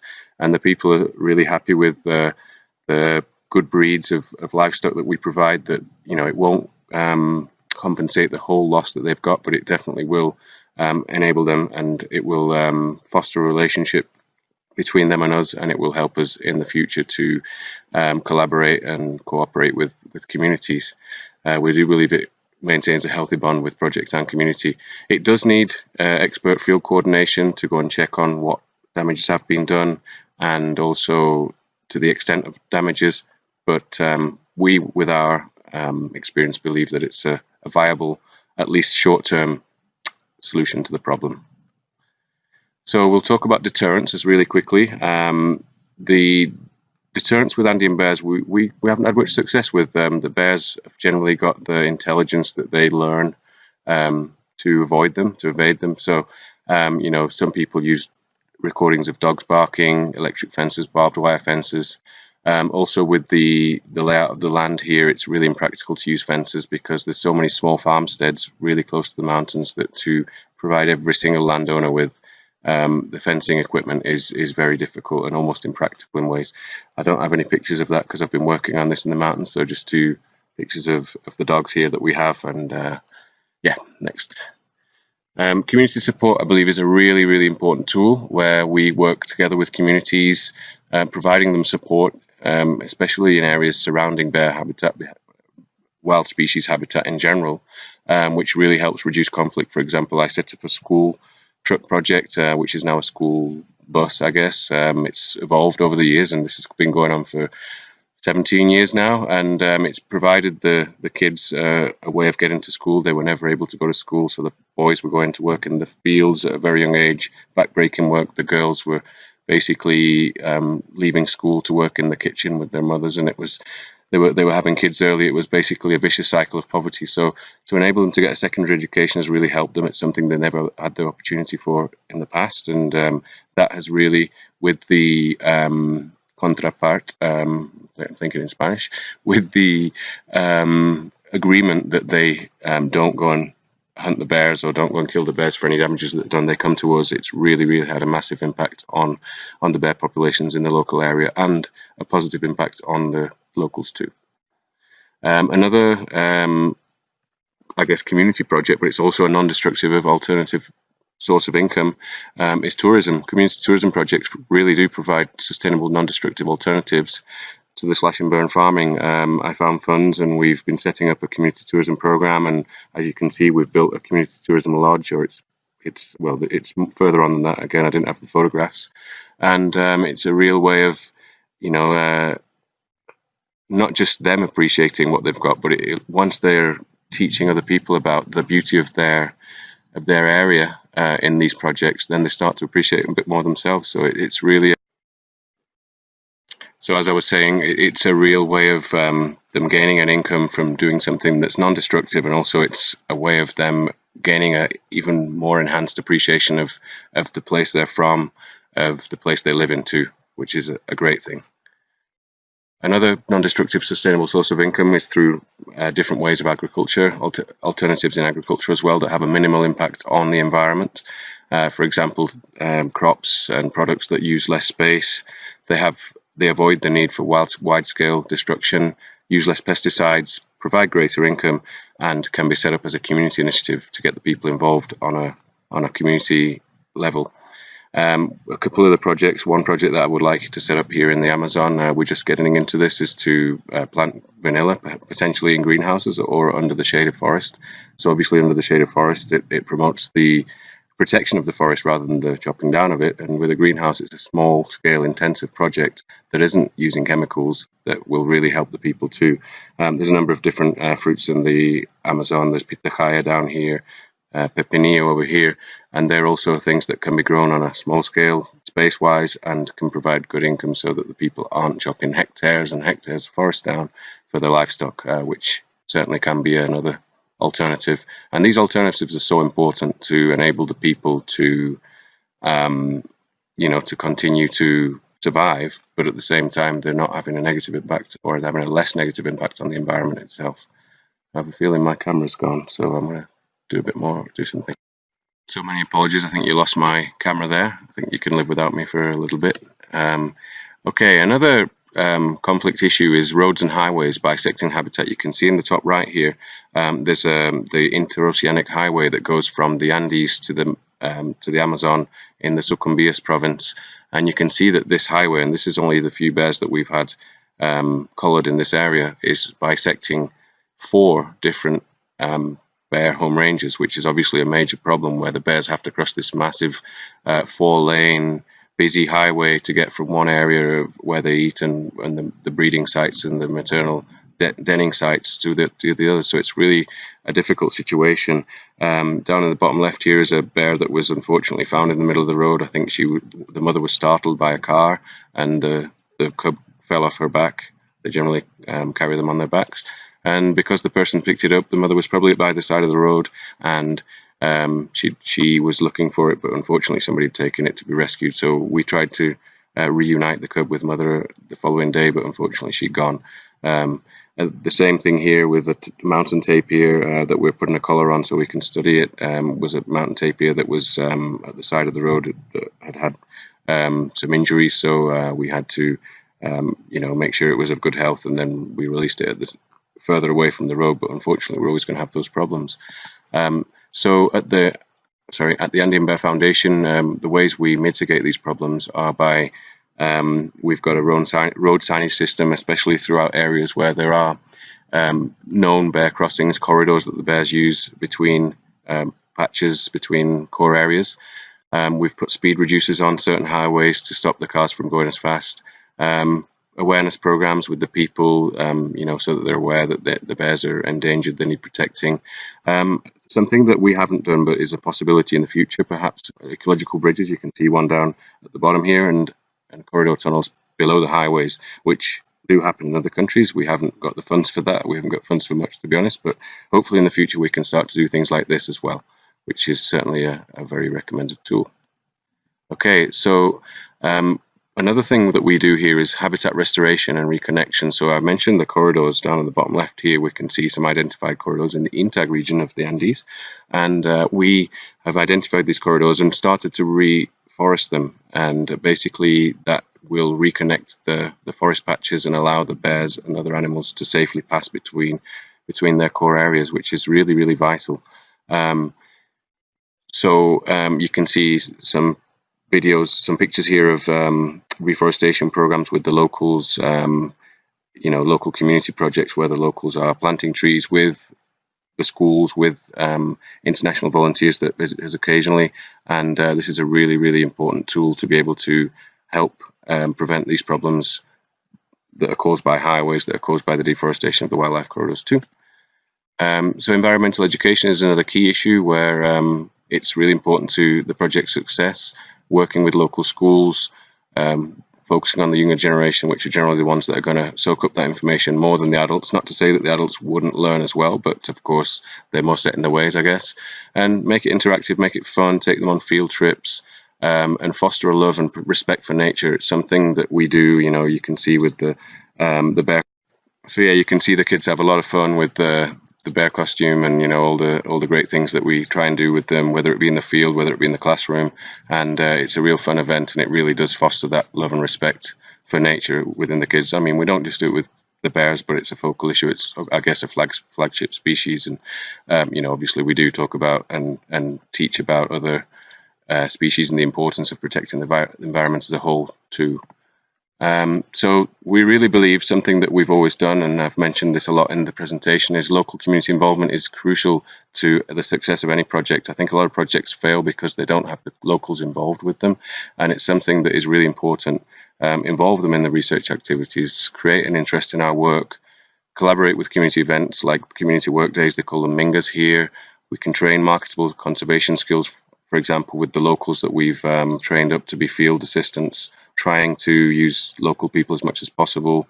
And um, also obviously to respect and know the culture and really you know try and become part of the community not just somebody who's coming to the area and studying a species or trying to protect the environment and not really getting involved which is i think where a lot of projects fail before they've even started. So that's such an important thing that i really really emphasize to anybody who wants to set up a project that please um, get the community involved um, okay, in summary, um, so basically conservation efforts are a priority in human landscapes as wildlife are at more higher risk.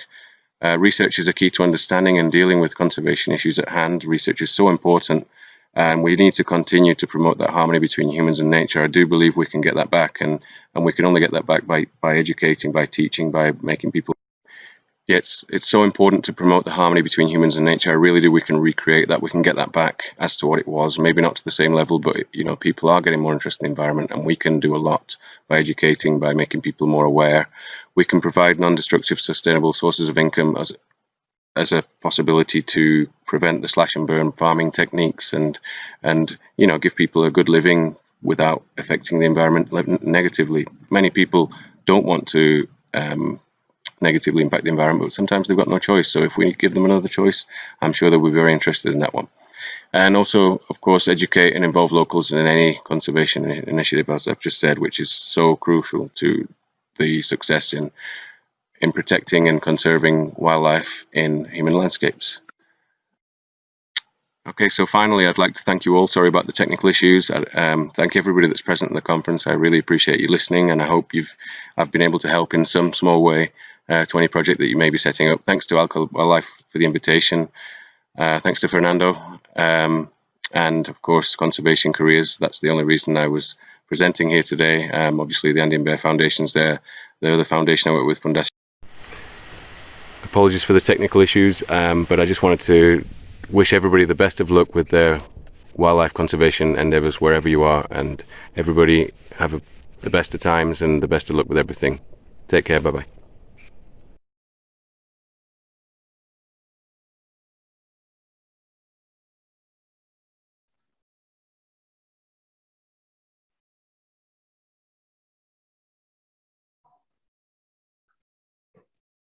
Ahora. Okay, thank you, David, for your presentation. It was so interesting, I think. A lot of work. I'm so impressed. yeah. Thanks. Um, yeah, there's a lot of work. I mean, I, I, was watching it myself, and you know, there's things that I probably could have presented in a better way, but hopefully, uh, people got the gist of things. And you know, if anybody's got any questions, um, please feel free to ask me um, anything that wasn't quite clear or anything that you're interested in finding out as well. Sure. So I'm gonna Bueno. Okay, so we are setting this up so you can see the audience. Okay, great. you could see them all. Maybe there's a familiar face there. There are people here.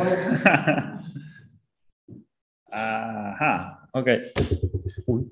Coming? No? Sí, okay, perfect. yeah, so. Okay, so do we have any questions? Yes. Uh, hello, Willy. Uh, can you can you tell us some, if you have some figures how this has changed the acceptance of the local people to the bear over the years due to your work? I mean, do you, do you have any idea if, if they are more open to tolerate the species there or how is it? I couldn't hear that particularly well. Is there any way that um, somebody nearer to the camera, maybe Fernando, uh, could, could, just to give me the question? I'm sorry about that. We can, we can repeat the question. Um, basically, it's uh, do you have any data figures or a, even a feeling of how the perception of the people has changed, like the acceptance of the fauna uh, of the bears in in this time and maybe it is different for some locations where you have done different things for sure. Um, yeah that's thanks for the question. Uh, that's a really good question. We have done um, surveys on on people's in, people's opinions people's um, beliefs towards the bears you know throughout different time frames uh, maybe um, two three years apart to see how opinions are changing. Um, of course with the environmental education programs that we do um, we've noticed a difference in people's people's opinions, uh, people's interest in trying to protect the environment, people um, that are more conscious of their impact on the world, and also um, of the importance of protecting the natural environment as far as um, you know maintaining the water, the, the, hydrological cycle, maintaining the water levels, maintaining a healthy environment, which is something that everybody relies on. So um, we have noticed a difference in people's opinions over the year. I've got surveys um, that obviously I didn't put on the presentation, but we do do that. And uh, it's something that I find really important to get people's opinion, especially in areas that are surrounding bear or any other, of course, any other species habitat.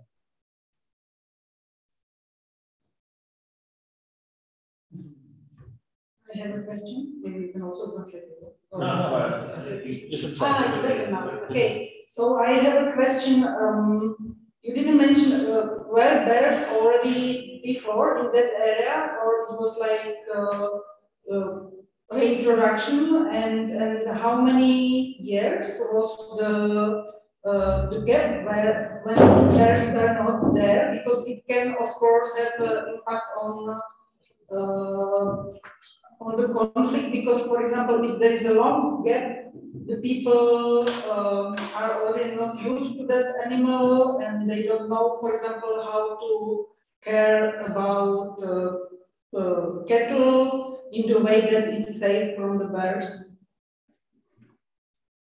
Okay, um, so I think the question was um, if the if the bears were already present in the area where we've released them back into the wild, and I missed a little bit in the middle. What was the rest? Um, there was something about could you maybe just continue that?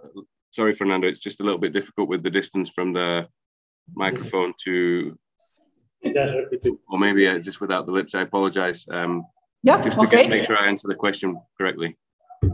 Uh, if bears were in the area uh, before the project, before the reintroduction of them, and how long was the gap between they were there and the new new introduction because it can have, of course, co consequence to how to solve the conflict because uh, if people are used to bears, uh, I mean, for example, how they uh, have cattle in the landscape, if there, if there was, if they were, if there is a knowledge how to protect uh, the. Uh, yeah, the cattle against bears.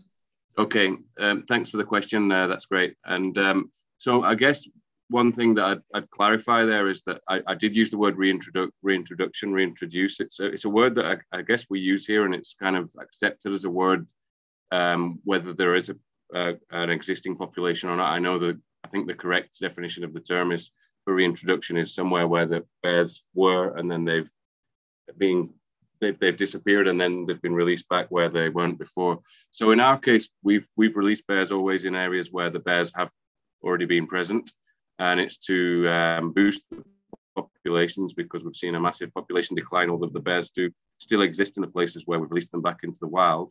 Um, so the, the the people have always been aware. Well, they've been aware that the bears are present. The bears are quite elusive, so a lot of people, even in the areas around surrounding bear habitat, don't even realize they've got bears in the mountains sometimes. But um, bear Andean bears are opportunistic and generalistic feeders, so they generally um, will eat pretty much what they come across, and it hasn't been a major problem in the past. It's only over the last maybe two centuries that Andean bears have started to to predate, depredate cattle.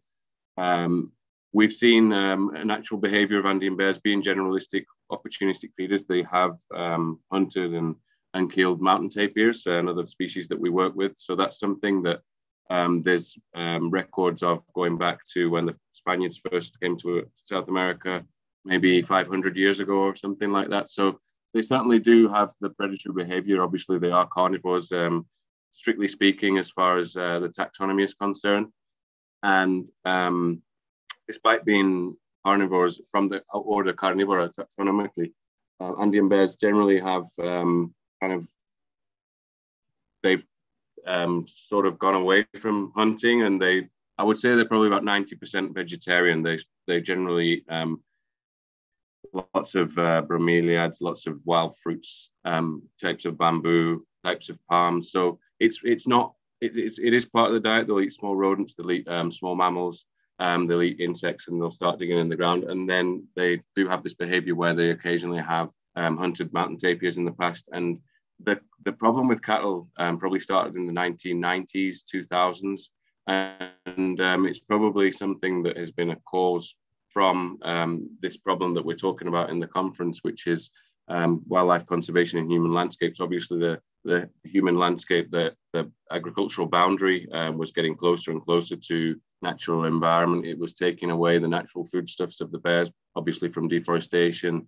And um, instead of the um, forest being there, the cattle was placed there, and then people, then the bears have started coming down and eating eating the livestock. It's generally only one or two problem bears in in a certain region. It seems like they've almost they've certainly got a social hierarchy within the population, and there's one one bear that will cause the problems. It will be the one that hunts the the cattle. It's generally a large male, but not not specifically. And um, you know, for example, people could say that the solution would be maybe to um, relocate the, the problem bear. This is something that uh, we've discussed, and we believe that relocating a problem bear still the problem's not going to disappear because there, there, will always be another male or another bear that will take his place as the maybe the the dominant one in the in the region, and um, they will be the ones that depredate cattle from there. Because obviously, once a bear, a problem bear as we call it, um, does depredate a cattle, a live head of cattle, um, it will eat what it can, and then the other bears will come in and uh, kind of feed on the rest as well. So they will get that taste for meat. It's almost like they will um, almost they will taste meat, and then they will they want to go back for more if you like. It's something that they realize is a really good nutritional food source, and then they will go back. Uh, because they've kind of lost that predatory instinct as well, something that's interesting, as you saw probably with some of the photographs. Andean bears don't go for a quick kill like um, other predators generally do, like go for the jugular the vein and, and kill the animal, or, or jaguars where they almost crush the skull when they when they predate.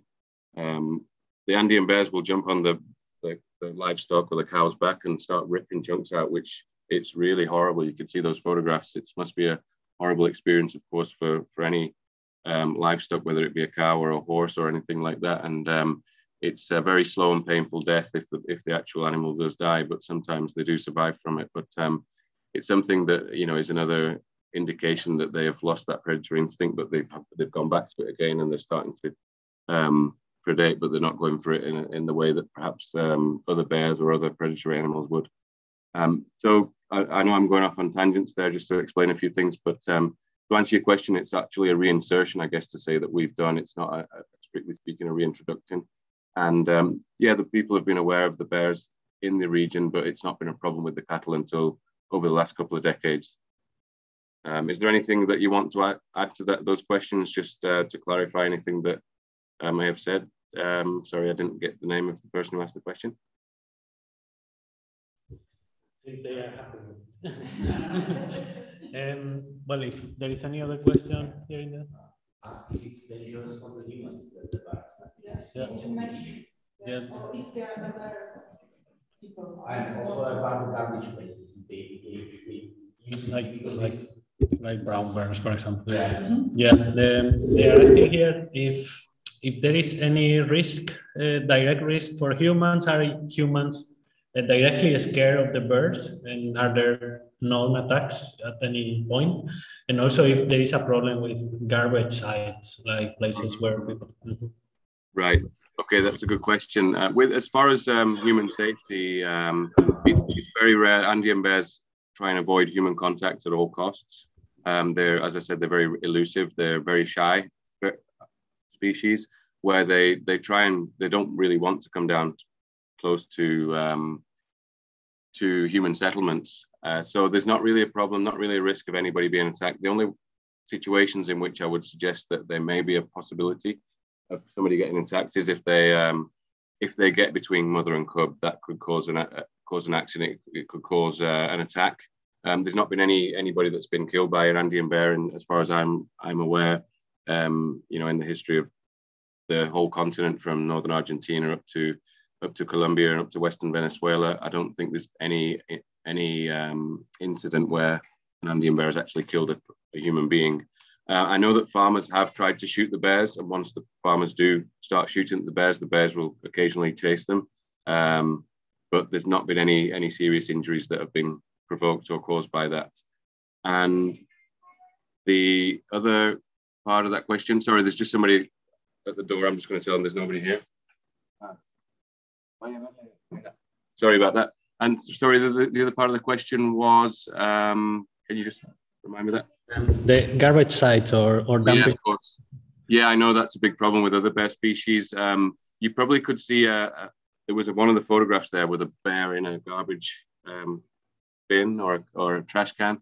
Um, that was actually a reintroduced bear that was, you know, released too close to. Um, it was that was a hacienda. It was a, a one building in the middle of twenty six thousand hectares of land, and the bear actually um, made its way back there and started causing problems in the hacienda. It actually went inside inside the the place and sat down. Well, it kind of went in there and took the food and the kitchen, and, and it was taking um, the trash, as you say.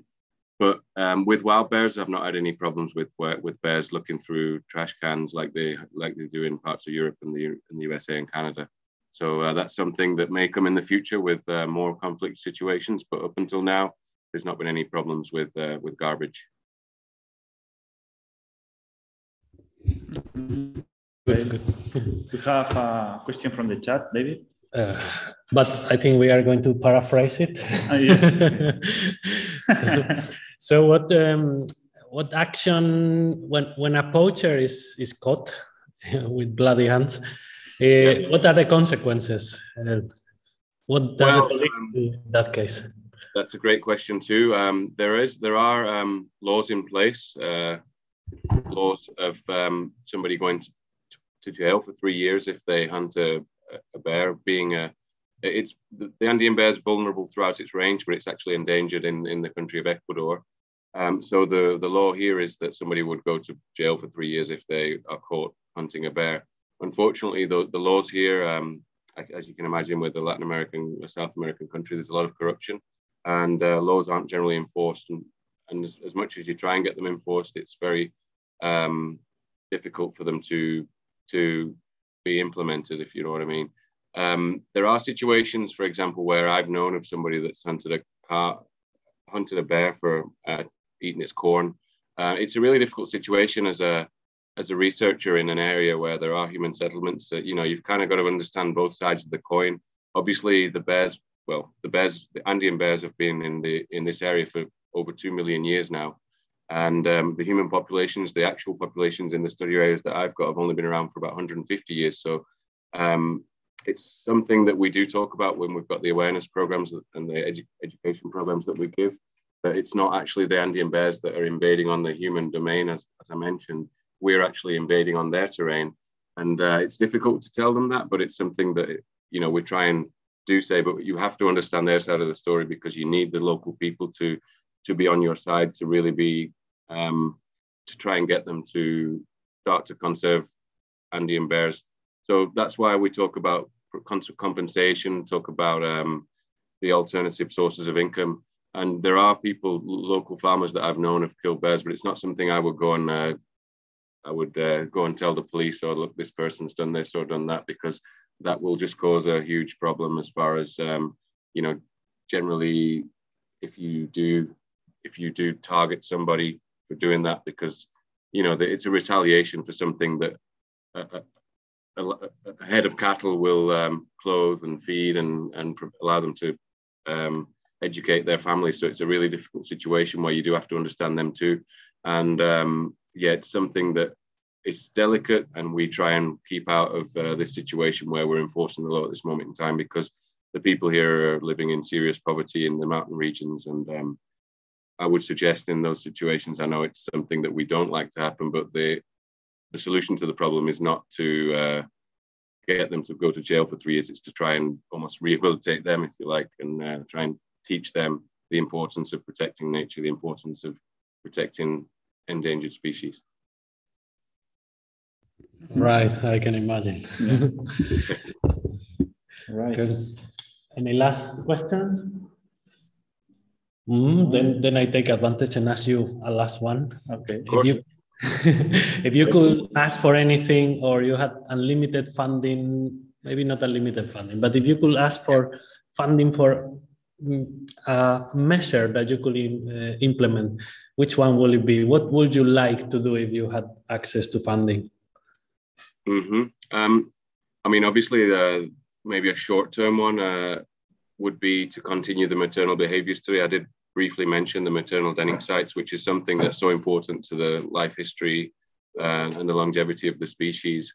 Um, I think it's something that's really important and something that's not um, been studied at all until we've recently started uh, studying the behavior. We, we've got the first um, video recordings and um, behavioral studies of Andean bear mothers and how they interact with the cubs in the nest um, for the first three months. And it's something that I think is a real gap in the knowledge of, the Andean bear that we'd really like to fill in. And I think once we've got that, we can definitely do a lot more to protect them because um, obviously with the government, it's difficult to lobby for legislation change. It's difficult to lobby for the the um, increase in size of protected areas, but um, these areas are so important, uh, especially because they only have one or two cubs, and uh, they only have a cub every two years, perhaps. And uh, for the longevity of the species, it's so important to protect those sites because if they don't have those sites, as I said, they are very selective over them um, due to the um, they, it needs to be sheltered because their their their habitat, even though we're on the equator, is at 4,000 meters in altitude occasionally, which is really cold. Um, they need to be able to protect the cubs because the cubs are born at about 300 grams in size. They're tiny, and they need to be protected from the cold and the wind. Um, so those sites are very, very um, limited, and they're very, they're getting closer and closer to human settlement. So I would really like to start working on um, finding out more about that, and then being able to provide more information to governments to make sure those areas are protected. Um, I think that would be the main thing that came to the top of my head. There's many things as well, but uh, uh, so let's, let's, hope for it. If anyone listening now or in the future in these videos yeah. is interested, then please get in contact with David. oh, well, All right. So, so thank you very much, David, for, for your talk and for your time. for your work.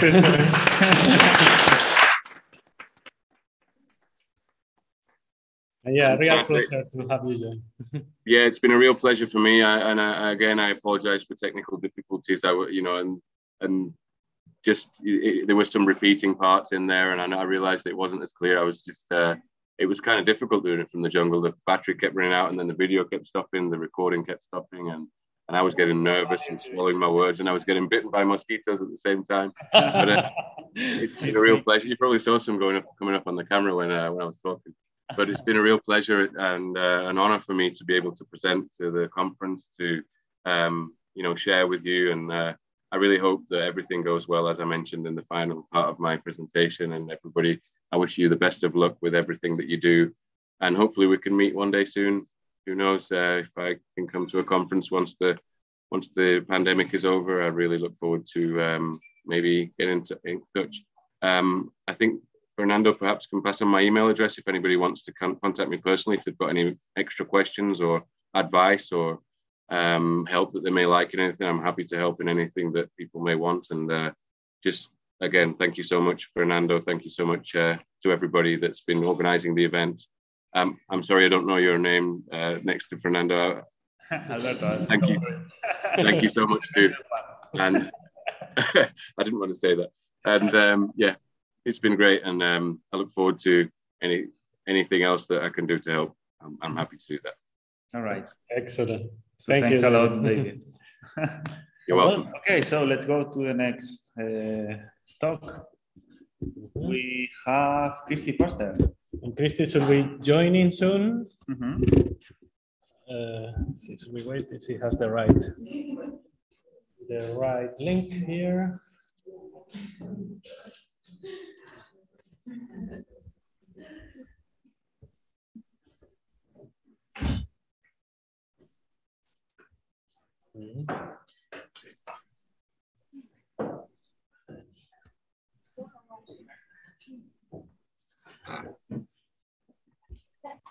Van a pensar que es la hija.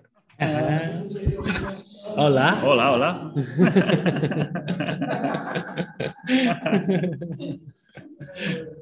She's not my daughter, she's a family friend, but she's a lovely little girl.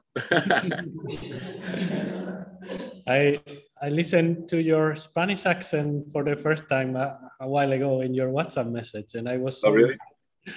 yeah, it's uh, Latin American Spanish rather than uh, Castellano, but um, yeah, I guess so long. I've been here for so long, and uh, you know, become part of so many different communities that uh, you know, I've almost they, people laugh at me because I've almost got like a Quechua speaking accent. You know, the people that learn Quechua and then le- speak Spanish.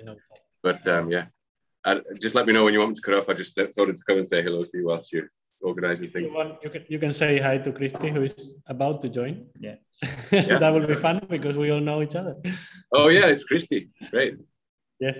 she's rather than uh, Castellano. But um, yeah, I guess so long. I've been here for so long, and uh, you know, become part of so many different communities. that- Hi. you know, almost people I laugh think at me. Christy, Christy, you might have the YouTube on. And then the speak Spanish. But um, yeah, and just Great. let me know when you want me to cut off. I just thought to come and say hello to you whilst you're One of you guys has the. I'll leave the meeting now. Good luck, Christy, with everything. Good luck with Sorry, your there was a del- delay there and I couldn't Oh, tell yes, who is talking at, at what time. I just wanted to say, cut David, great, when you're ready. great presentation.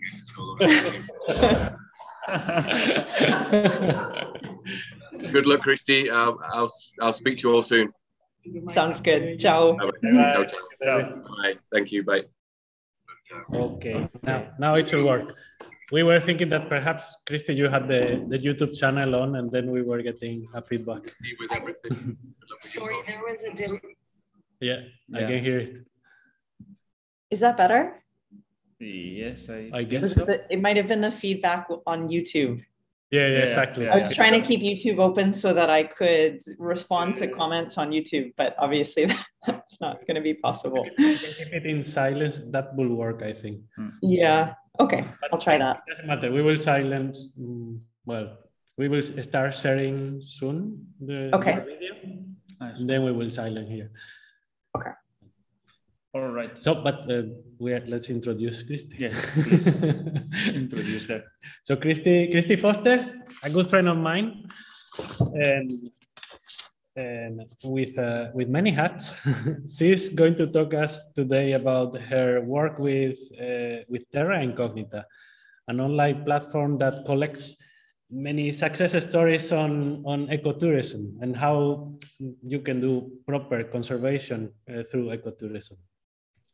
And probably she will explain it much better in the next video that we are to play. I don't know if you want to say something right now. Uh, only thanks for the opportunity to to be here and participate. I think what you're doing in this conference is fantastic. I wish I could be there in person um, rather than from the other side of the world, but it's it's really neat what you've organized and, and put together uh, and really inspiring. So thanks for Thank the opportunity. For participating. And, and this will happen eventually. We will meet somewhere. Yeah.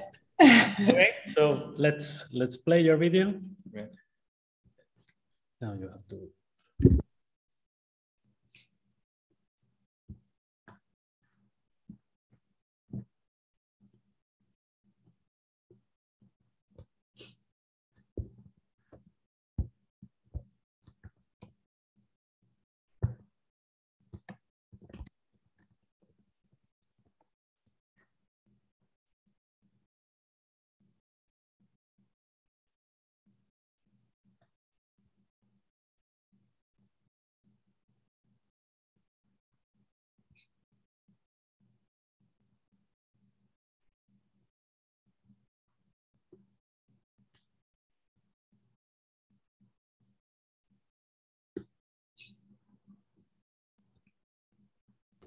Here we go, all yours.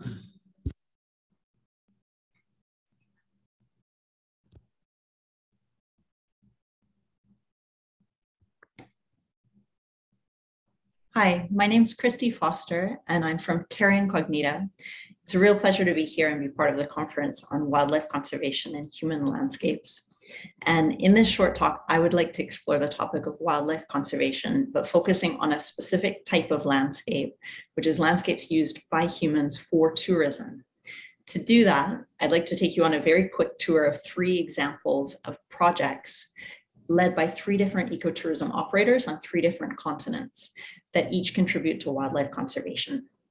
So I'll just very briefly explain a bit about who we are, what we do, what ecotourism is if you're not familiar with it, and then we'll get on to the highlights and lessons learned from these three projects. So we're Terra Incognita, and we're basically a global community of over 50 ecotourism operators. You can see some of them just here on the slide, as well as over 150 eco-bloggers that collectively practice and promote ethical ecotourism in over 50 countries. Dr. Nick Askew and myself started Terra Incognita in 2018 mostly because we recognize that so many ecotourism operators worldwide, especially the, the smaller ones, we're really committed to operating ethically and having positive contributions to conservation, among other things. But they were actually really struggling to be discovered and be recognized amidst other forms of, let's say, less ethical or less sustainable tourism. And we basically wanted to help. So just to start off, um, I wanted to just review the sort of common definition of what ecotourism is. So according to the International Ecotourism Society, ecotourism is responsible travel to natural areas that conserves the environment and improves the well-being of local people. So we can kind of think of ecotourism as having three pillars. One pillar is conservation, and we often think of that as conservation of nature of wildlife, but it's actually also increasingly recognized as conservation of cultural diversity and cultural heritage and the links between that and nature and biodiversity. And then the second pillar is, is communities. So really empowering local communities to be able to achieve sustainable development. And the last pillar is interpretation, or you might even say education. So promote promoting more awareness, more understanding, and just more appreciation for nature and also for local society and local culture. So you can see this kind of fits in closely with this concept of, of human landscapes because in ecotourism, the human part um, and the sort of wilder ecosystem part are really closely intertwined. So in this talk, I want to focus on three projects one in Panama in Central America, one in India, and one in the Gambia in Africa. So you can see them just in red there on the map. This is going to be a really quick whistle stop tour, um, but I've put the links to the, the websites if you want to learn more about these projects or these companies. So our first stop on this journey is at Tranquilo Bay Eco Adventure Lodge, which is based in Bocas del Toro in Panama. And the project that they are most proud of to date is the creation of the Reserva de Guajira. So they basically helped the local indigenous community create a 600 acre municipal reserve. And that reserve serves two main purposes. Firstly, it helps the indigenous community use the palm leaves that they sustainably harvest as roofing materials for their homes. And secondly, it acts as a buffer zone for Bastimentos National Marine Park. So the Reserva de Guajira falls along the front edge of the land behind the mangroves, whereas the park starts in about the center of this section. And Bastimentos National Marine Park protects close to 33,000 acres. So around 4,000 acres of land and around 29,000 acres of Caribbean Sea. It covers a large portion of Isla Bastimentos and also a, sub a substantial portion of the ocean that surrounds it. And the Reserva de Guajira conserves this piece of land for both the community to use, like, like I said before, as well as protection of the wildlife that makes this area their home. So we asked uh, Tranquilo Bay to, to share a little bit about the challenges they faced with this project, their successes, and also their lessons learned. So their biggest challenge was working with various groups. So that included the indigenous community, several government organizations and non-governmental organizations to put together a written plan that they then presented to the local municipal council for review and for vote. However, the biggest success was that it was approved and this area has actually been protected for going on 10 years now. So no more people can attempt to sell land that doesn't belong to them. This land is actually protected as a municipal reserve with its own management plan. And the biggest lesson that they learned is that big things can be accomplished by a team working together. And also that they they were successful because they took small steps towards their goal on a regular basis until it was done. So if you want to learn more about them or about this project, you can visit their website at www.tranquilobay.com. All right, our next stop is now in India with an ecotourism operator called Asian Adventures.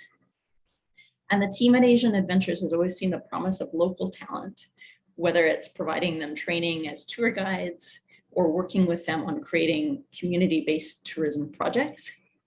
And one example of this is the village of Choti Haldwani, which is actually the birthplace of the famous hunter turned conservationist Jim Corbett. And not only have they helped locals set up a village style dhaba or, or restaurant where the guests can get an authentic cultural experience, but the company has also helped engage many locals in conservation projects, including their own Elephant Corridors project, which is part of their mission to save the ancient elephant corridors in, in India. So here's just a, a, couple examples of their work, both training people in ecotourism and also planting trees. And if you'd like more information, you can visit their website at asianadventures.net. All right, our third and last stop is in the Gambia in Africa in a birdwatching hub called Kotu Creek, where actually over 350 bird species have been recorded. So mangroves, as you may well know, are one of the most threatened habitats in the world. We've lost over half of the world's original mangrove forest cover, um, and we've lost about an estimated half or more of the original area of mangrove, mangrove swamp in the Gambia. And Kotu Creek actually suffered a severe mangrove dieback a few years back. So mangroves provide a whole wealth of, of benefits. They protect against things like weather shocks and other climate related events. They're essential to help protect local communities and mangroves themselves from storm surges, from floods, from coastal erosion.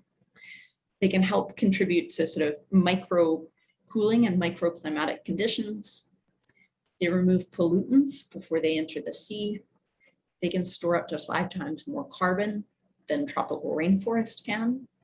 And they're incredibly biodiverse. So here in, in Kotu Creek, they're home to invertebrates, to fish, to lizards, to crocodiles, manatees, monkeys, mongoose, otters, and a whole wealth of bird species.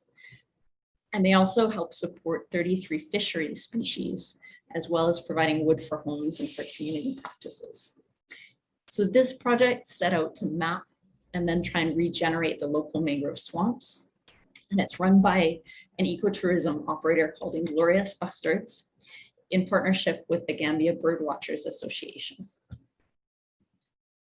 So we asked them about their challenges and successes and lessons learned.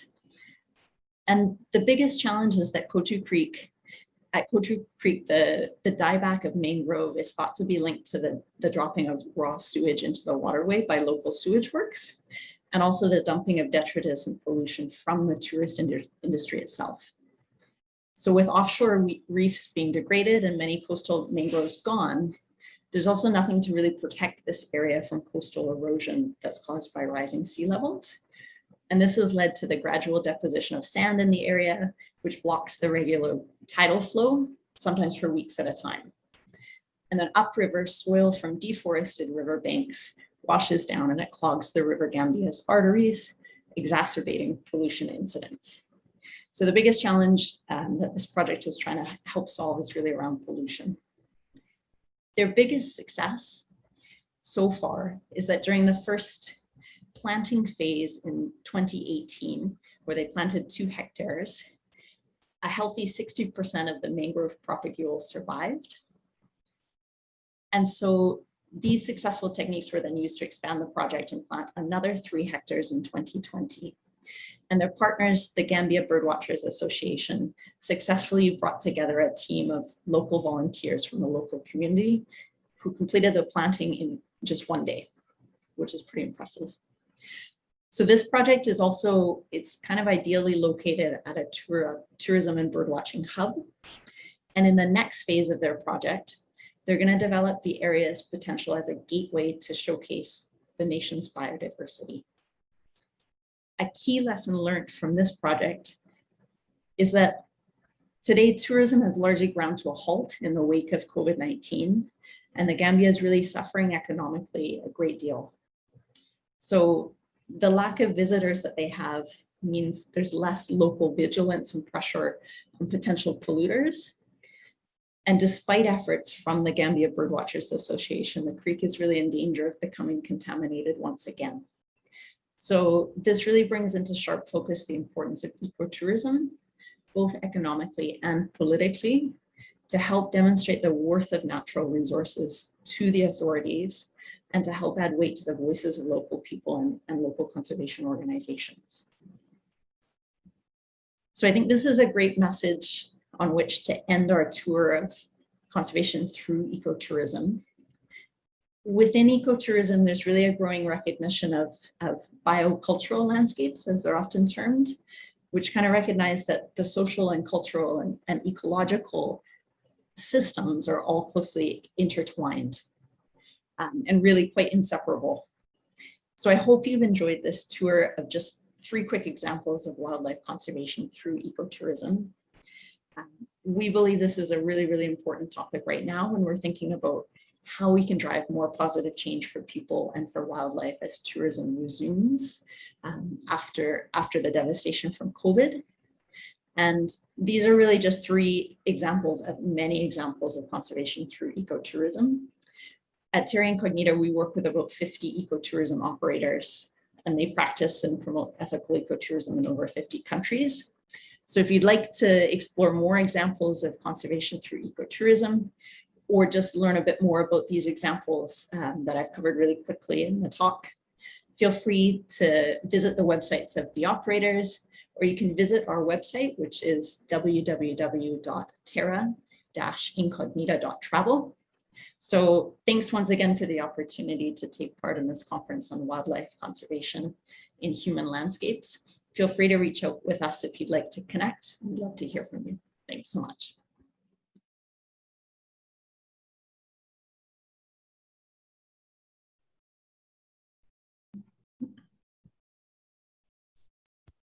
Yeah.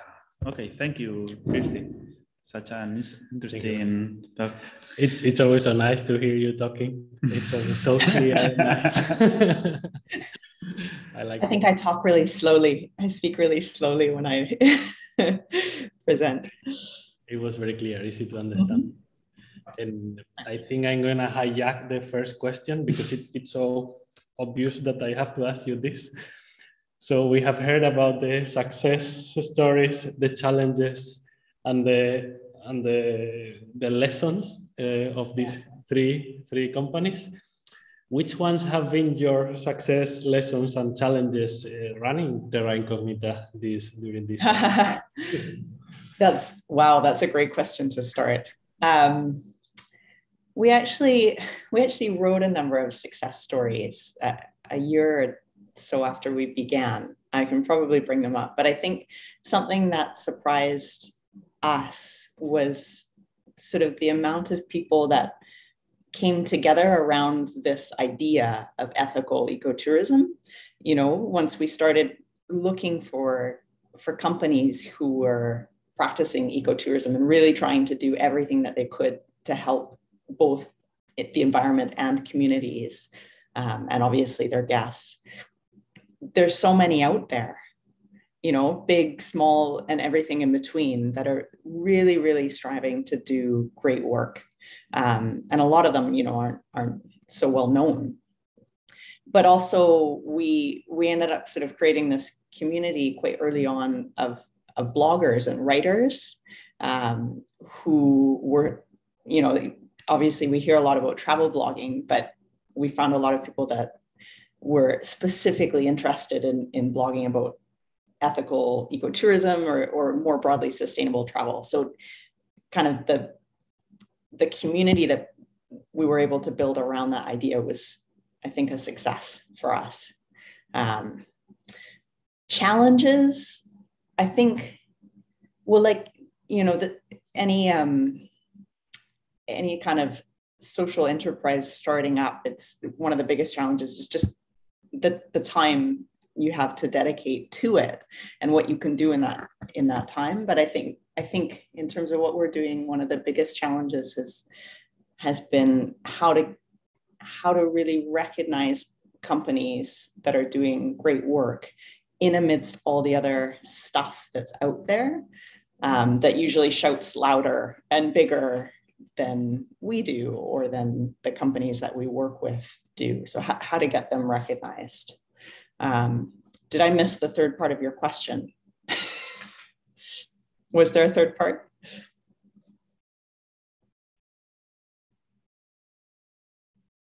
Oh, I can't, uh, sorry, I couldn't hear that. Sorry, we, we oh, there we go. all the time that we turn off the microphone. Uh, yeah. I think the last thing you mentioned was the challenge. Was that the lesson too? yeah, okay, the lesson. Um, I, th I think I would probably echo what Tranquilo Bay said is that, you know, getting a bunch of different and diverse people together and working together as a team allows you to achieve a lot more. So we've a lot of the success that we've experienced has come through working with other people, not just ecotourism operators, but um, bloggers, writers, um, some conservation organizations, etc. Um, so all those different groups coming together, I think is is so much more powerful than than what we would try and do on our own. Yeah. Mm-hmm. Well, thank you. Good question. I should have been expecting it. yeah, yeah, I should have. Okay, I will open the room for questions. Okay. Do we have questions? All right. Can you hear me? Hi? Can you hear me? Yes, now. Okay. Uh, so obviously you are working with many uh, companies which are working with the ecotourism. I mean, big challenge for the ecotourism is, I mean, how to uh, keep the ecotourism really eco and not change to some mass tourism, you know. What these companies have in common that it works because uh, it's of course challenge to bring the people to the places which are interesting, but it's also challenge to don't bring too many people there. Yeah. You know that it already threatened the environment. So what, yeah. what is the key factor they, they use that, that it works? Because nowadays you have the social media, people are taking the pictures, sharing whatever, and this just attract more and more people to the places. Great question. I'm, I'm gonna, yeah, I, maybe start with an example from where Nan, Fernando and I first met and connected was in, in Peru, actually in the Peruvian Amazon. Um, and so they have, you know, there's many examples out there in the world, but they have kind of an interesting couple stories. If if you've ever heard of Rainbow Mountain in Peru. So it, it I believe, at least this is what I've heard, was popularized by a photograph originally. So someone went to this place, took a photograph, and that photograph spread um, to the point that it's now a mass tourism destination and it's being degraded. Um, and in, the process, it's had, I guess, both positive and, and, negative benefits on the communities that live in that area. There have been some positives in the mix um, economically for them, but it, it's degrading the landscape and it's at a level that's not sustainable. So there's, yeah, the one example. Um, and the other interesting one is where Fernando and I actually met and, and worked briefly in the Peruvian Amazon. It's an interesting one because it's so remote that it's actually hard to to get into and so it becomes quite maybe less so now but it, it becomes quite expensive for people to get there and that remoteness and the expense of getting there means that naturally there there's sort of a, a limit or at least there has been some limit on on the number of people who can get there um, i don't know if there's a sort of a blanket approach to, to figuring out what that ideal level is, you know, where the the benefits you get enough benefits without without costs. Um, but I think that a lot of it comes from companies working in the area um, and knowing very closely the area that they work in and partnering with other groups in those areas who have the local knowledge to, to understand where that limit is. Because if you're, you know, too far removed from that, I don't think you're as invested or you can see the those impacts. So I think the the companies that we work with that seem to do this really well are the ones that are they're based where they're working or they're partnering really really closely with local organizations that um, that have been working in an area for a long time um, and so they're quite conscious and they, they almost self-limit, I guess, um, the amount of the amount of tourism that they're delivering. I hope that begins to answer your question, but it's it would be an interesting one to ask each of our each of our operators how they set that limit. Obviously, in some cases, there there's a a political limit, you know, like there's a, a government limit on the amount of tourism. In a lot of the places where, where our operators are working that doesn't it just doesn't exist so it's it's on them and the organizations they partner with to to to really drive that because there is there is no political sustainability um, limit. Limit your business from the very beginning to back up your potential because that kills your business, but it's the only way to be able to do So it's can you say that again, Fernando? Sorry, it was a bit quiet. Yeah, we moved the, the microphone around. But it, it must be a great challenge to, to cap your business from the beginning in the name of ecotourism. So it, it yeah. limits you and at the same time it's, it's what enables you to be an ecotourism. Yeah. And I guess a, a problem with that is that that if it if you limit naturally the number of customers, it, it naturally also um, uh, favors a very special kind of customer, a very yeah. yeah, and then you you get lack of diversity and yes, like it's yeah. Yeah, so one one of I, I won't say who they are, but one of the operators that we work with who has just a wealth of experience um, in in ecotourism, and actually was one of the founders of ecotourism in Peru. Um, is is often in favor in some areas of, of limiting it to more expensive yeah. forms of tourism because that naturally limits the number of, of people who, who can come in and yet still provides enough economic benefit. So that's one one approach that might work in some areas. But yeah, like you just said, Fernando, there's there's downsides to that. You know, it can even sometimes cut off local people in that area from seeing their own country. So I yeah. There's no easy, I don't think there's an easy solution. Yeah. Great question. I wish I could have invited more of our operators to come and, and get their individual perspectives on that one too. You know, I think it would have been Yeah, really that was nice, but it was very short notice, and that that was amazing. um, more questions in the room or the chat? I can ask. Mm, So uh, I can imagine that it's very diverse and complicated, but uh, do you have some rules uh, that you decide if the if the travel company can be on your net or Yeah, how you do it? great question. Can am I okay to share my screen? Um, yes, I think so. Okay. No, yes, you can. Now you yeah, now you can. Okay, I have the power. Uh, give me one second here. I'll just find it and then I can share it. It might be easier this way. There we go. Uh,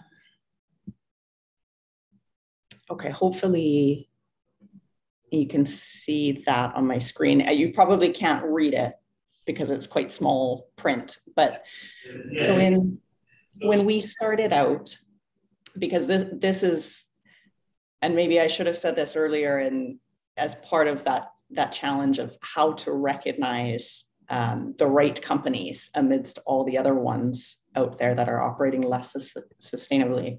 Um, when we started out, this was important to us. Um, I think because we'd seen examples of both of companies that were that were really ethical in the way they operated and, and also the far extreme and everything in between. Um, so we, we started by asking a series of, of questions um, and we published the, the company's responses on our website. Um, we also, on some level, take reviews from people who've, who visited those companies.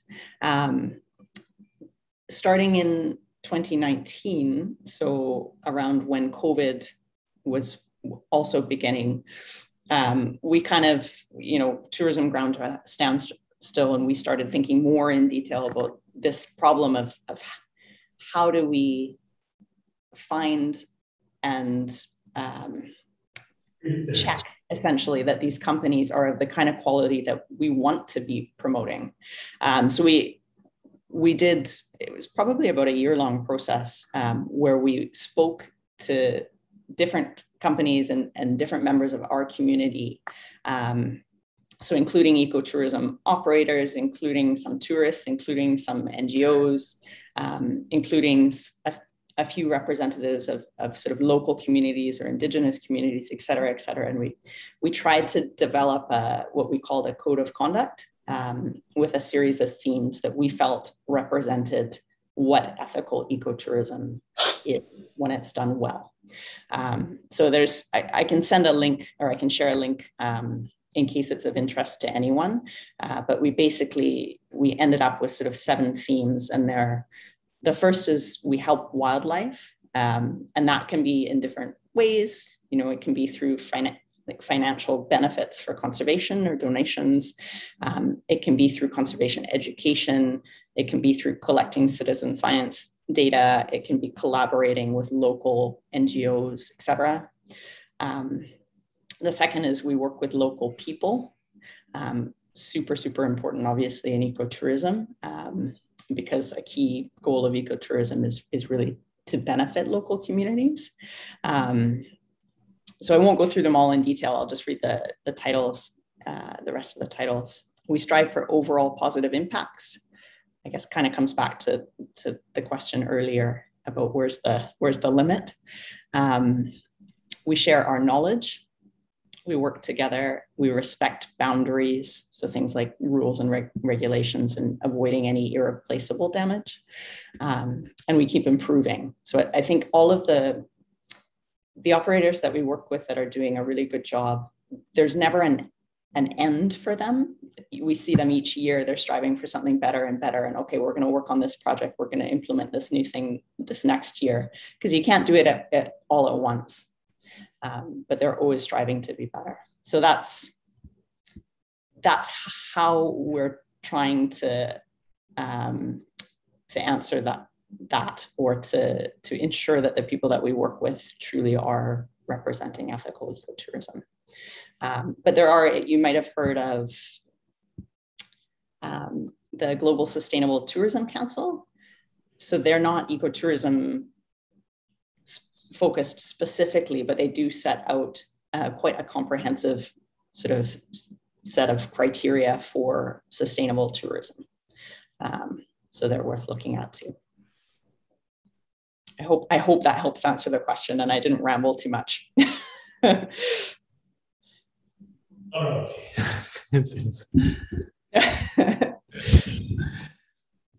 Any more? Um, so Dave in the chat is asking, where in the Peruvian Amazon did you meet? Uh... Let's get out a Google map and we can. I think I still can pinpoint the exact corner yeah. of the river. wait, wait, was it on the river? was it actually in Salvacion? I, I think I saw you enter in the room. yeah, yeah. So we we Nando had like exited um, the jungle essentially with a group of of students, very excited after what two weeks of you guys were were living. Four, three, four, three weeks. okay, so they they were just off grid completely, camping in the Amazon. Sounds amazing, and they emerged from that, and it was sort of like the first moment they were coming back to to a small form of civilization in this town called Salvacion. Um, and myself and the sort of the uh, head of the, our community team were greeting them. Um, and the head of our community team had the brilliant idea to make everyone dance after emerging from the jungle. And so we all danced together in this, in this room in a small town. So there you are. It was and really, it was really, really nice, but there was a stark contrast in body odors. but yeah, it was really nice in the beautiful village of Salvacion. Yeah, yeah. mm-hmm. Okay. Does anyone have any questions? No. Very good. okay. We will let you go, Christy. I think we are above your time limit, as always. That's okay. No, it's been a real, real treat to participate. So thanks for having me. Um, if if anyone ever wants to reach out, um, yeah, you're very welcome to. It's all on our website. Um, and I can send any links you need. So thanks so much. Enjoy the rest of the conference um, and all the best of luck to everyone. Thank you. Thank you so Thank much. you very much, Thank you, everybody listening. So, now? Yeah.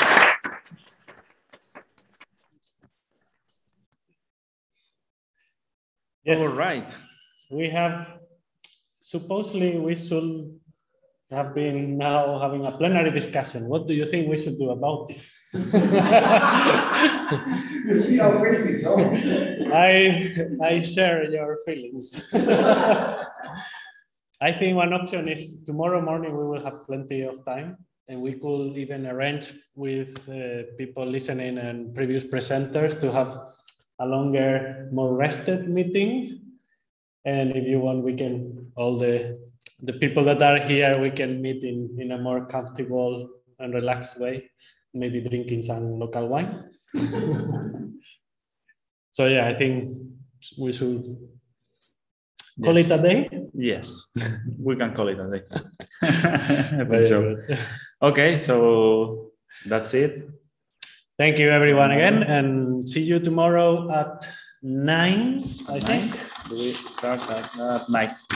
Yes. At nine, we will be in the same channel, ready for action. Okay. Mm -hmm. So thank you very much, and see you tomorrow. bye bye. Bye bye.